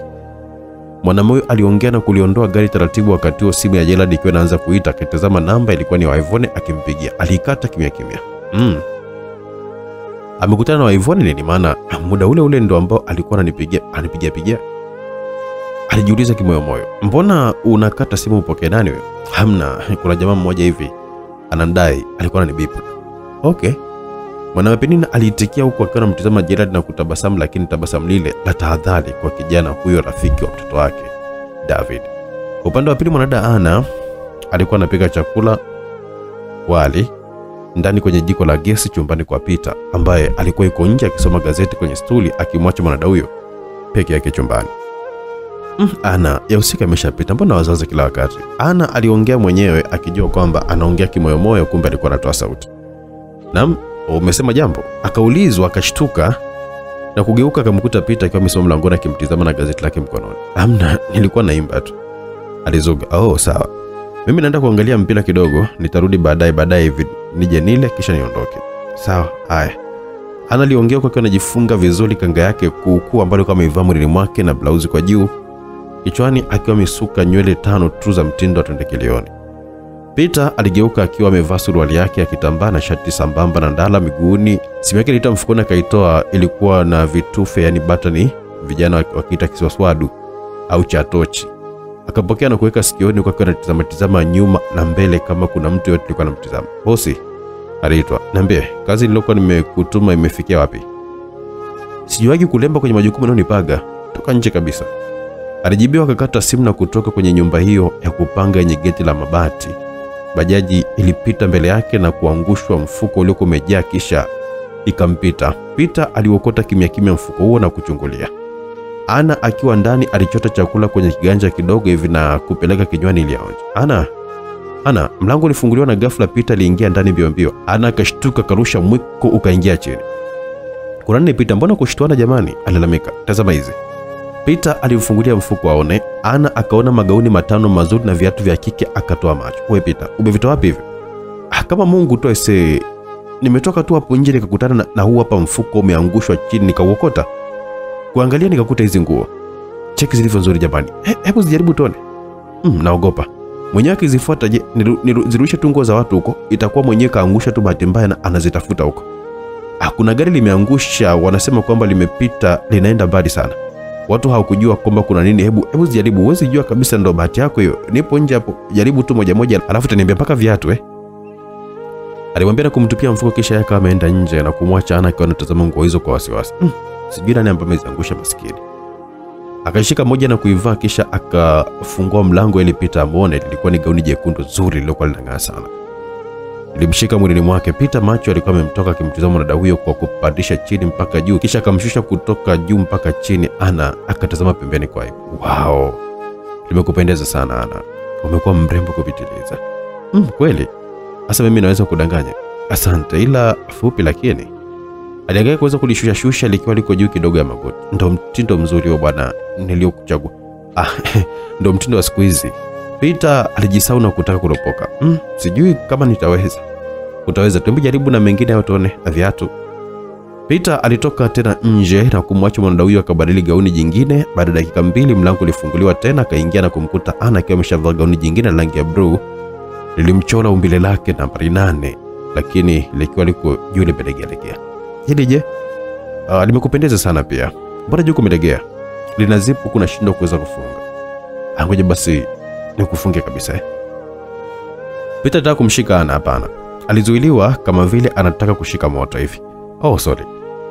nitalifunga tu mwenyewe. Ana alimwambia na kuupeleka mkono wake nyuma mgongoni, akiwa hataki kugeuka Peter asija kamwona mgongo wake. Akajifanya mwamba kutaka kujifunga zipu ya nyuma mgongoni mwenyewe na miguuni akiwa amevaa vile viatu vyenye visigino virefu ambavyo hawezi kabisa, alimaarufu kwa jina la mchuchumio, na kujikuta akiwa anajikwaa na kutaka kuanguka. Pita akamwahi na kumshika mabegani, lakini kwa sababu hakusimama vizuri akaelemewa. Wakiwa wamesimama pembezoni mwa kitanda, akajikuta akiwa anaangukia kitandani, mwanadada Ana akiwa yuko chini na Pita akiwa amemlalia kwa juu. Mwanadada Ana alikuwa chini na Pita akiwa yupo kwa juu amemlalia, huku wawili hao wakiwa wanatizamana. Baada ya Pita kushindwa kumzuia Ana kuanguka, walijikuta hapo kitandani uso kwa uso, macho kwa macho. Ana alijikuta akiwa anacheka tu na Pita naye aka akafuata kucheka, kila mmoja akiwa yuko pembeni, akiwa hajui kinachomchekesha. Unacheka nini sasa? Unacheka nini kwani? Walijikuta akiwa naulizana swali lilokuwa linafanana tena kwa wakati mmoja. Ana, vipi? Haujaumia? Hamna, sijaumia. Alijibu akitazama pembeni. Pita aliguna tu na kujiinua taratibu, akimwacha mwanadamu amelala kitandani chali na gauni lake hilo jipya sambamba na viatu visigino virefu ambavyo Pita alikuwa amedai kwamba alikuwa ameviokota. Um, nguo zote zimekupendeza Ana, wewe ni mrembo sana. Peter alimwambia dada huyo ambaye alikuwa anainuka kitandani. Mm, mimi ni we analalamika wakati akijaribu kuinuka. Peter alimwahi na kumshika mkono baada ya kusikia malalamiko hayo ambayo yalionyesha kuna aina ya maumivu ambayo mwanada huyo alikuwa anayasikia. Nini Ana? Mguu naniuma sana. Mguu upi tena? Huu hapa wa kulia umeteguka. Haya, kaa kwanza. Pita alimkalisha kitandani kisha akachuchumaa na kukishika kiganja cha mguu. Unafanya nini Peter? Na unyosha nyosha tu. Mnaniache nipo sawa. Alimwambia akataka kuinuka, lakini Peter akamwekea mkono kumzuia asiende kokote kule. Unaenda wapi sisi? Alimjibu na kuchukua chupa ya mafuta ya kuchua na kuanza kumpaka mguuni taratibu, akiwa na anammenyaminya na kumnyosha nyosha mguu wa kulia. Analibaki kimya akiwa anamtizama tu. Peter alimkandakanda mgudo na kuhama chini, akawa anapandisha mpaka juu kwenye uso wa goti. Peter, nini? Sio uko na unanitekenya? Oh, samahani. Alimwambia na kumtekenya nyuma ya magoti kwa makusudi kabisa. Ana akaruka. Staki Peter, staki. Utataka tu. Peter kaendelea. Ana alibaki akiwa anacheka wakati mwanaume huyo alipokuwa akimtekenya, na hakuishia tu hapo, akapandisha mpaka juu kiunoni mwake na kuanza kumtekenya kwa pani kwa, kwa mikono. Pita, niache, spendi. sitaki jamani, niache. Analicheka mpaka machozi akanamlengalenga kuja kutazama. Tayari Pita alikuwa ipo kifuani mwake wanatizamana tena uso kwa uso, macho kwa macho. Ana akatulia tuli bila kusema chochote kile. Najisikia furaha sana unapokuwa upo karibu yangu. Ana, ulitaka uondoke uende wapi? Labda Pita ni shh. Alimnyamazisha na hakumpa nafasi ya kuzungumza tena, akamwahi midomoni na kuanza kumnyonya mate ni deni taratibu. Ana alibaki akiwa ametoa macho, hakuwa na namna zaidi ya kuweza kutoa ushirikiano.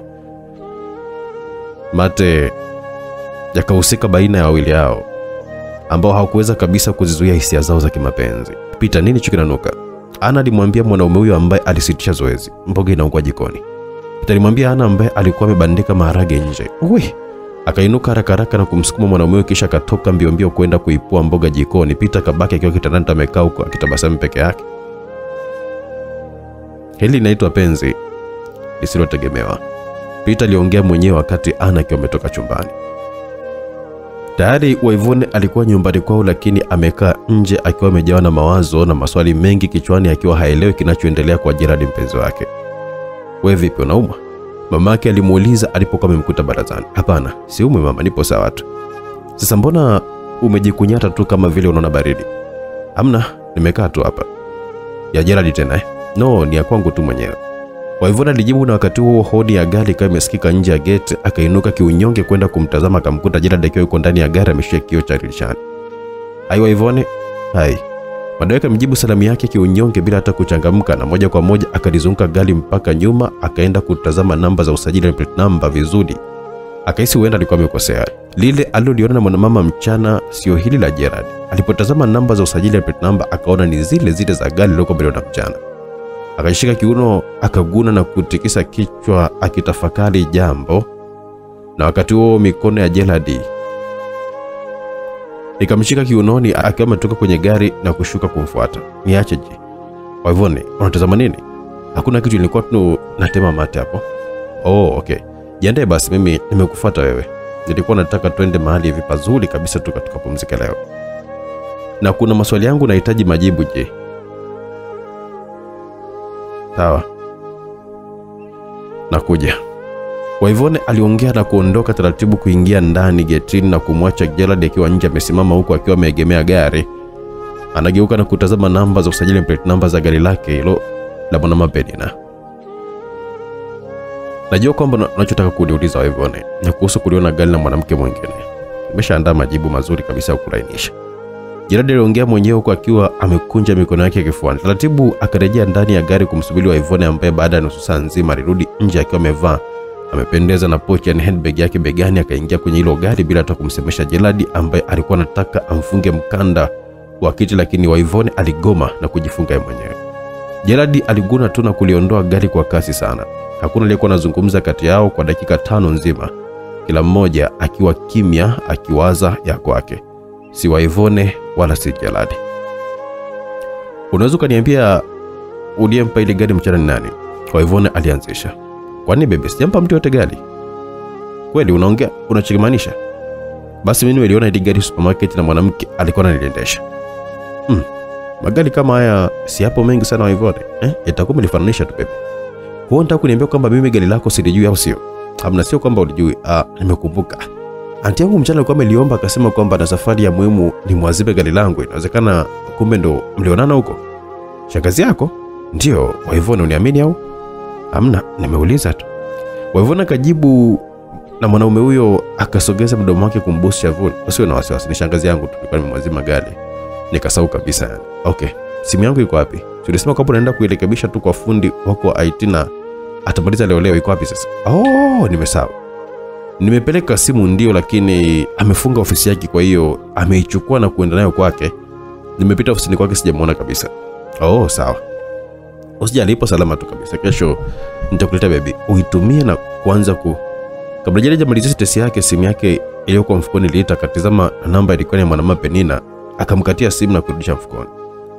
Nani kwani, mbona upokei? Ah, jamaa mmoja hivi msumbufu msumbufu sana. Na David Waivone alimwita rafiki wa Gerald alipokuwa amemwona kwenye pikipiki wakati wapo barabarani. Gerald akatoa macho na David akatazama wakati akiwa anaitwa, akaliona gari la mama yake, na ndani ya gari akamwona Gerald rafiki yake akiwa na mpenzi wa Ivone.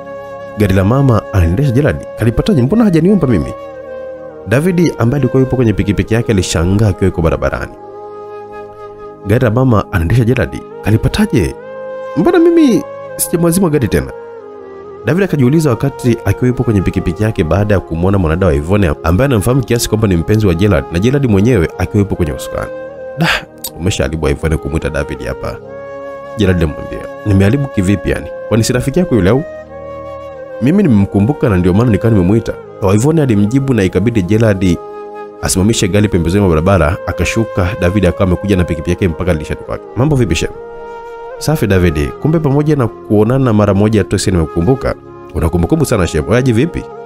David akamia kwa rafiki yake. Fresh tu kaka, kwema? Kwema tu. David alijibu kwa kana alitazama gari hilo la mama yake mara mbili mbili. Alijawahi kutoka bila yeye kuweza kuhusika, lakini anashangaa siku hizi mbili tatu hakuonana kabisa njiani, lakini anamkuta na gari hilo, jambo ambalo lilimpa maswali mengi sana kichwani. Nitakuja nyumbani kaka leo, nadhani nikirudi na Waivone mida basi. David akatikisa kichwa kitamani kumuuliza Gerald imekuwaje kuwaje na akalipata vipi gari hilo la mama yake, lakini akanyamaza tu kwa hekima ili kumstiri rafiki yake huyo asijulikane kama gari sio lake, ni la kwazima. Likaondoka huku David akiwa amebaka amesimama na pikipiki yake. Nini kinachoendelea hapa? Mbona sielewelewi?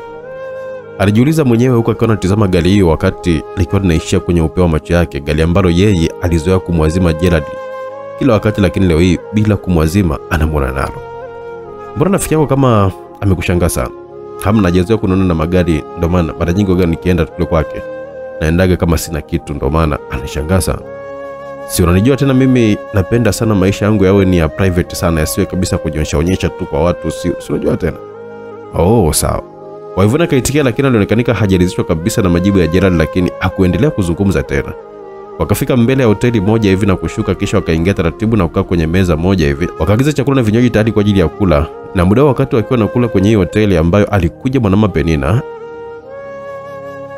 ikiwa bili bado ipo ya kuendelea kula iliyokuwa imeachwa na mwanamama huyo ya wiki nzima, Meneja ambaye ni mwanamama alikuwa anapita kutazama tazama maendeleo, ya- akawaona, akachukua simu yake akapiga, ikaita na kupokelewa. Shogangu vipi? Sauti ya mwanamke Penina ikasikika ikionekana chovu. Umelala shogangu Penina? Ndio, najisikia vivyo tu saizi na umaumwa tu yani. Pole jamani shogangu, nimekupigia tu kukutaarifu kuwa kibenten chako hapa ulichokuja nacho hotelini kwangu hapa mara kadhaa kimekuja na kidem chake hapa, wanatumia bili ambayo ulikuwa iacha hapa. Unasema eh, sikali ka kijana sijui kanaitwa kanani sijui Gerard dini sijui ulichokuja nacho siku mbili hizi Gerard eh, amekuja na demu wake leo hapa bana, mrembo, wanakula zao tu kuku kwa mlija hapa. Nikaona kwamba nisiliache lipite hivi hivi nikupashe habari mapema. Oh, kumbe bili niache mimi alafu yeye aje hapo na kula na videmu vyake, si ndio? Leo atajua hajui, lazima nitamuonesha mimi ni nani na gari langu. Unaliona hapo pia? Eh, naliona shogangu limepaki pale kwenye paki. Nakuja taratibu, lakini shogangu, usinisababishie fujo. Nimekuambia tu kama rafiki yangu tu ambaye tunajuana kiundani na eh, kufiachiana siri nyingi sana. Hilo niachie mimi. Mwanaume Penina alijibu na kukata simu. Meneja huyo mwanamama ambaye kumbe ni rafiki yake mkubwa aliitazama simu na kugeuka kumwangalia Gerald na madaivoni ambao alikuwa anaendelea kula.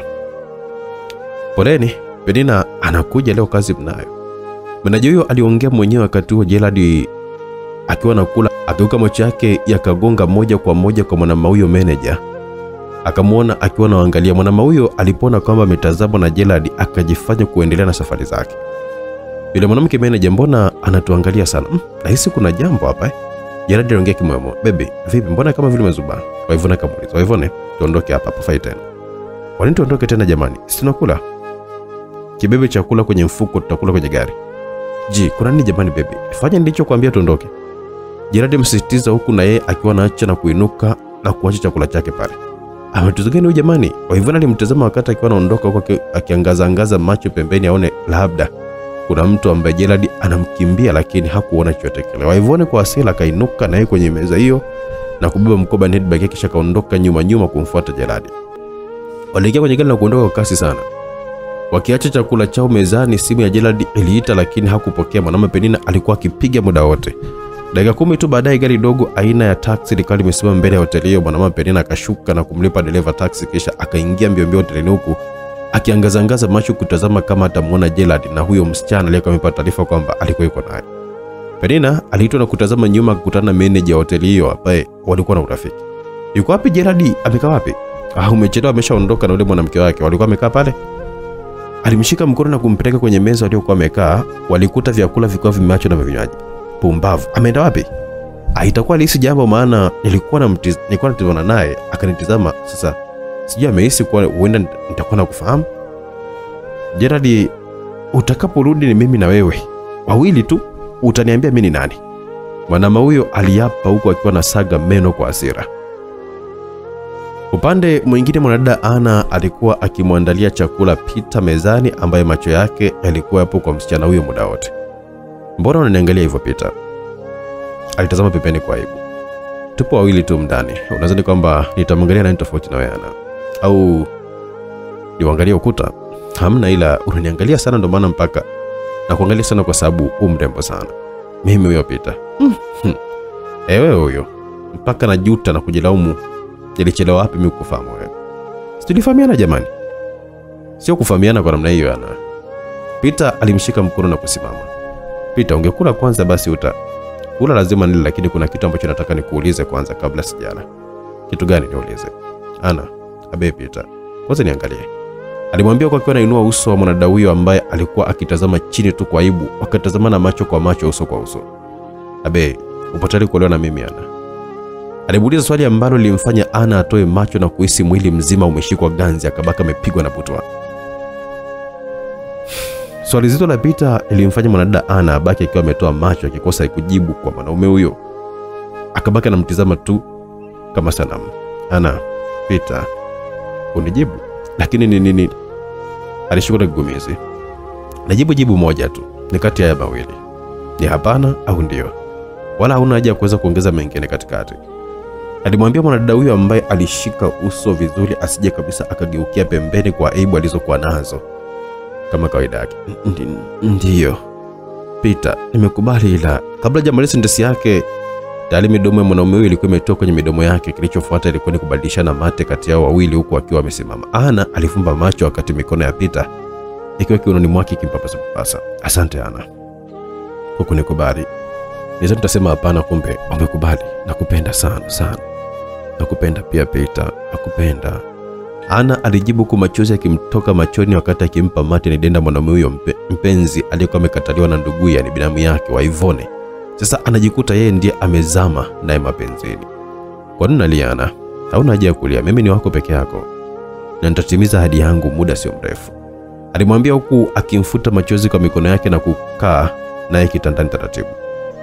Amna, silii. Haulii wapi wakati machozi hapa naona kabisa. Kwani unanipenda Peter? Siwezi kudanganyana. Tangu siku kwanza na kuona, niliona kitu cha tofauti sana kwako, ingawa tu moyo wangu ulikuwa upo kwingine. Nikasema huyu mwanamume atakaye kupata basi atakuwa amepata mwanamke mmoja mzuri na mwenye moyo wa kipekee sana. Nilijisemea mwenyewe kimoyomoyo, sikumwambia hata mtu. Ananiangua kicheko huku akiwa anajiziba uso kwa aibu sana. Unacheka nini sasa? Na mimi niliwahi kuwaza hivyo hivyo, ila kimoyomoyo sikumwambia mtu. Uliwazaje? Nijisemea tu kwamba nilikuonea huruma sana wakati wa Ivona alivyokuwa nakufanyia vituko. Nikasema kwamba huyo mkaka mwanamke atakayempata atakuwa amepata kitu cha maana sana, maana ni mpole, mkarimu na kumbe ulikuwa umeanza kunitamani mudae. Ana, namna nilikuwa najisemea tu bwana. Mm, hebu kuja hapa.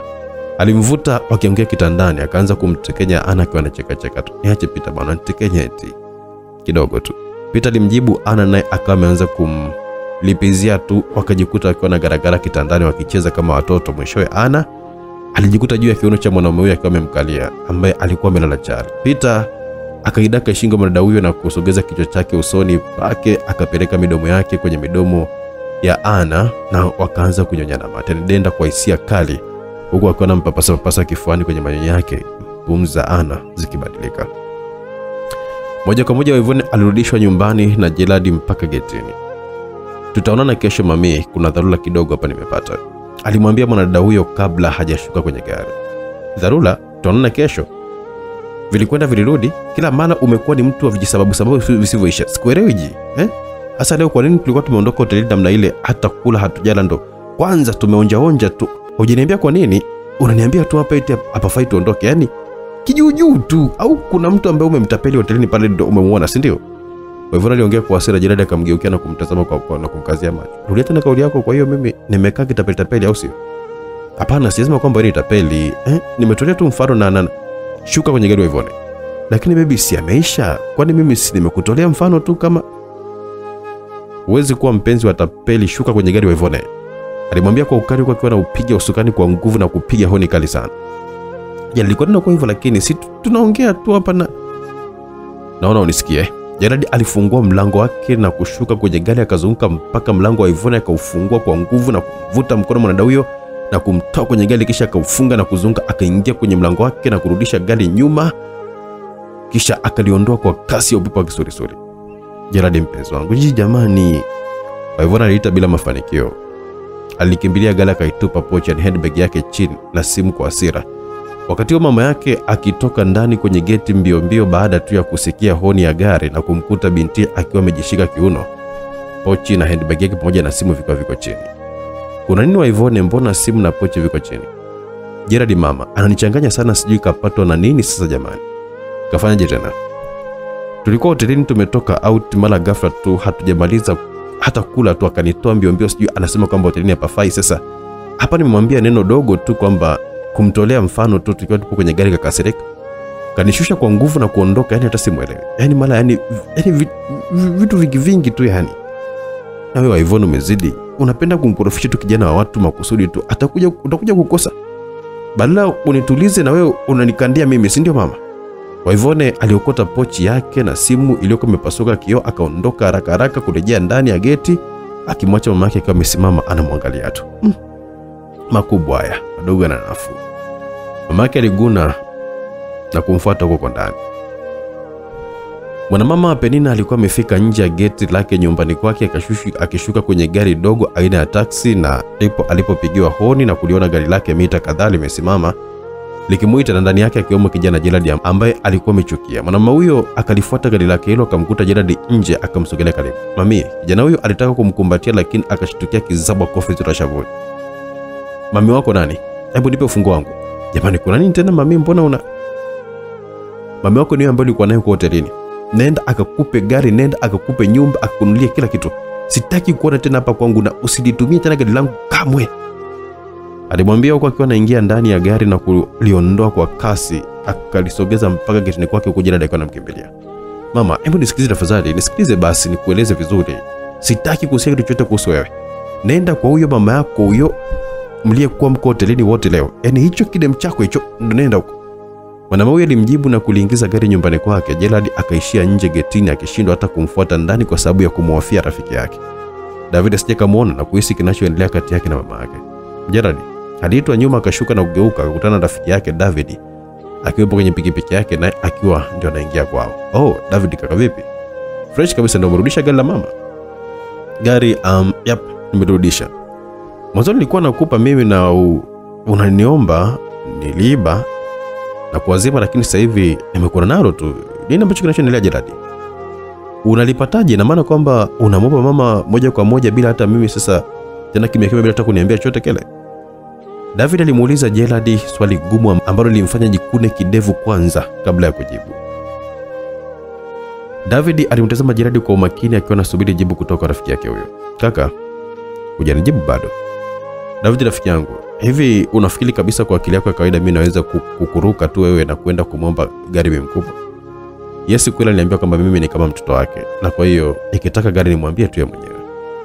Na ukakubali kabisa kirahisi rahisi tu, na wala hata hujaniambia chochote kile mwanangu hmm? Ukavunga kimya kimya tu yani. Ndio tunaishi hivyo siku hizi. Hamna, mbona nilakisha? Sijamaliza bado kaka. Nikamkatalia, nikamwambia kwamba hamna mama, siwezi kufanya hivyo. David atanilaumu sana na kunishangaa. Bi mkubwa akaenda mbali zaidi, akaniomba kwamba niwe dereva wake, ila kwa malipo nilikataa. Nikamwambia kwamba kama kumwendesha nitamwendesha, lakini sio kwa malipo yoyote yale, kwa sababu yeye ni kama mamangu pia. Ndo akasema basi, kwa sababu nimekataa malipo kutoka kwake, gari nikimaliza kumwendesha yeye, niwe nalichukua tu na kwenda safari zangu, ila asubuhi niwe namfuata akiwa anaenda kwenye, kwenye majukumu yake. Hapo sawa. Umeendesha siku ngapi? Mm, ndo kwanza leo ya pili, sijui ya tatu, ni juzi tu hapo ndo tumeanza. Bibi mkubwa naye anashindaje kuniambia mimi? Ah, mimi nilikuwa nataka nikwambie, akanikataza na kusema kwamba yeye mwenyewe ndiye ambaye atakaye ataki kuambia. Sasa nikaona kwamba nimsikilize tu, hakuna namna. Basi po hakikisha kwamba unamwendesha vizuri. Si unajua kwamba yule ni bibi mkubwa, maana uendeshaji wako wa ovyo sana wewe jamaa. Nakujua sana. Dah, David mwanangu. Unitaki mema. Yaani mimi dereva ovyo nakubali, lakini nikiona na bibi mkubwa siwezi kuendesha vile kama kichaili nimwangushe. Jeradi aongea huku akiwa anagonga mikono tano na rafiki yake huyo. Halafu Jeradi, nini tena mwanangu? Wewe si umemrudisha bibi mkubwa siku hizi mbili tatu? Yep. Sasa hujamjua jamaa ambaye anayemsumbua mama kweli mwanangu kabisa umjui? Hapana, simjui. Usinifiche mwanangu.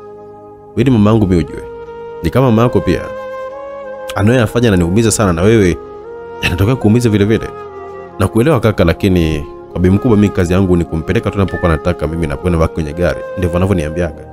Sijai kabisa kushuka kwenye gari kwenye safari zake zote ninazokuwa nampeleka, na ananisitiza kabisa kwamba Gerald, mwanangu, usishuke kwenye gari kila utakapokuwa unanipeleka mpaka nikwambie labda kwa ishu muhimu ya kwenda chooni au kula. Na mimi najiongeza kwamba nataka nisimfuatefuate. Nadhani kwamba alishahisi kama vile naweza kuwa natumwa na wewe hapa kwamba nimchunguze ratiba zake, na ndio maana amenipa onyo mapema sana.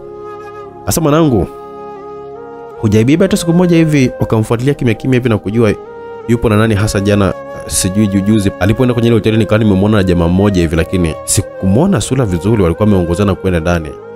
Ningemjua yule jamaa ningemchinja ise jeradi ningemtenganisha kichwa yule mshikaji yani kiwili peke yake na kichwa peke yake. Mm, aise sikumwona ingawa nilikuwepo kwenye gari mle nilikuwa nimelala tu alipokuwa ameshuka mama. Akasema kwamba kuna mtu alikuwa na maongezi naye kidogo akanitaka nisishuke kwenye gari na baadaye akaniambia kwamba niondoke tu kwa maana hatarudi mpaka kesho. Nikaliweka gari kwangu na mimi nikawa nimeona kwamba isiwe kesi. Nikafanya hivyo.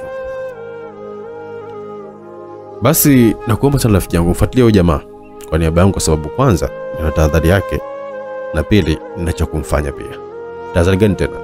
Acha wewe siri yangu blaza takwambia tu david alimwambia jeladi ambaye alitikisa kichwa wakaagana jeladi akaondoka na david akawa ameingia kwao ndani mpaka sebuleni akamkuta mama yake akiwa amekaa sebuleni Atazama televisheni kubwa ukutani, akamtazama tu mama yake na kutikisa kichwa kusikitika. Mama, sema, umemeza dawa zako? Akauliza swali zito ambalo lilimfanya mama yake ageuze uso wake na kumtazama usoni huku akiwa anapunguza sauti ya televisheni kwa lipoti. Unamaanisha nini? Mama yake alimuuliza. David akasogea na kukaa kwenye kochi la pili huku akiwa anamtazama mama yake kwa masikitiko sana. Kwa nini umeficha hali yako ya afya mama? Mimi ni mtoto wako, sistahili kujua. Kumbe ndiye ambaye ulikuwa umepekua vitu vyangu chumbani, si ndio? Umeshajua sasa mamako ndo hali yangu hiyo, imetosha. Ufunge kinywa chako kimya, usimwambie mtu yoyote ule, hata babako. Sasa unamfichaje baba akija kujua atakuchukuliaje? Na je, yeye huoni kama utamwambukiza pia? Nimekwambia hivi Davidi, usije kumwambia hata babako kuhusu kufanyaje, sijui akija kujua, sijui kama nitamwambukiza. Hayo yote sio kazi yako kuyajua. Mimi ni mtu mzima, najua nini ambacho nakifanya. It is okay, nahitaji kujua ratiba yako ya kumeza dawa zako nina na kufuatilia. Hiyo sio kazi yako. Mwanaume akamjibu na kuinuka kwenye kocha yani sofa, akaelekea chumbani kwake, huku David mtoto wake akiwa anamsindikiza kwa macho, kisha alisha pumzi ndefu ya masikitiko. Upande mwingine, mwanadada Ana alikuwa yuko kitandani na Pita wakibembelezana baada tu ya kupeana mahaba mazito mara baada ya kutekenyana tekenyana pale, hatimaye kujikuta akiwa anaishia mapenzini. Ana akiwa kifuani mwa mwanaume huyo amekilaza kichwa chake wakiwa wako ndani ya shuka. Ana abe alitikia kwa sauti ya chini ya uchovu sana. Unaonaje kama ukarudi nyumbani kwa shangazi yako ili taratibu za kuja kujitambulisha ianze, kwani si ndiye ndugu pekee ambaye uliye naye hapa mjini? Hmm, kurudi kwa shangazi ni ngumu. Sijui kama atanipokea kwa jinsi ambavyo nilivyo, kwani nimeondoka ondoka pale nyumbani. Lazima atakupokea tu, usijali, mimi nitakusindikiza, wala hautoenda peke yako, tutaenda wote wawili. Nitakuambia msamaha sijitambulisha kwanza mpaka nitakapo nimehakikisha kwamba umekubaliwa, alafu nitarudi tena siku nyingine kujitambulisha. Sawa, nitajaribu. Kesho nitakata nikupeleke, alafu mambo mengine yaendelee. Nakupenda sana Ana, umeingia kwenye maisha yangu wakati sahihi kabisa. Nakupenda pia Peter. Ana alijibu mwanaume huyo, akambusu kwenye paji la uso wake, akatabasamu huku akiwa anapigwapigwa mgongoni kumbembeleza. Wakati kujificha umeisha. Nadhani wewe ndio mwanamke wa kuweza kuonyesha maisha yangu halisi. Nilichokitaka nimekipata. Peter aliongea kimoyomoyo na kumbusu tena Ana kwenye paji la uso, ambaye safari hii hakuinua uso wake tena. Alikuwa ameshapitiwa na usingizi. Akalivuta shuka na kumfunika vizuri. Unaambiwa kuna kucha mapema asubuhi, na dada Ana aliamka na kitandani na kujinyosha nyosha, na anapasapasa kitandani, lakini hamgusi mtu. Wakati walala wawili, na anajikuta akiwa amelala peke yake kitandani. Peter ameenda wapi tena? Alijiuliza na kushuka kitandani, akajifunga shuka vizuri, maana ndani hakuvaa kitu. Akafungua mlango kidogo na kuchungulia nje, lakini hakumwona mwanaume huyo hata nje. Akabaki kamishikwa ameshikwa na bumbwazi. Ikiwa ni mapema sana asubuhi, aliporudi ndani akaona kwenye stuli mfuko, akaufuata na kuutazama ndani. Alikutana na boksi dogo hivi la zawadi liko limeandikwa maandishi makubwa, kwa ajili yako Ana. Akaguna na kufungua boksi hilo. Ndani alikutana na simu janja, smartphone nzuri na ya kisasa, ikiwa ni mpya na chaja yake. Akabaka ametoa macho ile alichokuwa nakiona. Na aliweka hii hapa? Ana alijiuliza huku akiwa na shanga shanga simu hiyo. Hodi, mlangoni na Peter kama ameingia, jasho lilikuwa linamtoka huku akiwa na hema. Peter analimkimbilia kwa wasiwasi na kumshika. Za asubuhi Ana aliongea kwa kimeinama na kushika magoti. Salama, tumepatwa na nini? Naumwa sana, naumwa. Peter alikaa chini kwa anajishika kifuani upande wa moyo. Jamani, nini shida? aliwaki kicheko kikali sana. Unacheka? Eh, Kumbe huumwi, unanipima?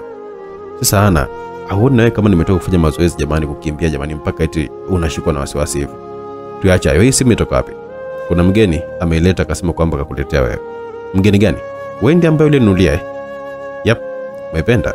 Nimependa, ni nzuri sana, lakini umenunua kwa shilingi ngapi? Mm. Unataka kujua bei tena? Zawadi naulizwa bei? Nimeuliza nina maana yangu mimi au sina haki ya kuuliza hata kama ni zawadi? Laki mbili tu hiyo, wala sio hela nyingi. Oh, laki mbili wala sio hela nyingi.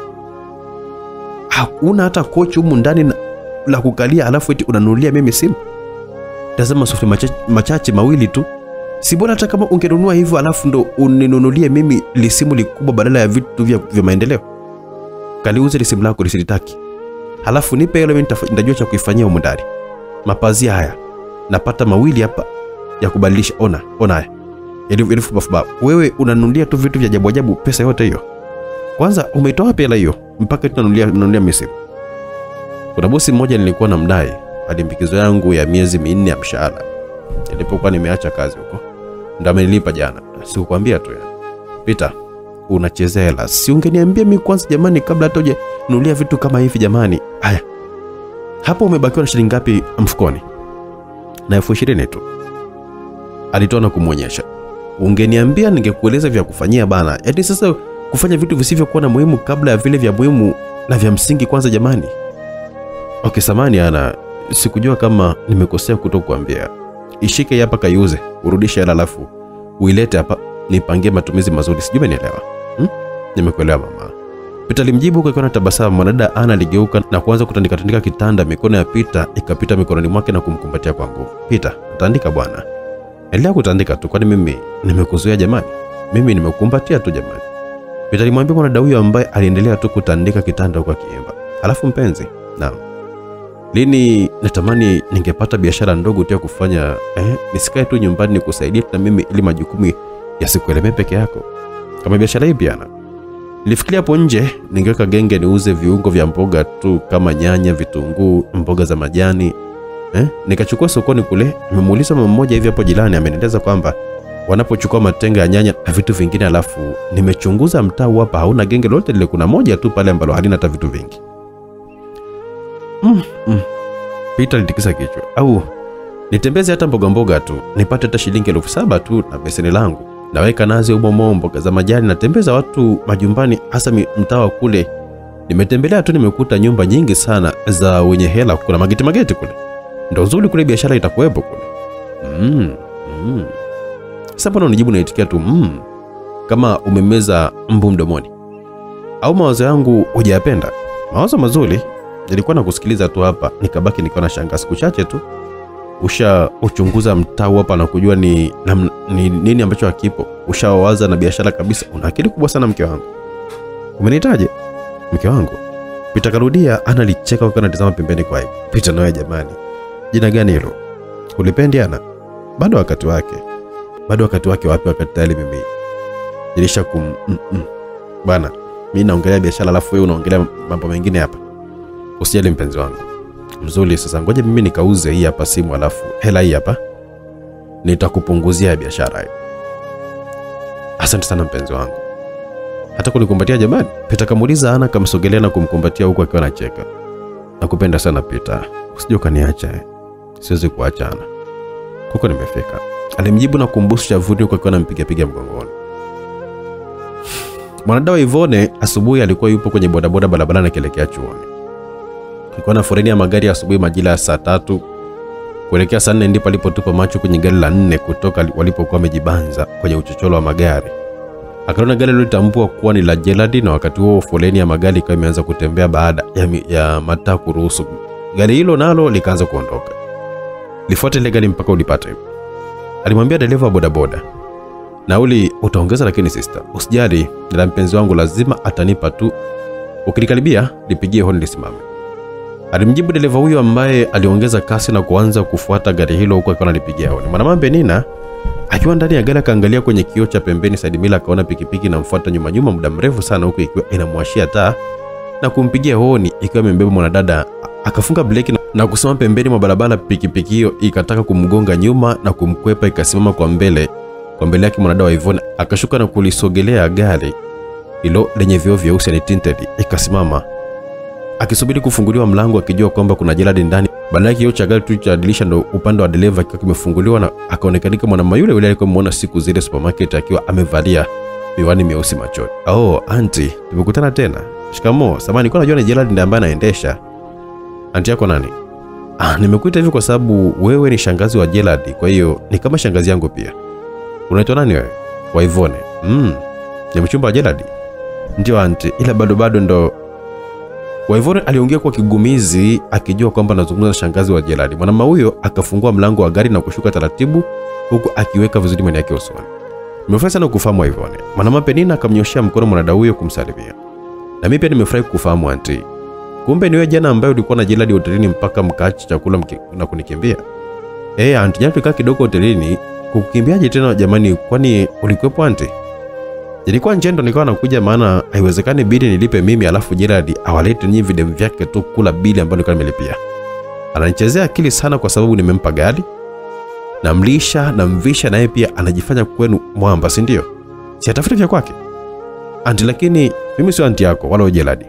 Mimi ni mwanamke ninayemweka huyo mwanaume wako hapa mjini. Hili gari ni langu na kila kitu namhudumia, lakini ananena kwamba mimi ni fala. Unamaanisha nini? Sijakuelewa. Mimi ndiye jamaa la Jeladi nalomweka mjini. Kwa hiyo badala ya kuwa na mwanaume wa aina ya Jeladi anayesubiri kuhongwa naye ahonge, ni bora kabisa ukatafuta libaba lenye pesa eh, likuhudumia binti moja kwa moja. Mwanaume alimwambia Waivone kauli nzito iliyomfanya abaki kinywa wazi, kisha akaingia kwenye gari lake na kuondoka kwa kasi. Waivone alibaka ameduaa tu akiwa amejishika kiuno. Kauli tata za mwanamke huyo zilimtafakalisha sana na kumpa maswali yasiyokuwa na majibu. Umesema wewe ni binti, una masikio, unahitaji operation au? Nimekwambia hivi, mimi sio anti wa Gerald, mimi ndiye jimama linalomweka mjini hapa, kuanzia boxer mpaka chupi namnunulia. Kamuulize video mwanaume wako, na hata gari yangu kama kakudanganya kwamba ni yake, basi umeingia choo cha kike. Hili gari ni langu, nilimpa tu atembelee, wala sio lake. Upo we mama, mi hata sikuelewi. Ah, utanielewa tu. Jina haraka, naenda sasa. Wakati mwingine ukiona sikasemeshesomesha ovyo ovyo hapa, nitakunasa vibao. Mwana Penina alimwambia msichana wa Ivone, kisha akawa amerejea kwenye gari yake taratibu kabisa na kuondoka kwa kasi, akimwacha mwanadada huyo akiwa nje ya panda, amesimama Edward tu, haamini alichokuwa nakisikia, amebaki akiwa amejishika tu kiuno. Waivone aliangalia gari hilo mpaka likatokomea kwenye upeo wa macho yake. Ina maana kumbe Gerald anaelewa na hivi vyote ni vya uongo tu alivyokuwa ananionyesha. Vipi kuhusu walionunulia? Pesa amepata wapi kama ni, kama ni uongo? Alijiuliza huku akiwa amebaki amejishika kiuno na kuanza kuondoka taratibu, akisahau kabisa kwamba dereva bodaboda alikuwa amempakia, alikuwa anamsubiria. Pikipiki hiyo ikawa imekuja nyuma na kumsimamia kwa mbele. Sasa vipi, mbona unaondoka tu na hujalipa pesa yangu? Oh, ah, nimevurugwa. Ni shilingi ngapi vile? Shilingi elfu kumi na tano. Elfu kumi na tano? Mbona nyingi sana we kaka? Toka, toka kule mpaka hapa, mi, mi nakupa elfu tano tu ndo nilionayo hapa, yani nipe na chenji kabisa. Waivone alitoa noti ya shilingi elfu kumi ambayo dereva huyo alikuwa amewahi na kumpora. Elfu kumi na tano nyingi kivipi wakati tulishakubaliana kabisa, ukasema bwana wako atatupa, haina shida. Hii hapa ni kazi, sio lede. Dereva huyo aliondoka na pikipiki kwa kasi sana. Chenji yangu jamani, chenji yangu, ui, sijui nitaendaje chuoni mimi jamani, ui. Alibaki amejishika mikono tu kichwani baada ya kuchukuliwa pesa yake yote aliyokuwa amebaki nayo kama akiba, akiwa jabaki hata na senti kumi kwenye mkoba. Alichokumbuka ilikuwa ni kuchukua tu simu na kumpigia mama yake ambaye alipokea. Vipi mama, nimeibiwa hela ya nauli hapa, hata sili nafanya, nitumie basi. Mpigie jirani, jamani, mimi sina hela, akiba yangu si ndo hiyo ambayo umeichukua wewe ukasema kwamba utanipa baadaye. Eh, niliyokuwa nayo tayari nimeshanunua mboga. Mama yake alimjibu na kukata simu. Sasa mimi nitafanyaje jamani? Ah, alijilaumu mwenyewe na kumpigia simu rafiki yake Rahma akapokelewa. E, sema mrembo wa ji. Rahma rafiki yangu, nimekwama nauli hapa, tafadhali hebu nitumie, nikifika tu chuoni nitakurudi. Eh, tena mimi nilipanga nikupigia sasa hivi hapa unazimela kwa Jeladi. Simu yangu imezingua, inahitaji shilingi kama elfu thelathini hivi, nikatengeneze niwasiliane na madanga yangu niyapige mizinga huko, halafu nitakurudishia. Yani nimekwama, sielewi hata nita kabla hajamaliza kuzungumza tayari simu ilishakatwa. Waivone akatafuta namba ya Jeladi na kuitazama mara mbili mbili kabla ya kuipiga, kisha akaipiga. Ikaita mara ya kwanza mpaka ikata bila kupokelewa, ikaita mara ya pili mpaka ilipo kinataka kukatika ndipo ikapokelewa. Bebe, Jeradi aliongea kusikika upepo kana kwamba yupo safarini kwenye gari. Nimekwama, nahitaji nauli, naenda chuoni, nauli imepotea. Oh, pole. Kwa hiyo wapi? Nipo hapa, alitaja kituo. Unahitaji kama shilingi ngapi? Labda elfu ishirini. Oh, sasa Asa mimi naendesha gari sasa hivi, ngoja basi nipitie benki hapo nikatoe, maana mkononi sina. Unaendesha gari lipi tena? Si la kwangu lile ulijui au mbona niuliza unaniuliza hivyo? Nimeuliza tu kwa sababu gari lako nimeliona muda sio mrefu hapa na dereva ni yule mama shangazi yako. Oh, ah, umeli umeliona wapi? Ngoja radi, hebu tupe hela ya umeme bwana. kuasha lile feni naona raha, lakini hela ya umeme kutoa ndo mtiani tuta. Ilisikika sauti ya mwanamke akimwambia haraka haraka kakata simu ikionekanika kumbe yupo nyumbani, kisha akapiga tena na kujikoresha. Umesema kama unataka shangaza gari yangu mpaka nikasahau tena. Ah, si kumbe naendesha ile gari jingine bwana, sio lile. Mm. Ukiwa na magari tofauti tofauti bwana, mpaka unajichanganya mwenyewe, yani kwa sababu kwa ndani ni kama vile anafanana vile yani. Gari lenyewe feni, mwanaume muongo sana wewe. Si ungesema tu kama unalelewa na jimama kuliko kunidanganya. Waivone, unaongea ujinga gani huo? Siongea ujinga, mimi naongea ukweli. Kumbe unaelewa? Yaani kila kitu napewa, gari sio lako, alafu tunakuja kunidanganya mimi? Unaona kwamba ni mpumbavu sana? Yule mama kaniambia yote, kasema kwamba wewe sio anti yake na wala mama mdogo wake, yeye ndiye ambaye anakuweka mjini hapa mpaka boksi na kununulia. Kwa hivyo natuheshimiane Unanikosea heshima ujue. Nani ambaye anakukosea heshima? Hmm? Mimi au hilo jimama lako? Unanipotezea muda kwa uongo uongo tu hapa na maigizo yako. Ipo wapi hiyo simu ambayo ulioninunulia? Naitaka simu yangu haraka sana. Usikute ni ya hilo jimama lako ukaja tu kunipa mimi kini macho eh. Waivona aliongea kwa hasira akitamani kulia na kukata simu yake kisha akatembea kwa kama kichaa baada ya kuvurugwa na habari za Gerald kushindwa kuelewa cha kufanya. Akajikuta akiwa anavuka barabara bila hata kutazama magari kwa umakini kwa sababu mwili na akili vilikuwa vimekosa ushirikiano muda huo.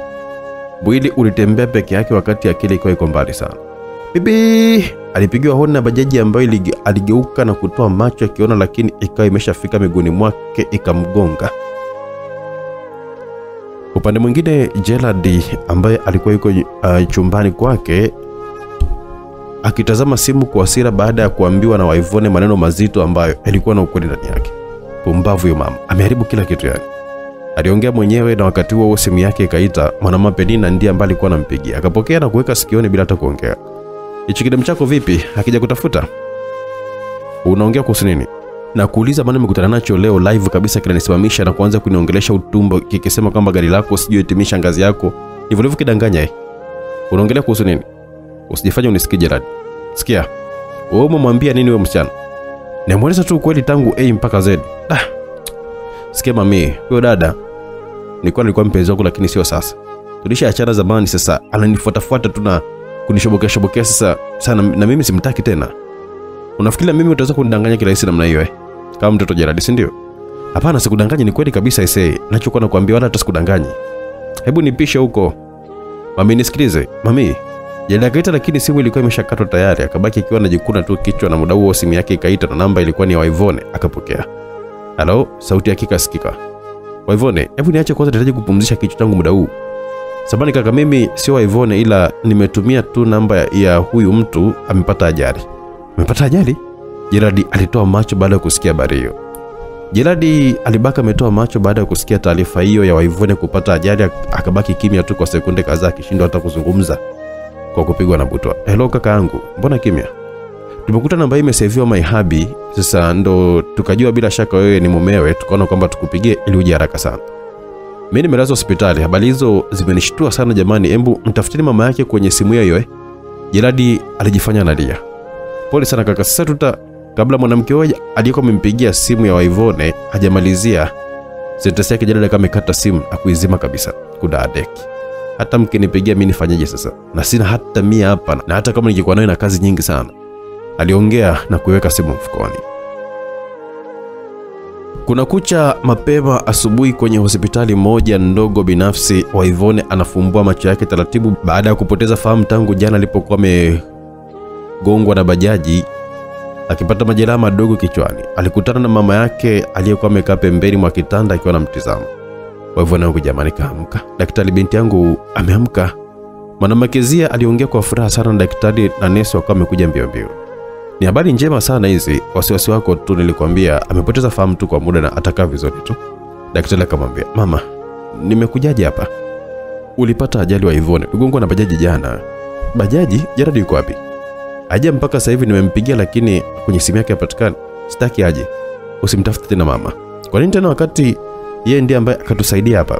Aje kulipia matibabu yako, alafu pia ana gari la kuweza kutupeleka nyumbani. Tutakosa pesa ya usafiri hapa. Ni mpenzi wako, lazima aje umweleze, talaumu asipojua kinachoendelea. Hakuna ukweli wote katika maisha yake mama. Unavyomwona sio alivyo. Mimi sitaki tena kusikia habari zake hapa. Kwa nini? Samahani, sidhani kama ni wakati sahihi wa kuweza wa mgonjwa kuzungumza muda mrefu, na mazungumzo ya aina hiyo yanaweza yakafanya hali yake kubadilika. Anahitaji kupumzika kwa sasa. Sawa daktari, pumzika binti yangu mzuri eh? Nataka maji mama. Sawa. Jimmy, hebu kamnunulie maji mdogo wako au basi kaa naye hapa. Ngoja mimi niende mimi mwenyewe naweza kuona na vitu vingine vya kumfaa huko nje. Mwanamke Zia alimwambia kijana wake huyo ambaye alitikisa kichwa sambamba na ndugu wengine wachache na marafiki wa Evone waliokuwa hapo nje akiwemo Rahma. Sasa mbona bwana shemeji aje hospitali? Inaonekana kwamba kama mama wa Ivone anahangaika peke yake tu na gharama za hospitali wakati mkwe mtarajiwa na pesa mpaka anamnunulia Waivone masimu ya milioni. Rahma aliulizwa na wenzake. Ndo hata mimi nashangaa ise, au shemeji ana utajiri wa mchongo? Ni maana mjini hapa ise mambo mengi. Hata mimi nahisi, maana kuna siku nilimwona kwenye gari na jimama moja hivi wakati akiwa narudi chuo, isiye ikawa ndo linamweka mjini hilo jimama. Alianzisha mada, aliongea, wenzake wakiwa wanashindwa kuchangia mada, wakabaki kwa namtizama tu, naye akawa anashangaa, mbona mada haichangiwi chochote kile, wapo kimya tu kama vile wamegandishwa na remote ya television. Akageuka nyuma na kukutana na mama Ivone, kumbe alikuwa anawasikiliza tu. Oh, mama jamani, Ivone anileaje? Walisimama wote, wanafiki wakubwa nyie, si mlikuwa mnamsema sema tu hapa, au mnafikiri kwamba mimi sijawasikia? Aliwajibu na kuwasonya, kisha akapita na kuendelea na safari yake. Wakabaki wanatizamana. Jamani, mkiwa Mbeya, jifunzeni kuongea kwa sauti ya kunong'ona. Basi wazo lake ndo hayo, si mnaona? Rahma aliwaambia wenzake. Wakati huo ndani ya hospitali hiyo ndogo ya binafsi, Peter alikuwa anapandisha ngazi kuingia taratibu, na manesi aliopishana nao wakawa wanamsalimia tu kwa heshima, wakimaanisha wanamfahamu vizuri sana. Bosi, daktari mmoja alimwita huku akiwa anamkimbilia Peter, akasimama. Naam dokta, mbona ugeni wa ghafla ghafla bosi, ndo umekuja kukagua ukute madudu yetu hapa au maana siku zote unatoaga taarifa kwamba unakuja? Amna dokta, wasiwasi wako tu mi nimekuja tu kutazama tazama tu huduma zinaendaje hapa, maana nilikuwa napita tu, nina safari zangu. Huduma zinaenda vizuri, ila kuna changamoto moja tu bosi, ambayo nashukuru umekuja, maana eh? tulikaa kikao chetu hapa jana tukijadili na kupanga kukupigia leo uje siku yoyote ile, ila sio leo, tukupe taarifa. Changamoto gani tena dokta? Mashine x-ray na mashine nyingine mbili zimeharibika na pia kuna changamoto ya upungufu wa manesi, ma- maana wagonjwa siku hizi tunapata wengi sana. Jina la hospitali yetu limekuwa kubwa sana na imekuwa ni kimbilio kwa watu wengi sana. Oh, sawa, hizo niandikie tu kwenye karatasi na mchanganuo wake, alafu utanipa kabla sijaondoka mndani. Sawa bosi, ila umenawiri, naona kama vile una nuru usoni tofauti na ilivyokuwa nimekuona siku za hivi karibuni. Una jambo jema nini? Amna, nipo kawaida tu. Amna bwana pita wewe licha ya kuwa ni bosi wangu akufahamu sana nje hapo, yani umenawili sana, una nuru sana yani, yani kama kuna kitu ambacho kinakufurahisha sana moyoni na kinaleta matokeo usoni, umeshapata ma- nini? Macho yako tuna kabla Peter jamalizia sentensi yake, alimwona mwanamama Kezia, mama wa Ivona akiwa anapita. Kuna nini bosi? Hebu nisubiri kwanza, huyu mama namfahamu. Peter alimjibu na kuachana na daktari huyo, akaanza kumfuata mwanamama huyo. Huyu Gerard kwa nini hapatikani kwenye simu? Mimi sina hata hela saizi, yani hizi gharama nani nitakazilipa? Maivuna alilalamika mwenyewe huku akiwa anajaribu kumpigia simu Gerard, mchumba wa bintia, lakini akaendelea kujibiwa jibu lile lile, ndugu mteja, samahani, namba unayopiga ipatikani kwa sasa, tafadhali jaribu tena baadaye. Mama, mama aliitwa nyuma, akageuka na kutazama, kamwona Pita akiwa anakuja mbio mbio. Wewe, shikamo. Maraba. Ehe, vipi, mbona upo hapo hospitali? Kuna shida gani? Nimekuja tu kumleta Ivona, anajisikia tu vibaya. Oh, anaumwa nini? Eh, maswali yote ya nini bwana? Hata ukijua utasaidia nini wewe? Unanichelewesha safari yangu mimi. Mwanamume alimjibu Peter ambaye alikuwa amevaa t-shirt na suruali ya jinsi na chini akiwa na sendo tu. Akaondoka na kumwacha Peter akiwa amesimama peke yake. Vipi boss, kuna tatizo lolote? Daktari alimfuata. Fuatilia mgonjwa wa yule mama, ujue yupo wapi humo ndani ya hospitali alafu nitakwambia cha kufanya. Sawa boss, limeshaisha hilo. Daktari akajibu. Upande mwingine mwanadada Ana alikuwa sokoni akichagua tenga la nyanya kwa ajili ya biashara. Akiwa na wanawake wengine akabeba tenga lake kichwani. Akiwa ameshatoka na tenga lake kichwani, anataka kuvuka barabara, mara ghafla akagongwa na mtu begani kwa nguvu. Ana kayumba chini, kulikuwa na tope, akataka kuteleza, ikabidi aliachie tenga la nyanya ili ajizuie asianguke yeye. Tenga likaanguka na nyanya zikamwagika barabarani na kukanyagwa na magari na pikipiki. Ana akabaka ametoa macho huku mikono yake kaiweka kichwani. Ana hakuamini alichokiona. Sanduku lake la nyanya aliokuwa amenunua sokoni lilikuwa liko chini limepasuka na nyanya zikawa zimemwagika chini barabarani, magari yakazikanyaga. Sambamba na pikipiki, watu wengine walizikimbilia zilizotuzika kwa ajili ya kuweza kumrudishia na wengine wakazichukua kwenye wenyewe na kuzificha, ikiwa ni hatua yake ya kwanza ya biashara na kumbana na hasara kubwa ya pesa zaidi ya shilingi elfu thelathini alizokuwa amepewa na Pita mpenziwe. Mungu wangu jamani, nyanya zangu Peter anaelewaje mimi jamani? Alishika mikono kichwani akawa anasikitika. Oh, samani dadangu, uh, samani sana sikuona nikajikuta tu nikiwa na kugonga samani sana. Mwanaume nadhifu alimwambia akiwa amevaa suti na tai, akainama na kumsaidia kumwokotea nyanya zake. Oh, acha tukakacha, utajichafua, acha usijali kabisa, nitaziokota tu, utazichafua nguo zako. eh." Ana alimwambia akawa anamshika mkono kumzia siokote nyanya hizo. Haina shida dada, ninarudi nyumbani hata nikichafuka sio mbaya. Acha tu ni bahati mbaya, haukukusudia. Analimwambia mwanaume huyo ambaye alitulia tu kwa sekunde kadhaa akimtizama mwanadada huyo usoni huku watu wakiwazunguka na kuongea hili na lile. Jamaa huyo alielekea kwenye gari lake zuri na la kifahari, akaingia na kutoka na pochi ni wallet yake akamfuatana. Hizi hapa pesa ukanulia tenga jingine. Hamna kaka, hukukusudia, ni bahati mbaya tu, wala hata usijali. Alikata pesa hizo takriban shilingi laki moja. Watu wakamshangaa na, kumsi, na kumsita kwamba achukue. Naelewa kama ni bahati mbaya, lakini nimekutia sala sasa, inabidi nikulipe. Sawa, nitachukua. Ana alijibu na kupokea pesa hizo, akatoa shilingi elfu thelathini na kuchukua, kisha sabini akamrudishia mwanaume huyo. Ya nini sasa hiyo? Ya kwako. Gharama ya vitu vyangu hivi hapa shilingi elfu thelathini tu. Lakini mimi nimekupa hiyo yote, kwa nini sasa usichukue tu kwa mahitaji mengine madogo madogo? Asante sana kaka yangu, lakini siwezi kabisa kuchukua kwa kweli. Nipo vizuri na hiki nilicho nacho. Alijibu huku watu wote wakishangaa na kunong'onezana, hasa wanawake wakitamani ingelikuwa ndo wao wanapewa, wakimlaumu Ana kwa kuchezea bahati ya kukataa pesa kiasi hicho. Okay, sawa, haina shida. Alimjibu kwa kitabasamu na kutoa kadi yake ya mawasiliano business card na kumpa Ana. Alishika na kuitazama kwanza. Nini hiki? Business card yangu ya nini? Mawasiliano yangu tu hayo. Ukiwa na tatizo lolote pale utanicheki, si una si una simu? Hapana, mimi sina simu kwa sasa. Basi sawa sawa, utanitafuta kwa namba yoyote ile, alafu tutajua tunafanyaje kuhusiana na ishu ya simu. Sawa, asante. Sawa, bye. Jamaa huyo alimwambia na kuingia kwenye gari lake na la kifahari na kuondoka kwa kasi, huku watu sokoni wakiwa wanamwangalia na kisha macho yao yakihamia kwa mwanadada Ana ambaye wakimsema na kumshangaa kwa jinsi alivyokuwa amekataa pesa nyingi, wengine wakimwita mshamba na wengine wachache sana wanaohesabika wakimpongeza. Ikabidi arudi ndani sokoni kwa ajili ya kununua tena nyanya nyingine baada ya zile za awali kuanguka na kula hasara, akiwa na pesa ya fidia aliyokuwa amelipwa na mwanaume huyo aliyekuwa amemtia hasara. Naona bana. Upande wa pili ndani ya hospitali tayari mwanamama Kezia alikuwa amesharejea kwenye wodi ambayo alikuwa nayo binti wa Ivone ili kumletea maji ya kunywa. Akampatia maji na mwanadada huyo akanywa. Hutaamini wa Ivone. Nini? Nimekutana na Peter. Wapi? Humo humo hospitali nimemwona. Du. Wakamwambiaje? Nikamwambia tu unajisikia vibaya sasa nitamwambiaje mimi? Bora maana ungemwambia zaidi angeng'ania mpaka angekuja huko. Si mpaka ajue wodi yenyewe uliolazwa sasa na Samani, kuna mtu ana shida ya kumwona mgonjwa. Nesi alikatisha maongezi yao. Nani? Mavuna kauliza. Ni mimi hapa. Sauti kasikika, wote wawili waligeuka na kukutana na Pita ambaye alikuwa ameshaingia mlangoni huku akiwa na tabasamu. Wavuna na mamake wakatazamana wakiwa na shangao ujio wake. Umepajaje hapa udini au mama umemwambia? Wala mimi sijamwambia kitu, yaani sijui hata amepajuaje hapa.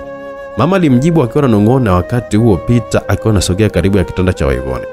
Wanaendeleaje Waivone? Sijambo kabisa, sijui wewe. Nami sijambo kabisa. Oh, sawa, nimesikia kwamba unauma. Mama ameniambia sasa, nimeona kwamba nije tu kukuona, nimekuletea matunda hapa. Aya, asante sana. Waivona alimwitikia, yakapokelewa na mama yake na kuwekwa kwenye stuli. Pita akatoka udini humo, na muda huo daktari akawa ameingia taratibu. Na mimi mgonjwa anaendelea vizuri sasa, ningewaruhusu tu mwende nyumbani huko ameze tu dawa za maumivu. Eh, hasa daktari, gharama za matibabu itakuwa ni kama shilingi ngapi tangu jana mpaka leo kulala na mengineyo? Laki mbili na nusu. no, yani tangu jana tu daktari ndo laki mbili, yani yote hiyo mwe. e, kuna kitanda chumba, si unajua kwamba hii hapa ni hospitali binafsi, ila ndo ni shaka. Gharama ya matibabu imeshalipiwa tayari. Na nani? Na mtu mmoja hivi, ila amesema nisimtaje. Nani huyo daktari? Hebu tuambie tafadhali jamani. Hapana, nalinda faraga ya mhusika. Hajapenda kujulikana, nami haina budi kutunza tu ahadi yangu kwake. Mm, daktari jamani, hata jina moja tu. Hapana, mnaweza kwenda pia. Amewaandalia usafiri kwa ajili ya kuweza kuwapeleka mpaka nyumbani. Mm, nani huyo? Mwanamekezia alimtazama binti wake Yvonne kwa macho ya mshangao, na msichana huyo naye akamtazama mama yake wakiwa wameshikwa na butoa wakiwa anatamani wanatamani kumjua mtu aliyekuwa amewalipia gharama ya matibabu, lakini haikuwezekana kwa sababu ya msimamo wa daktari. Upande mwingine, Jera alikuwa nyumbani kwa mwanamama Penina, yaani kwa rafiki yake David, wakiwa wako sebleni wamekaa kwenye makochi wakicheza mchezo wa kwenye televisheni ya PlayStation lakini lengo la Gerald likiwa ni jingine kabisa, akiwa amekuja kwa ajili ya kuweza kuonana na mama wa rafiki yake huyo ili azungumze naye, ikibidi amwombe msamaha. Simu ya David ikaita, akapokea na kuweka sikioni. Waya mwana, kuna mafaili nenda kumrushia mshikaji wangu mmoja kwenye laptop, narudi. Alimwaga. Haina noma mzee. Alimjibu na kwenda chumbani kwake, akamwacha Gerald peke yake sebuleni. Jamaa huyo akasikia ni ya gari, haraka sana akaenda dirishani kuchungulia. Alikutana na gari ya mwanaume Penina. Aliingia akifunguliwa geti na mlinzi. Gerald akajiweka sawa kumsubiri mwanaume huyo ambaye aliingia na kumkuta Jerald akiwa amekaa kwenye sofa, yani kwenye kochi dogo hivi. Ikabidi ainuke. Umefuata nini hapa kwangu? Aliuliza. Nimekuja kumtembelea David tu. Basi vizuri. Mwanapenina alimjibu akimpita kutaka kuelekea chumbani. Jared akamshika mkono kiganjani kumzuia asiingie chumbani kabla hajazungumza naye. Mami, tunaweza kupata muda wa kuzungumza? Alimuuliza. Sizani, niache Jared hapa ni nyumbani kwangu kumbuka. Najua lakini nataka kuzungumza nawe kitu kidogo tu mara moja. Nipe muda angalau hata kidogo tuende kokote kwetu kuzungumza. Sawa, usijali. Nitakwambia. Alimjibu akaachana mikono mita kadhaa. Dada wa kazi, yani house girl, alikuwa anawatizama tu akiwa ametokea jikoni akiwa amewaona namna jinsi walivyokuwa wanashikana mikono kiujanja. Mbona kama kuna kitu kinaendelea kati yao? Yani kaka David anahangaika mbali kumtafuta mchawi nani, kumbe rafiki yake mwenyewe. Siwezi kabisa kunyamazia hili. Mwanda huyo aliongea mwenyewe kimoyomoyo, Gerald na mwanamama Penina wakiwa hawajamwona kabisa. Mwanamama Penina aliingia chumbani kwake na wakati huo David akatoka chumbani na kumkuta Jared kasimama. Baby bro, umeacha kucheza gemu, umeshindwa nini? Ah, yani ilinishinda mimi tena. Hamna, nilikuwa tunamsalimia mama tu hapo. Oh, kumbe basi poa, mimi nahisi natoka, wewe si nitaku, nitakukuta. Naenda kuonana na rafiki yangu mmo- mmoja hapo juu hapo, nachukua bajaji. Hamna, na mimi pia natoka mwanangu. Unawahi wapi? Hebu nisubiri mzee mpaka jioni jioni hivi e, tukapige vyombo au sio? Poa hapo basi utanikuta. Unajifanya unaenda kumwona rafiki yako, kumbe fix tu. Si useme tu David, kama kuna mtoto mzuri hapo unaenda kumcheki bwana. Mwana gani ambaye uende kumcheki alafu eti unikatae tusifuatane? Ushajiongeza mzee. Kweli mwanangu, kuna demu mmoja naenda kumalizana naye tu hapo juu, alafu nitarudi mwanangu, ingawa kuna jambo nataka nikushirikisha la siri sana. Wewe mshikaji wangu, najua kwamba utanisaidia ushauri. David aliongea kwa kunong'ona sana. Ah, lazima kaka, jambo gani? mbu nipe tu hata muhtasari kidogo. Amna mwana, jambo zito, sio la kitoto tena, sio la kuongelewa hapa. Ni yale mambo ya bi mkubwa yani. Ah, kweli basi sio la kuzungumzia hapa sasa. Basi panodibi inabidi hivi, ingawa nitachelewa, si unajua tena. Yap, nakuelewa. Nenda karekebisha jamaa yangu. Mpelekee mtoto mzuri moto mpaka maji aite mma. Hatari, hatari. David alimwambia akigonga tano, kisha akaondoka haraka haraka na kuchukua gari la mama yake, akaondoka akimwacha Gerald sebleni ambaye alisogea na kumchungulia getini kama alikuwa ameshaondoka kabisa, kisha akarudi na kwenda moja kwa moja mpaka kwenye mlango wa mwanamama Penina. Aligonga mara mbili na kuingia taratibu kabla hata hajarekebishwa. Alipozama ndani kwenye chumba hicho, dada wa kazi ni house girl alichungulia akiwa amejibanza ukutani kwenye kona ya jikoni. Mm, hmm. Hapa ndo nimethibitisha kabisa kwamba kuna kitu ambacho kinaendelea kati ya huyu rafiki yake David na mama yake. Ina, ila jamani watu mm, hmm. Yaani unatembea na marafiki kabisa, hii dunia kweli isemesha. Msichana huyu aliongea huku akiwa anatikisatikisa kichwa chake tu akisikitika. Gerald alizama chumbani mwa mama Penina na kumkuta mwanamama huyo akiwa uchi bila nguo yoyote ile, akiwa ndo anavaa taulo ili aende kuoga, akiwa amesimama mbele ya kioo kikubwa na cha meza yake ya urembo dressing table, akijitoa chunusi usoni. Kilichokuleta chumbani kwangu ni? Alimuuliza ipo mwana kupitia kioo. Nimekuja tuyamalize kabisa mimi na wewe. Tuyamalize. Waivone umeshamalizana naye? Sio hivyo. Si unajua tena kwamba hakuna mwanadamu asiyekuwa na makosa. Si unajua kwamba lishaachana na Waivone, anasema tu bado anifuatie fuatie, na sasa mimi na yeye ndo basi tena, hakuna ambacho kinachoendelea kati yetu. Alimfuata mwanaume huyo aliyekuwa anajifunga taulo mwilini. Niache Jeladi, ina maana bado umenikasirikia? Alimuuliza kuimpapasa papasa mabegani na kumbusubusu shingoni na mikono akipitisha pitisha mpaka kifuani mwa huyo na kuanza kumtomasatomasa manyonyo yake kifuani. Akilifungua tu likaanguka chini na kumbakisha mtupu bila nguo yote ile kama awali alivyokuwa amemkuta. Jeladi, si unajua hapa ni nyumbani kwangu na David yupo hata. Mwanapenina alianza kulegea tu baada ya kuanza kushikwa shikwa na kutomaswa tomaswa. David hayupo ametoka. Jeradi alimjibu mwanamume huyo na kugeuka akamsukuma akaangukia kitandani mzima mzima kama mzigo. Akavua tisheti yake na kutupa chini naye akajitupa juu yake kitandani. Upande mwingine mwanadada Ana alirejea nyumbani akiwa na sanduku lake la nyanya kwa ajili ya biashara akiwa amechelewa akamkuta Pita amekaa nje akisoma kitabu. Umeshindaje mpenzi? Salama. aliitikiwa kwa jibu la mkato. Mm, upo sawa? Ya, nipo sawa. Alijibiwa huku Peter akiwa busy tuna kitabu chake mikononi. Ana akaingia ndani moja kwa moja kuweka nyanya zake ambazo nyingi zilikuwa ni mbichi ili zikilala ziive kwa ajili ya biashara kesho asubuhi. Alipoingia tu aligeuka na kumkuta Pita akiwa mlangoni. Mpenzi, haupo sawa? Unaumwa au? Hivi huu ndo muda wa kurudi? Sokoni ni mbali? Mm. Nitaka nikueleze mpenzi wangu, samani nimechelewa, nilipata matatizo kidogo, nilimwagiwa nyanya zangu. Sasa mtu mmoja hivi akanilipa pesa, ndo nikanunua nyingine. mm Uniamini au? Hapana, pole. Peter alimjibu na kumsogelea, akamshika na kumgeuza ampe mgongo, kisha akaanza kumfungua vifungo vya gauni lake nyuma. Samani mpenzi, sikukusudia kuchelewa eti. Nimekuelewa. Nenda kaoge basi usikie vizuri, alafu ndo uanze mapishi eh? Sawa mpenzi. Analijibu. Peter alimgeuza shingo na kumbusu midomoni. Mwanadada huyo akatabasamu na kujifunga kanga, kisha kaondoka taratibu kwenda nje kuoga. Peter akamsindikiza kwa macho mpaka alipokuwa ametoka, kisha akakaa kitandani na kujilaza chali. Sijui mtihani wangu utafaulu au utafeli. Siamini kama utafeli, naamini ana atafaulu mtihani. Sipendi kukosa, ila sina budi niufanye kwako, aliongea na kusha pumzi ndefu ya wasiwasi. Upande mwingine, mwanadada wa Ivoni na mama yake waliletwa na taksi gari mpaka getini kwao. Mlipaji wa usafiri huo pamoja na gharama za matibabu wakiwa bado hawajamjua kwa sababu daktari alikuwa hajawaambia chochote kile. Walishuka na kuingia ndani mpaka sebleni ambapo Waivone alikaa kwenye kochi yani sofa kubwa na mama yake akabaka amesimama. Waivone, abe mama, hivi kweli kabisa umjui aliyekulipia gharama za matibabu na taksi au umeamua tu kunizuga? Simjui mama, mimi na yote tumjui. Mimi hapo awali nilikuwa nadhani kwamba labda wewe mwenzangu unamjua labda nimjulie wapi tena?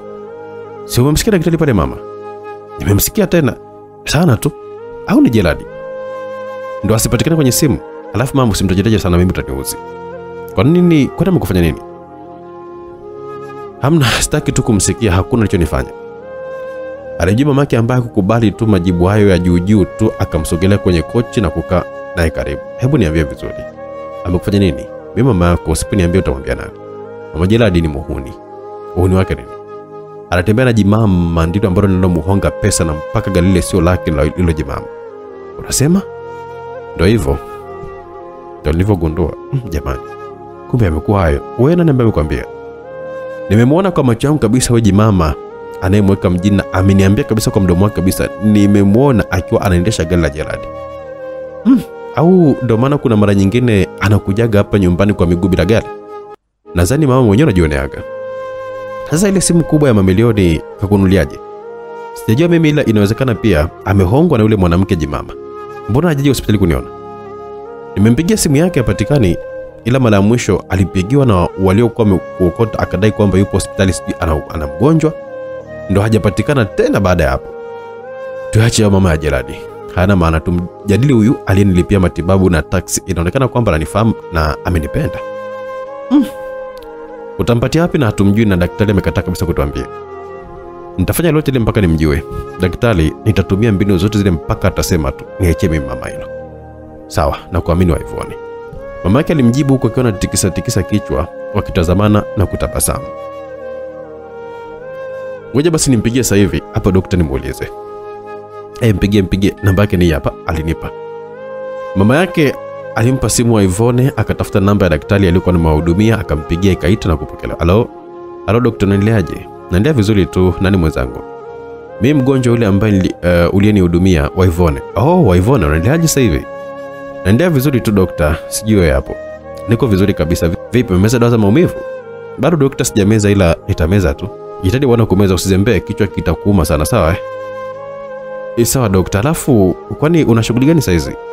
Saizi nataka kuingia kwenye kikao muda sio mrefu hapa. Oh, nilifikiria upo huru. Kwa nini? Nitaka kuonana nawe kidogo. Oh, sawa. Tuonane tu, haina shida. Kwani si umesema kwamba unaingia kwenye kikao? Hapana, nimegaidi. Alafu kikao chenyewe sio cha muhimu sana, ni cha ajenda tu za kawaida tu. Kuna mtu ambaye ataniwakilisha. Daktari chekacheka. Sawa dokta. Waivona alimjibu na kukata simu, kisha akamtazama mama yake. Wow, uko vizuri sana Waivona, ni mpaka dokta ameingia kwenye kumi na nane. Hakuna kinachoshindikana kwangu mama. Umezaa mtoto mrembo sana, na lazima urembo ufanye kazi yake. Lazima daktari amtaje huyo aliyenilipia matibabu na mpaka usafiri. Lazima nimjue tu, iwe isiwe. Na kuamini wa Ivone. Mama yake alimjibu kwa akiwa anagonga mikono. Upande mwingine, chumbani kwa mwanamama Penina, alikuwa na Gerald kitandani wakigalagazana na kupigana sarakasi wakiwa watupu, huku akiwa na nyana mate. Usizani nikikupa ndo itakuwa tayari nimesahau, na kupa tu kwa sababu siku mbili hizi sijapata joto la mwanaume. Mwanaume huyo alimwambia akiwa amepanua mapaja yake na Jeradi akiwa amepita katikati, najua na mimi nafanya juu mpaka chini urudishe moyo wako. Alimjibu, utatumia nguvu sana na Ash. Mwanaume huyo Penina aliguna baada ya kitu cha mwanaume huyo kuzama kwenye kisima chake bila hata taarifa, akitoa macho. Najua kama nitatumia nguvu, lakini cha muhimu ni kuwa tu nakupenda sana. Oh. Alimjibu akiwa na mbusubusu shingoni. Unipenda nani? Wewe unanipenda mimi au pesa zangu? Hayo ni mawazo yako tu mami. Gerald alimjibu na kujitoa katikati ya mapaja ya mwanamume huyo, akamgeuza akamtegesha mtindo wa mbuzi kagoma kula nyasi. Mwanamume akashikilia chuma cha kitanda akiwa huko juu ya godoro, naye akiwa yuko nyuma kwenye makalio yake, amechomeka jogo wake kwa mwanamama huyo Penina, akitoa macho wakati akiwa anaanza kushughulika. Oh, Gerald jamani, pole mami, pole, taratibu taratibu, eh, fanya kabisa, sika akajua kinachoendelea kati yangu mimi na wewe. Jamani, ndio taratibu sasa, wasije kabisa watu wakasikia kinachoendelea hapo. Hawezi kusikia nyumbani ya kisasa, hakuna sauti ambayo inatoka mda mchumbani. Bwana Penina alimjibu huku akiwa anageuka na kumtazama kijana huyo wakati akiwa anampa adhabu kitandani.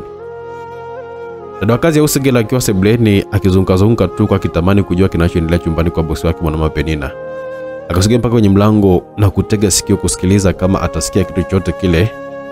Aliweka glasi ya maji mlangoni akitega kama kisikilizio ili kusikia sauti zilizokuwa ndani kama kuna maongezi yoyote yale. Mm. Lazima mchumbani kutakuwa na michezo mibatu inaendelea. Aliongea mwenyewe kimoyomoyo. Huyu Jeladi, Jeladi, Jeladi. Naam, taratibu. E, taratibu mami. Ina tu kidogo. Alisikia miguno. Ui, jamani mama naye. Msichana huyo alijisahau na kuropoka kwa sauti akishangilia kwa alichokuwa nakisikia ndani chumbani na mwishowe akajishtukia na kujiziba mdomo. Nani tena huyo?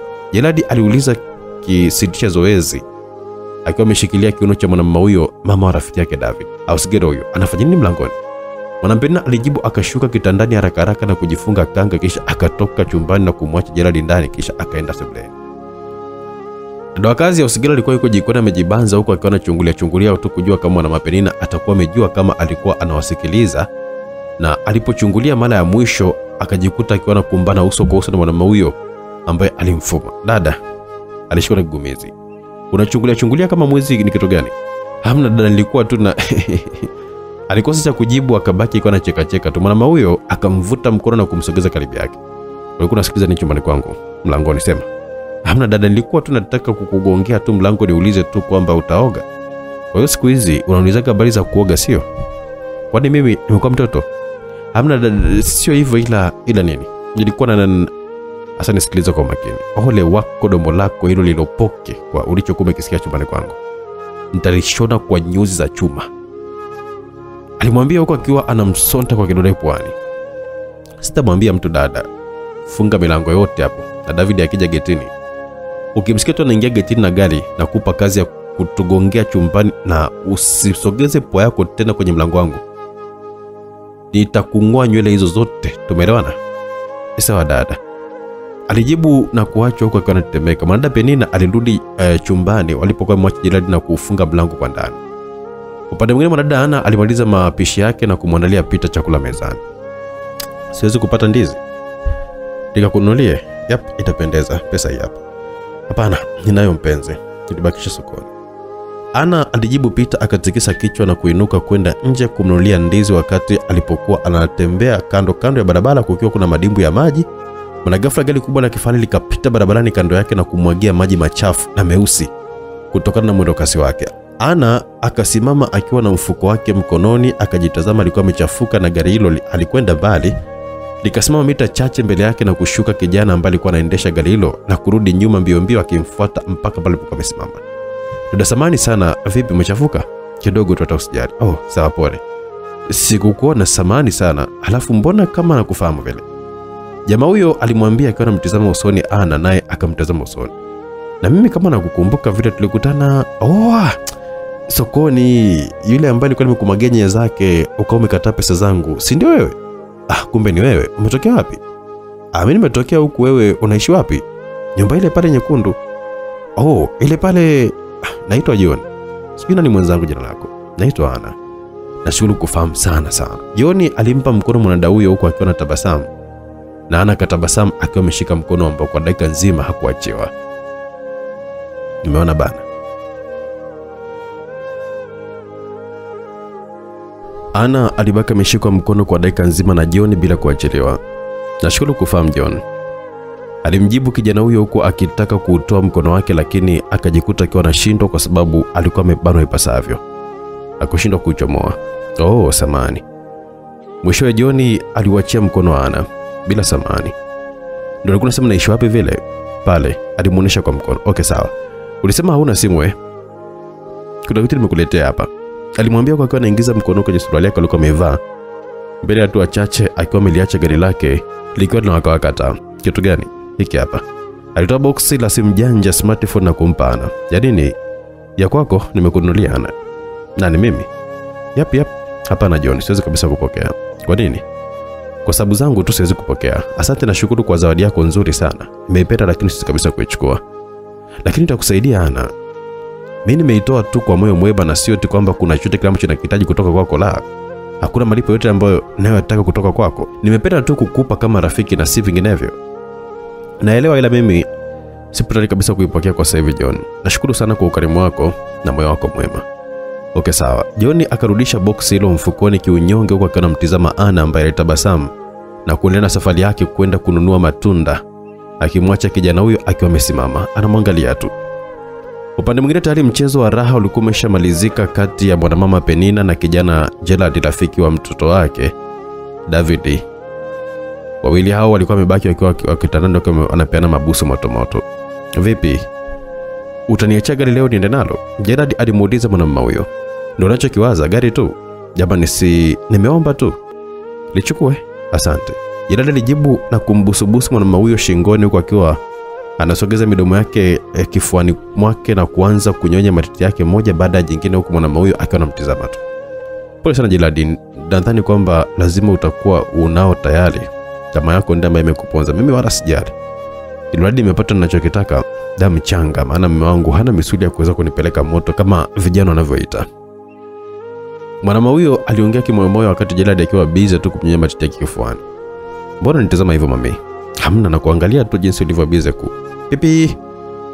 Onikali ya gari ilisikika nje getini kabla mwanamama Penina hajamalizia sentensi yake. David tayari amesharudi. Gerard aliongea na kushuka kitandani kwa mwanamama huyo haraka haraka, kisha akajifutafuta. Kwa nini usingeoga kabisa? Nioge wakati ameshafika? Ungeoga kwenye bafu la wote Gerard, na sio humu. Hawezi kabisa kugundua. Penina alimwambia Gerald ambaye alivaa nguo zake na kutoka haraka haraka ndani ya chumba hicho, akikutana na dada wa kazi house girl ambaye alikuwa anapita kwenye korido. Bafuni ni wapi? Pita hivi kisha kunja hivi. Akaelekezwa katikisa kichwa na kwenda haraka haraka bafuni akimwacha dada huyo wa kazi akiwa anamsindikiza kwa macho. Dunia imekwisha. huyu, yani kweli kikulacho kingoni mwako. Kaka David angegundua hili, nadhani kwamba angetokea mauaji humu ndani. Mwanadada huyo aliguna huku akiwa anagonga mikono na kugeuka, akakutana na mwanamama Penina akiwa amesimama mlangoni kwake. Akashuka na kupita kimya kimya. Mwanamama Penina alisonya tu akiwa anamkata jicho kali sana mwanadada huyo wakati akiwa anampita huku akiwa ana ameinamisha kichwa chini baada ya kukutwa akiwa anazungumza mwenyewe asiyomhusu. David akarejea na kumkuta Gerald akiwa ametokea bafuni kuoga. Oh, David umerudi? Yep, nimerudi bosi. Vipi? Naona kabisa umetoka kujimwagia maji kidogo. Yep, nimetoka kupunguza jasho, si unajua tena, ila nataka nisepe mwanangu. Kwa nini mwanangu, kwani si tulikubaliana kwamba unalala tu hapo home leo? Yep. Lakini kuna shida ambayo imetokea kidogo, kuna taarifa za msiba, ndo nikamwambia bi mkubwa hapa uh, kumwaga akaniambia kwamba nichukue gari nikawa na kusubiri tu hapa ili urudi eh, nikucheki uniazime tu ufungue nisepe. Pole sana mwanangu. Nani kaaga tena? Kuna mzee wetu mmoja hivi upande wa mama ni wa mbali kidogo hivi. Basi fresh haina noma. Hujaniambia kuhusu ulipotoka mzee. Vipi demu limpata? Umempelekea moto au uberemba? Ah, demu bwana, akachomoa ise. Kazingua kweli mwanangu. Kazinguaje tena? Kasema oh, sijui eti mpaka tukapime mpaka tukapate kibali cha mchungaji sijui nini. Ah, de mwenyewe mlokole bana. Ah. Ungemwaga mpunga mzee, akunaga ulokole mbele ya mpunga mwanangu. Kwa nini nadhani kwamba sijamwaga? Leo nimenunulia mpaka simu ya laki tatu lakini bado kachomoa, ila ataingia tu kwenye 18 zangu tu yani. David, sijai kushindwa jambo hasa watoto hao wa kike na kuaminia mwanangu. Basi poa. Leo tukazungumze kwenye gari. Nilikuwa nataka kukuambia sitaki mama au mtu mwingine yote atusikie. Haina neno kaka. Jeradi alijibu akiwa anaongozana mpaka uwani na kuingia kwenye gari la mama yake, akapandisha vioo vyote, akashusha pumzi ndefu kabla hajaanza kuzungumza. Wasiwasi ukaanza kumgea Gerard. Jeradi, wewe ni rafiki yangu kwa muda mrefu sana. Aliongea na ukoo kidogo akimeza mate. Mm. Ameshajua kinachoendelea kati yangu mimi na mama yake. Jalada alijiuliza huku kwa nje akiwa anatikisa kichwa kumuitikia rafiki yake huyo.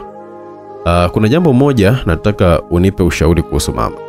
Jambo gani leo nieleze tusiogope. Ila kwa sikwambia jambo lenyewe naomba usimwambie mtu yote kuhusu jambo hili. Hata wewe demu wako. Iwe ni siri yako mimi na wewe tu. Na hata mama mwenyewe usije kumwambia. Imeisha hiyo. Siwezi kabisa kumwambia mtu na sina tabia kama hiyo. Wewe mwenyewe unajua kabisa.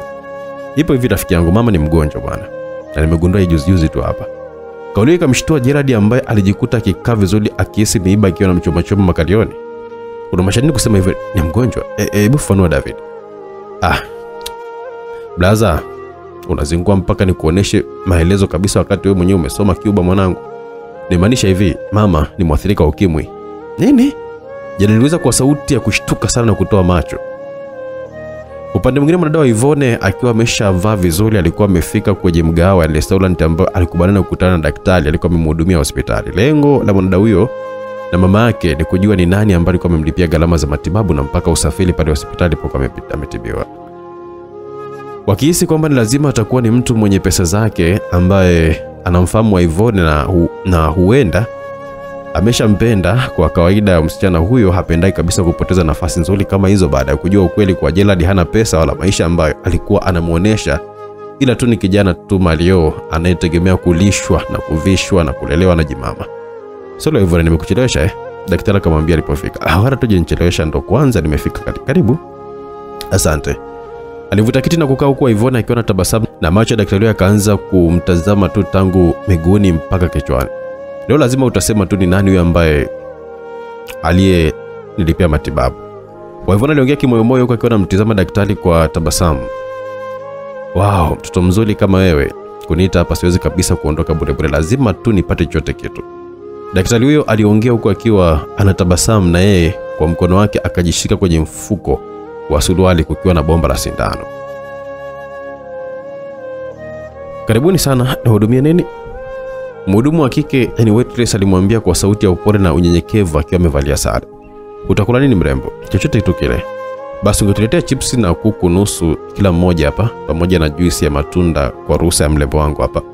Daktari akaongea, Waivone akatabasamu na kutikisa kichwa. Mhudumu huyo akaondoka haraka haraka ili kwenda kuwaletea walichokuwa wameagiza. Dokta, naam, alijiweka vizuri. Mimi nikushukuru sana kwa kunihudumia vizuri wakati nikiwa nipo hospitalini. Usieni mlembo, ndo wajibu wangu mimi. Daktari huyo alimjibu wakati mhudumu na wenzake wakiwa wanawekea chakula alichokuwa ameagiza mezani. Naelewa, lakini kuna jambo jingine ambalo limenifanya mimi nikuite hapa dokta. Jambo gani? Hilo ndo nalolisubiria kwa hamu sana. Kama nilivyokushukuru wewe, basi natamani pia nimshukuru na huyo ambaye amenilipia matibabu ambaye hakutaka kabisa kujulikana. Tafadhali dokta, usiwe hivyo. Hebu niambie ni nani nimfahamu, na je, ananifahamu mimi? Mm, hapana, sio sababu ya wewe kuweza kumfahamu kwa sababu yeye mwenyewe hajataka hilo. Ni mtu mmoja hivi asiyependa sana kufahamika fahamika hivi. Au ni wewe dokta? Jamani, mbona huniambii? Niambie basi, nitakupa chote kile ambacho unachokitaka. Nani huyo mtu jamani? Waivone alinyosha mikono yake na kuvishika viganja vya daktari huyo. Hamna bwana, ningelikuwa mimi kwa mrembo kama wewe ningesema tu yote. Unafikiri kwamba ningevunga kimya kimya hivi hivi? Ah, Hapana bwana, nisingeweza. Nitakwambia lakini usinitaji na sitakuambia kwa uwazi, itabidi tu ufanye utafiti wewe mwenyewe ukajua ni nani. Sawa, niambie tu hata hicho kidogo tu ambacho unachokijua. Ni hivi, mtu mwenyewe ndio bosi wa hospitali, yani mmiliki wa pale, ndio aliyekulipia hiyo hela. Bosi wa hospitali? Kwani nifahamu? Inaonekana nakufahamu wewe pamoja na mama yako. Ni hivyo tu. Sasa nakuachia wewe kazi ya utafiti, ni nani bosi wa hospitali, kisha utapata jawabu. Asante sana dokta. Karibu sana. Samani, naenda uani mara moja. Bila samani, daktari huyo alimwitikia huku akiwa na tabasamu. Ivona aliinuka na kuelekea upande wa vioni akiwa na simu mkononi, akimwacha daktari huyo akiwa peke yake kwenye meza yao. Alipomwona mwanada huyo akiwa ameondoka tayari, akatazama tazama kulia na kushoto kama kuna watu waliokuwa wanaangalia, kisha alitoa bomba la sindano na kuangushia matone ya dawa kwenye juisi ya mwanada huyo ndani ya glasi, kisha akatingisha tingisha na kuiweka vizuri. Waivone akiwa chooni akampigia simu mamake. Mama, Waivone vipi, umefanikiwa? Naelekea kufanikiwa. Huyo dokta ameniambia kwamba mtu mwenye mwenye amelipia gharama za hospitali ni bosi, yani mmiliki wa ile hospitali. Mm, amekufahamuje? Sijajua, ila inaonekana kwamba hata wewe mwenyewe anakufahamu kwa maelezo ya dokta. Bahati hiyo Ivone, usichezee kwa kweli ese, kama anakufahamu na mimi ananifahamu, usichezee hata kidogo. Na- Anaonekana kwamba na pesa sana huyo mtu, si unaona kabisa hata hospitali yenyewe ile sio ya kawaida kawaida. Hilo niachie mimi, kesho tu nitahakikisha kwamba namjua bosi wa hospitali hiyo, naenda kumshukuru. Baada ya hapo, si unajua tena kitakachofuata mama. Najua kinachofuata binti yangu hmm? ni kutumia ule ambao kuleta faida kwako na kwa mama yako. Vizuri. Baadaye mama, ngoja basi nirudi kwa daktari hapa, nimemwacha mwenyewe mezani. Kwa makini. Mama yake alimjibu Ivone, akakata simu na kurudi kwenye meza alipokuwa amemwacha daktari huyo ambaye alikuwa akinywa juisi tu huku chakula akimsubiri yeye mpaka arudi. Pole, nimewekeka sana eh, na wala hata wasiwasi wako tu Ivory. Karibu. Daktari alimjibu na kusimama akimvutia kiti, akakaa moja kwa moja, akashika glasi ya juisi na kuipeleka kinywani, huku daktari huyo akimtazama kwa tabasamu. Vipi, una mpenzi, mchumba au mume? Aliulizwa kwa tabasamu wakati akiwa anavuta juisi kwa mrija. Ah, kwa nini umeniuliza hivyo dokta? Nimeuliza kwani kuna ubaya jamani? Hamna ubaya. Kwa sasa hivi sina mpenzi wala mchumba ila nilikuwa niko naye tumeachana tu yani. Oh, pole sana. Daktari huyo alimwambia wakati wa Ivone akiwa anaendelea kuvuta juisi kwenye mlija. Muda huo huo akasimamisha zoezi la kunywa juisi ambayo ilikuwa imebaki nusu ya glasi. Mm, nahisi kizunguzungu dokta. Nini usingizi au? Sielewelewi ni nini ila tu ni kama vile macho mazito nahisi kizunguzungu. Pole. Labda usingizi tu. Twende basi kupumzike. Wapi dokta? Nyumbani kwenu? Ngoja nikupeleke. Alimwambia huko akiwa anamuinua kwenye kiti na kumshika mkono akampeleka kwenye gari lake dogo alilokuwa alikuwa mkuja nalo. Akamwingiza taratibu kisha na yeye akaingia na kuliondoa gari kwa kasi bila ya chakula akiwa ameacha pale pale mezani. Dokta. Waivone aliongea kwa sauti ya chini akiwa amelewa sana. Naam. Mbona hii sio njia ya nyumbani? Waivone aliuliza macho yake yamevimba kutokana na usingizi mzito wa madali uliokuwa umemshika. Hamna, huijui hii njia Waivone. Ni shortcut ya nyumbani kwenu hii. Daktari alimwambia huku akiwa anampapasa papasa nywele kumbembeleza. Waivone akiwa tayari ameshazama usingizini, gari likafika mpaka nyumbani kwa daktari huyo ambaye alishuka na kumshusha mwanadada huyo taratibu akiwa anatembea kwa kupepesuka kutokana na kulewa. Akaingia naye ndani moja kwa moja mpaka chumbani kwake.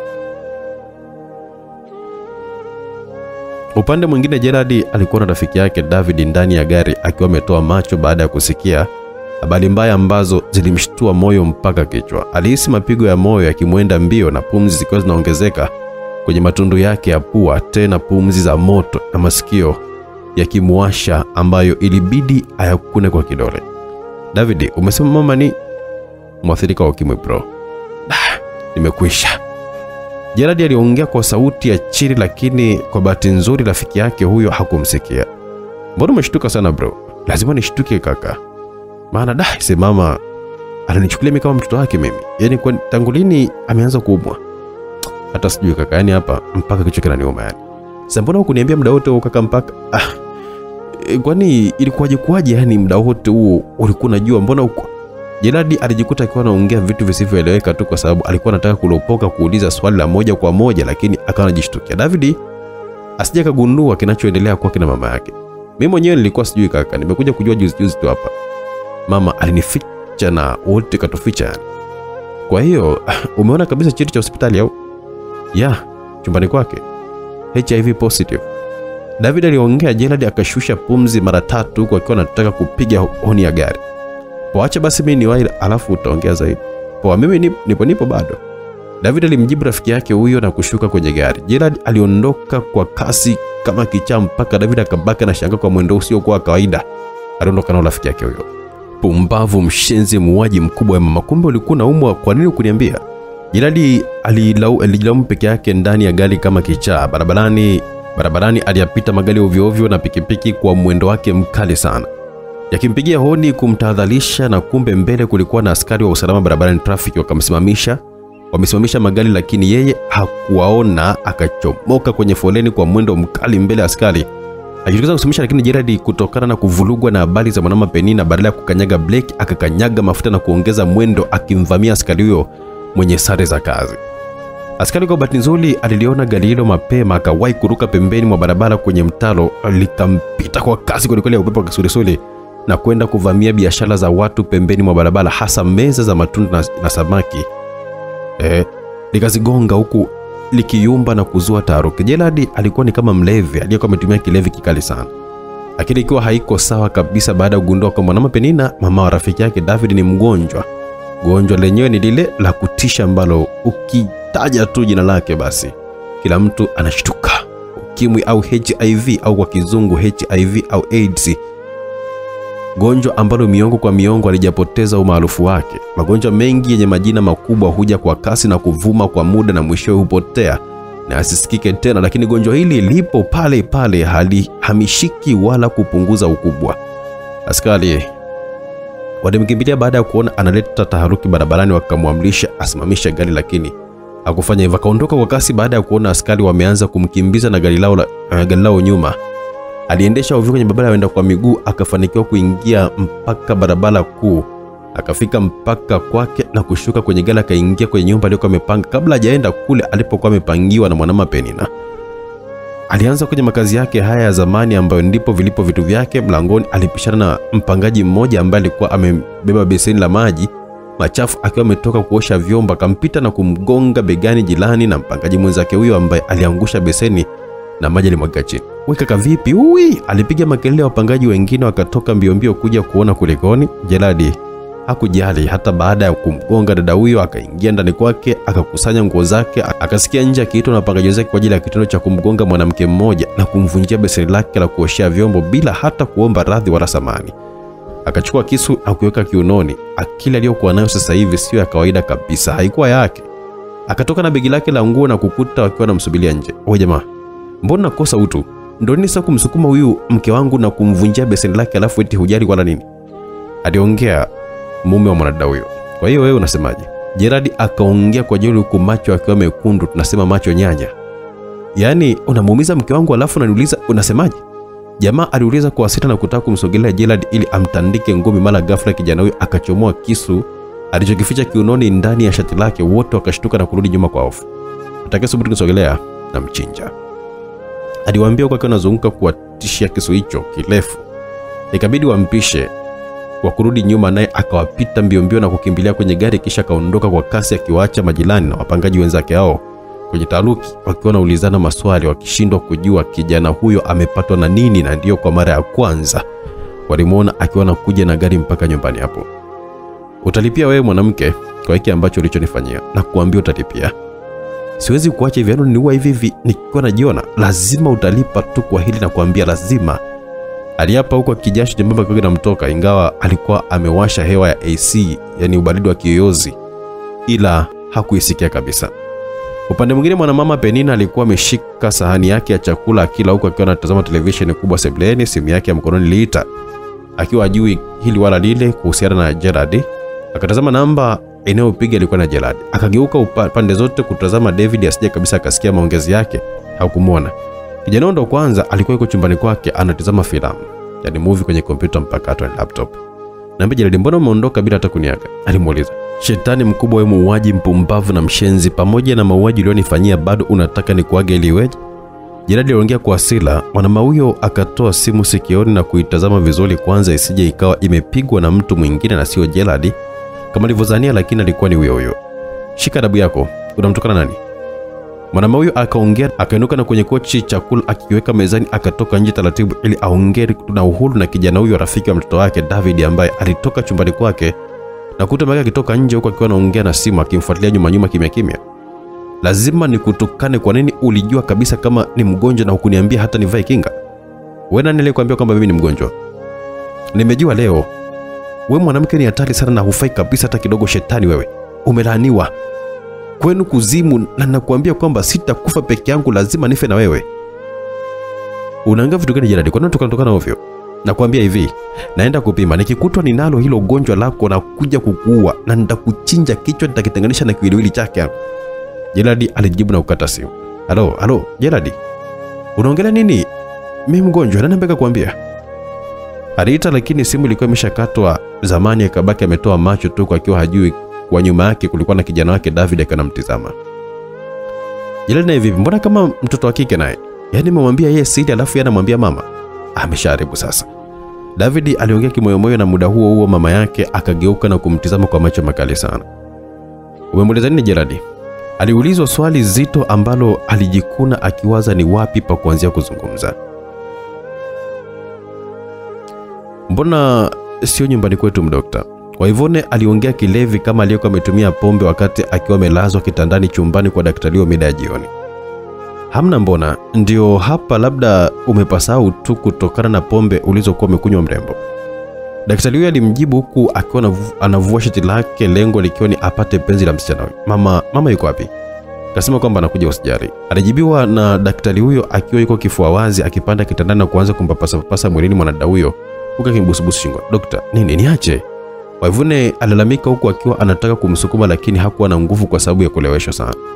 Kidogo tu Waivune, sitaki niache. Kidogo tu. Alimbananisha mikono na kuanza kumnyonya mate kiulazimu. Sitaki, sitaki niache.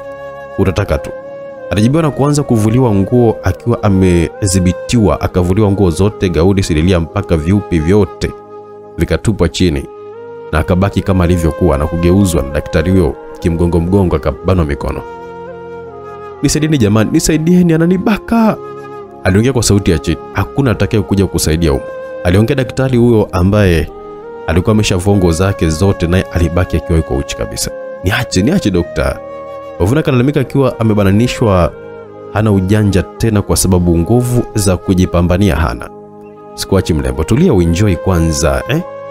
Ndipo nita Kabla daktari Weja malizia sentensi yake, ulisikika mlango kina ugongo wa sebuleni, akashtuka na kutulia tuli akisikilizia kwanza kama ni kweli alichokuwa amekisikia Amala.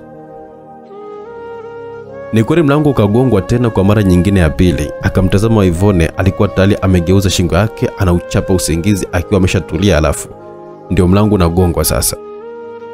Akachukua mto na kutupa chini kwa nguvu, akikasirishwa na kitendo cha ugeni huo wakati mzuri kama huu ambao tayari kondoo yake yupo tayari kuliwa. Akashuka kitandani na kuvaa suruali tu, akaenda mpaka sebuleni kifua wazi, akiwa amewacha mlango wa chumbani wazi, akiwa anajua ni mgeni tu, labda jirani ambaye ataongea naye tu nje, wataachana hapo hapo. Hodi, sauti yake kasika. Karibu. Alijibu kwa hasira na kufungua mlango taratibu, na ndipo aliposhangaa hakuna mtu nje. Kweupe akabaki akiwa anakaza macho tu kuangalia kulia na kushoto akaona vivuli kwenye kona. Akaanza kukifuata, ndipo kundi la watu lilipojitokeza ghafla, akashtuka na kutaka kukimbia, wakamkamata na kuanza kumwimbia happy birthday to you, happy birthday to you, happy birthday Dr. Mandela, happy birthday to you. Aliwatazama na kugundua kwamba ni wafanyakazi wenzake, manesi, wauguzi na madaktari wenzake wachache, pamoja na Pita ambaye ndiye bosi na mmiliki wa hospitali hiyo. Mmoja akatoa ndoo ya maji ambayo alikuwa ameificha na kumwagia maji mwilini. Jamani, uhi, basi basi basi. Alipiga mayowe akiwa anacheka, wakamshika na kuendelea kumwagia maji huku waki- wakielekea ndani. Pita akiwa nyuma nyuma, kumbe walikuwa wamekuja na gari aina ya Costa kimya kimya, wamelipaki mita kadhaa. Daktari huyo yeye mwenyewe akiwa amesahau kabisa kama leo ilikuwa ni siku yake ya kuzaliwa, ni birthday. Wakaendelea kumwagia maji mpaka walipokuwa wameingiana, lakini Peter alipotazama chini kutoka kwenye gari la daktari huyo akaona viatu vili vya kike vya aina moja vikiwa viko hapo chini, vimeachana umbali wa mita kadhaa hivi, kimoja cha mguu wa kushoto na kingine cha mguu wa kulia, kumaanisha kwamba havikuvuliwa kikawaida. Vilianguka, akavifuata na kuviokota kimoja cha mguu wa kushoto na akakitizama. Ni kama kitu cha Waivone hiki ambacho anachokipendaga sana, ambacho nilimnunulia mwezi mmoja nyuma kabla hajanikataa, lakini sasa ninaye ana, nashukuru moyo wangu umeshasahau kabisa. Alitabasamu na kukiokota kile kingine ili akaviweke sehemu yake, lakini alipotazama ndani ya viatu hivyo akashtuka baada ya kuziona herufi mbili YP. Aliziandika yeye mwenye wakati huo, zikimaanisha majina mawili, Y kwa Waivone na P kwa Peter, ile jina lake. Nini kinaendelea hapa? Ina maana kwamba Ivone yupo hapa? Peter alijiuliza na kuelekea ndani, akakuta wanaendelea ku- kumwimbia daktari huyo huku akifungua keki ambayo alikuwa amemletea. Oh jamani, asanteni sana kwa surprise yenu hapa. Da, imenishtua sana, maana nilikuwa sina habari kabisa kama leo ilikuwa ni birthday yangu. Dr. Mandela aliongea na Peter akamfuata karibu ili kumnong'oneza. Dr. vipi? Msalani ni wapi? Alimnong'oneza sikioni. Oh bosi, unakatiza hivi njia ya vyumbani tu hapo, utaona mlango mweupe hivi. Ngoja nikupeleke. Hapana, wewe endelea tu kukata keki, mimi nitafika tu. Peter alimjibu na kuanza kuelekea chooni huku lengo lake likiwa ni angalau aone kama atamwona Waivone ambaye ni jana tu alikuwa yuko hospitali mgonjwa. Wala hakuwa na nia ya kuenda chooni kweli. Alipita kwenye vyumba na akaona kimoja kikiwa hakijafungwa, akafungua mlango na kuchungulia. Akaona mdada amelala huku kana jigozegoza kitandani akionekanika kama alikuwa analalamika, lakini sauti yake ilikuwa haisikiki vizuri kwa sababu anaongea kwa sauti ya chini sana. Ikabidi urudisha mlango kumfuata mwanadada huyo ambaye alimsogelea karibu, alihisi kama vile anamfahamu, akiwa amefunikwa shuka, akionekanika hana nguo. Dokta, niache niache, hapa sio nyumbani bwana, umeleta wapi? Madawa alalamika peke yake tu akionekanika kama amelewa hivi. Waivone, Peter alishtuka na kumkimbilia kitandani. Peter, nichukue, nichukue nipeleke nyumbani. Mwanadada alimwambia alipokuwa amemwona akimnyoshea mikono. Imekuwaje upo hapa? Peter alishangaza. Oh, sasa hawa wageni wamekuja kuniharibia, lakini sio kesi. Leo utalala hapa kwangu mpaka asubuhi. Dr. Mandela aliongea wakati akiwa anaingia chumbani kwake, lakini kabla hajamalizia sentensi yake alishtuka akitoa macho baada ya kumkuta Peter chumbani humo amesimama karibu kabisa na mdada wa Ivone ambaye alikuwa kitandani. Uso wa Peter ukageuka na kukutana na daktari huyo macho kwa macho. Upande mwingine mwanamama Penina alikuwa bado anatazamana na kijana wake Jeladi ambaye aligundua kwamba ndiye ambaye alikuwa amwambia rafiki yake David kuhusu hali ya afya yake. Nijibu, ni wewe ambaye ulimwambia Jiradi kuhusu hali yangu ya afya David? Mama, ngoja nikueleze jinsi ilivyo. Kwa kwanza ni hivi, sitaki maelezo yako David. Mtoto wa aina gani ambao unamvua mama yako na kumtangazia hali yake kwa marafiki zako? Mama, sio marafiki zangu wote ambao niliwaambia hilo, nielewe, ni Jiradi tu, kwa sababu ndiye mtu wangu wa karibu sana ambaye nilikuwa najaribu kuweza kumwomba ushauri, na ndio maana eh, nikamfungukia na nikamtaka asizungumze chochote kile, lakini Jiradi hakuishika hadi ya kiapo chetu. Si, sijui kwa nini kaamua kukuambia tena. Ai, amekosea, amekosea sana yani. Aisewe sio mtoto wangu kabisa David, huenda nilibadilishiwa tu hospitalini. Umeshaharibu kila kitu, umeniharibia David. Mamake alimjibu na kuondoka akimpita kuelekea chumbani kwake huku David akimfuata nyuma nyuma. Huyo akaingia chumbani kwake na kujifungia mlango kwa ndani. Mama, mama, nisikilize. Pumbavu jirani ndo ambaye amefanya mimi kunigomesha mama. Mbona nimemwamini sana alafu ananionyesha anaonyesha tabia kama, kama za kike. David aliongea kwa hasira sana na kuchukua simu yake huku mikono ikiwa inamtetemeka kwa ghadhabu, akampigia Jeradi ambaye simu iliita na kupokelewa. ukisikia upepo kumaanisha kwamba rafiki yake huyo yupo kwenye gari. Sema, Jeradi aliongea. Nini Jeradi? Bila kushirikisha mambo mazito ya siri wanalopoka lopoka tena kwa muhusika. Mamangu, mbona nilikuamini sana blaza, sasa alafu unaniangusha unaonyesha mambo ya kike aise Nani mwanamke? Mimi au wewe? Tena nitakuzingua wewe na mamako. Msinichanganye kabisa yani. Unaongea Jeradi? Hebu rudisha kwanza gari hilo mse wewe. Huna hata black domo kama mtoto wa kike bana. Unakosa hata kifua. Rudisha gari lo nyumbani kwanza. Hakuna urafiki tena kati yangu mimi na wewe. Ushakuwa una maana wewe. Walianza kutukanana kwenye simu. Hauna maana wewe na mama yako huyo muuaji mkubwa. Anataka niue, anataka kuniua mimi. Sawa, nimekubali nitakufa, lakini gari sirudishi, na hapo kwenu sikanyagi tena. Gerard alijibu na kukata simu. Gerard, Gerard, unaongea sigani wewe mjinga? Wewe unamtukana mamangu? David aliongea peke yake tu, kusimu ikiwa imeshakatwa, akaitupa chini akibamiza kwa hasira na kujishika mikono kichwani, huku dada wa kazi na Usigel akiwa nyuma anamwangalia tu. Pumbavu, pumbavu, pumbavu, rafiki msaliti wewe. David alitukana mwenyewe tu akiwa anageuka nyuma na kukutana dada wa kazi anayosigila ambaye alikuwa anamwangalia. Kuna nini kaka David? Hakuna kitu. Endelea na shughuli zako tu. Alimjibu akageuka na kuanza safari ya kuondoka. Nilijua lakini nikaogopa tu kukuambia nisije kabisa nikaleta matatizo bure na kuharibu amani ya nyumba hii. Msichana wa kazi aliongea kauli ambayo ilimfanya David ageuke na kumtazama. Ulijua nini? Niambie. Sicho alichokuwa nakiongea hapo na rafiki yako. Kipi? Fafanua. Alimwambia dada huyo akamsogelea karibu ili asikie. Nilikuwa najua kama mama yako alikuwa anatoa mapenzi na rafiki yako Gerard, yule ambaye anayekujaga hapa na kuchukua gari lake. Unasemaje wewe? Acha kuongea ujinga. Ni kweli kaka David, ni toka hapa, potea. Unaongea ushuzi gani hapa? Nitakunasa makofi. Samani kaka David. Msichana huyo aliondoka huko akiwa anatetemeka, akiwa ndo kwanza amechochea hasira ya David ambaye hakukubaliana maneno yake hayo. Ghafla kijana huyo akanyamaza kimya kwa sekunde kadhaa. Gari la mama kimya kimya alikuwa anapewa Gerard, mimi bila kujua. Leo amemwita mama yangu muuaji, sijui anataka kumuua. Nilipomwambia habari za mama kuumwa, alishtuka sana kuliko mimi mwenyewe, mpaka akaondoka na hasira kwa kasi kuliko kawaida yake. Leo amenitukana, amesema kwamba gari harudishi tena. Kisa, kisa nini? Kuna ukweli hapo? Inaonekana kwamba Jeradi alikuwa ananizunguka, si ndio? Mwanaume niliyekuwa namtafuta kwa muda mrefu, ambaye alikuwa anamsumbua mama yangu, kumbe ni rafiki yangu tu mimi mwenyewe. Kwa nini ashitushwe sana na taarifa za mama kuumwa na kukasirika na kuanza kupromosha matusi bila sababu? Jeradi, Jeradi, Jeradi, umenisaliti, umenizunguka na kunikosea adabu kiasi hiki cha kutembea na mamangu. Niliahidi kwamba nitamtenga mtu kiwiliwili na kichwa, na nitafanya hivyo. Sitakusamehe kamwe, sitakusamehe Jaridi, hata kama rafiki yangu. Potelea pote, popote ulipo, nitakusaka na kukutia kwenye mikono yangu wewe. David aliapa na kwenda jikoni mbio mbio akiwa amejawa na hasira, akachukua kisu na kutoka nacho akipisha dada wa kazi. Mwanadada huyo akabaki amejiziba tu mdomo baada ya kukiona kisu alichokuwa amekishika David. Mama, hapa kuna jambo zito linaenda kutokea hapa. Kwa kweli kuna mtu anaenda kufa. Alijisemea mwenyewe huku akiwa anajishika mikono kichwani. David hakufika mbali, akatoka na kukitupa kiswa akaona hakifai, akatoka mbio mbio na kwenda kugonga chumbani kwa baba na mama yake. Akuitikiwa, akajua tayari mama yake alishatoka chumbani. Akaufungua mlango ambao ulikuwa umefungwa na ufungua, akaona isiwe tabu. Aliupiga teke mara nne na kuvunja, kisha akaingia ndani mzima mzima, moja kwa moja mpaka kwenye kabati la nguo la baba yake, dada wa kazi. Dada Housingirl alichokifanya ilikuwa ni kukimbia kwenda kumuita mama wa kijana huyo alipoona matendo yake yasiyokuwa ya kawaida. Mwanamama Penina alikuwa bustanini na simu ameiweka sikioni akimtafuta Gerald kwa kumpigia, simu ikapokelewa. We mjinga, uko wapi? Rudisha gari yangu. Unaona kwamba umeniweza mwenyewe, kumbe ulijijua kwamba ni mgonjwa ukaamua tu kuniua, si ndio? Kwa taarifa yako, kufa sifi, ila tu cha moto utakiona wewe mwanamke.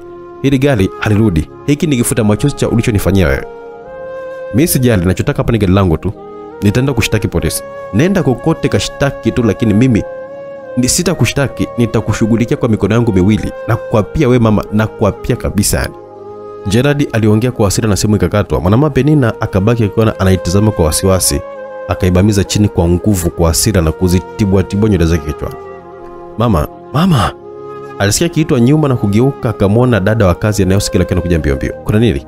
Kaka David anataka kuua mtu kwa kaka David. Anataka kuua mtu? Mwanamama Penina aliauliza akiwa nakimbilia ndani sambamba na msichana huyo.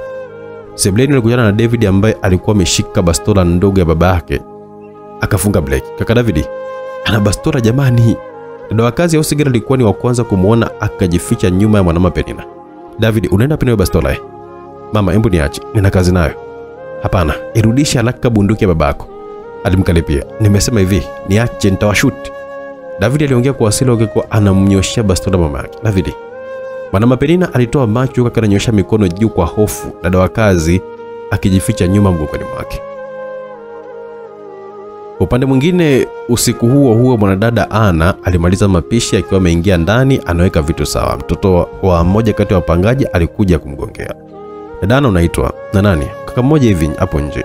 Mkaka? Alishangaa mtoto huyo akakimbia baada tu ya kuleta taarifa. Ana akatoka kwenda kwa wasiwasi, na ndipo alipoliona gari la kifahari likiwa limesimama na kijana akiwa ameliegemea. Joni, umefuata nini hapa tena saa hizi usiku? Nimekuja kukuona Ana. Kuna ubaya? Mm-mm. Hakuna ubaya, lakini muda umeenda na mimi ni mtu wa mtu. Nimeshinda kukaa bila kukuona uso wako Ana. Joni, unamaanisha nini? Ana akamuuliza kijana huyo ambaye alimsogelea karibu.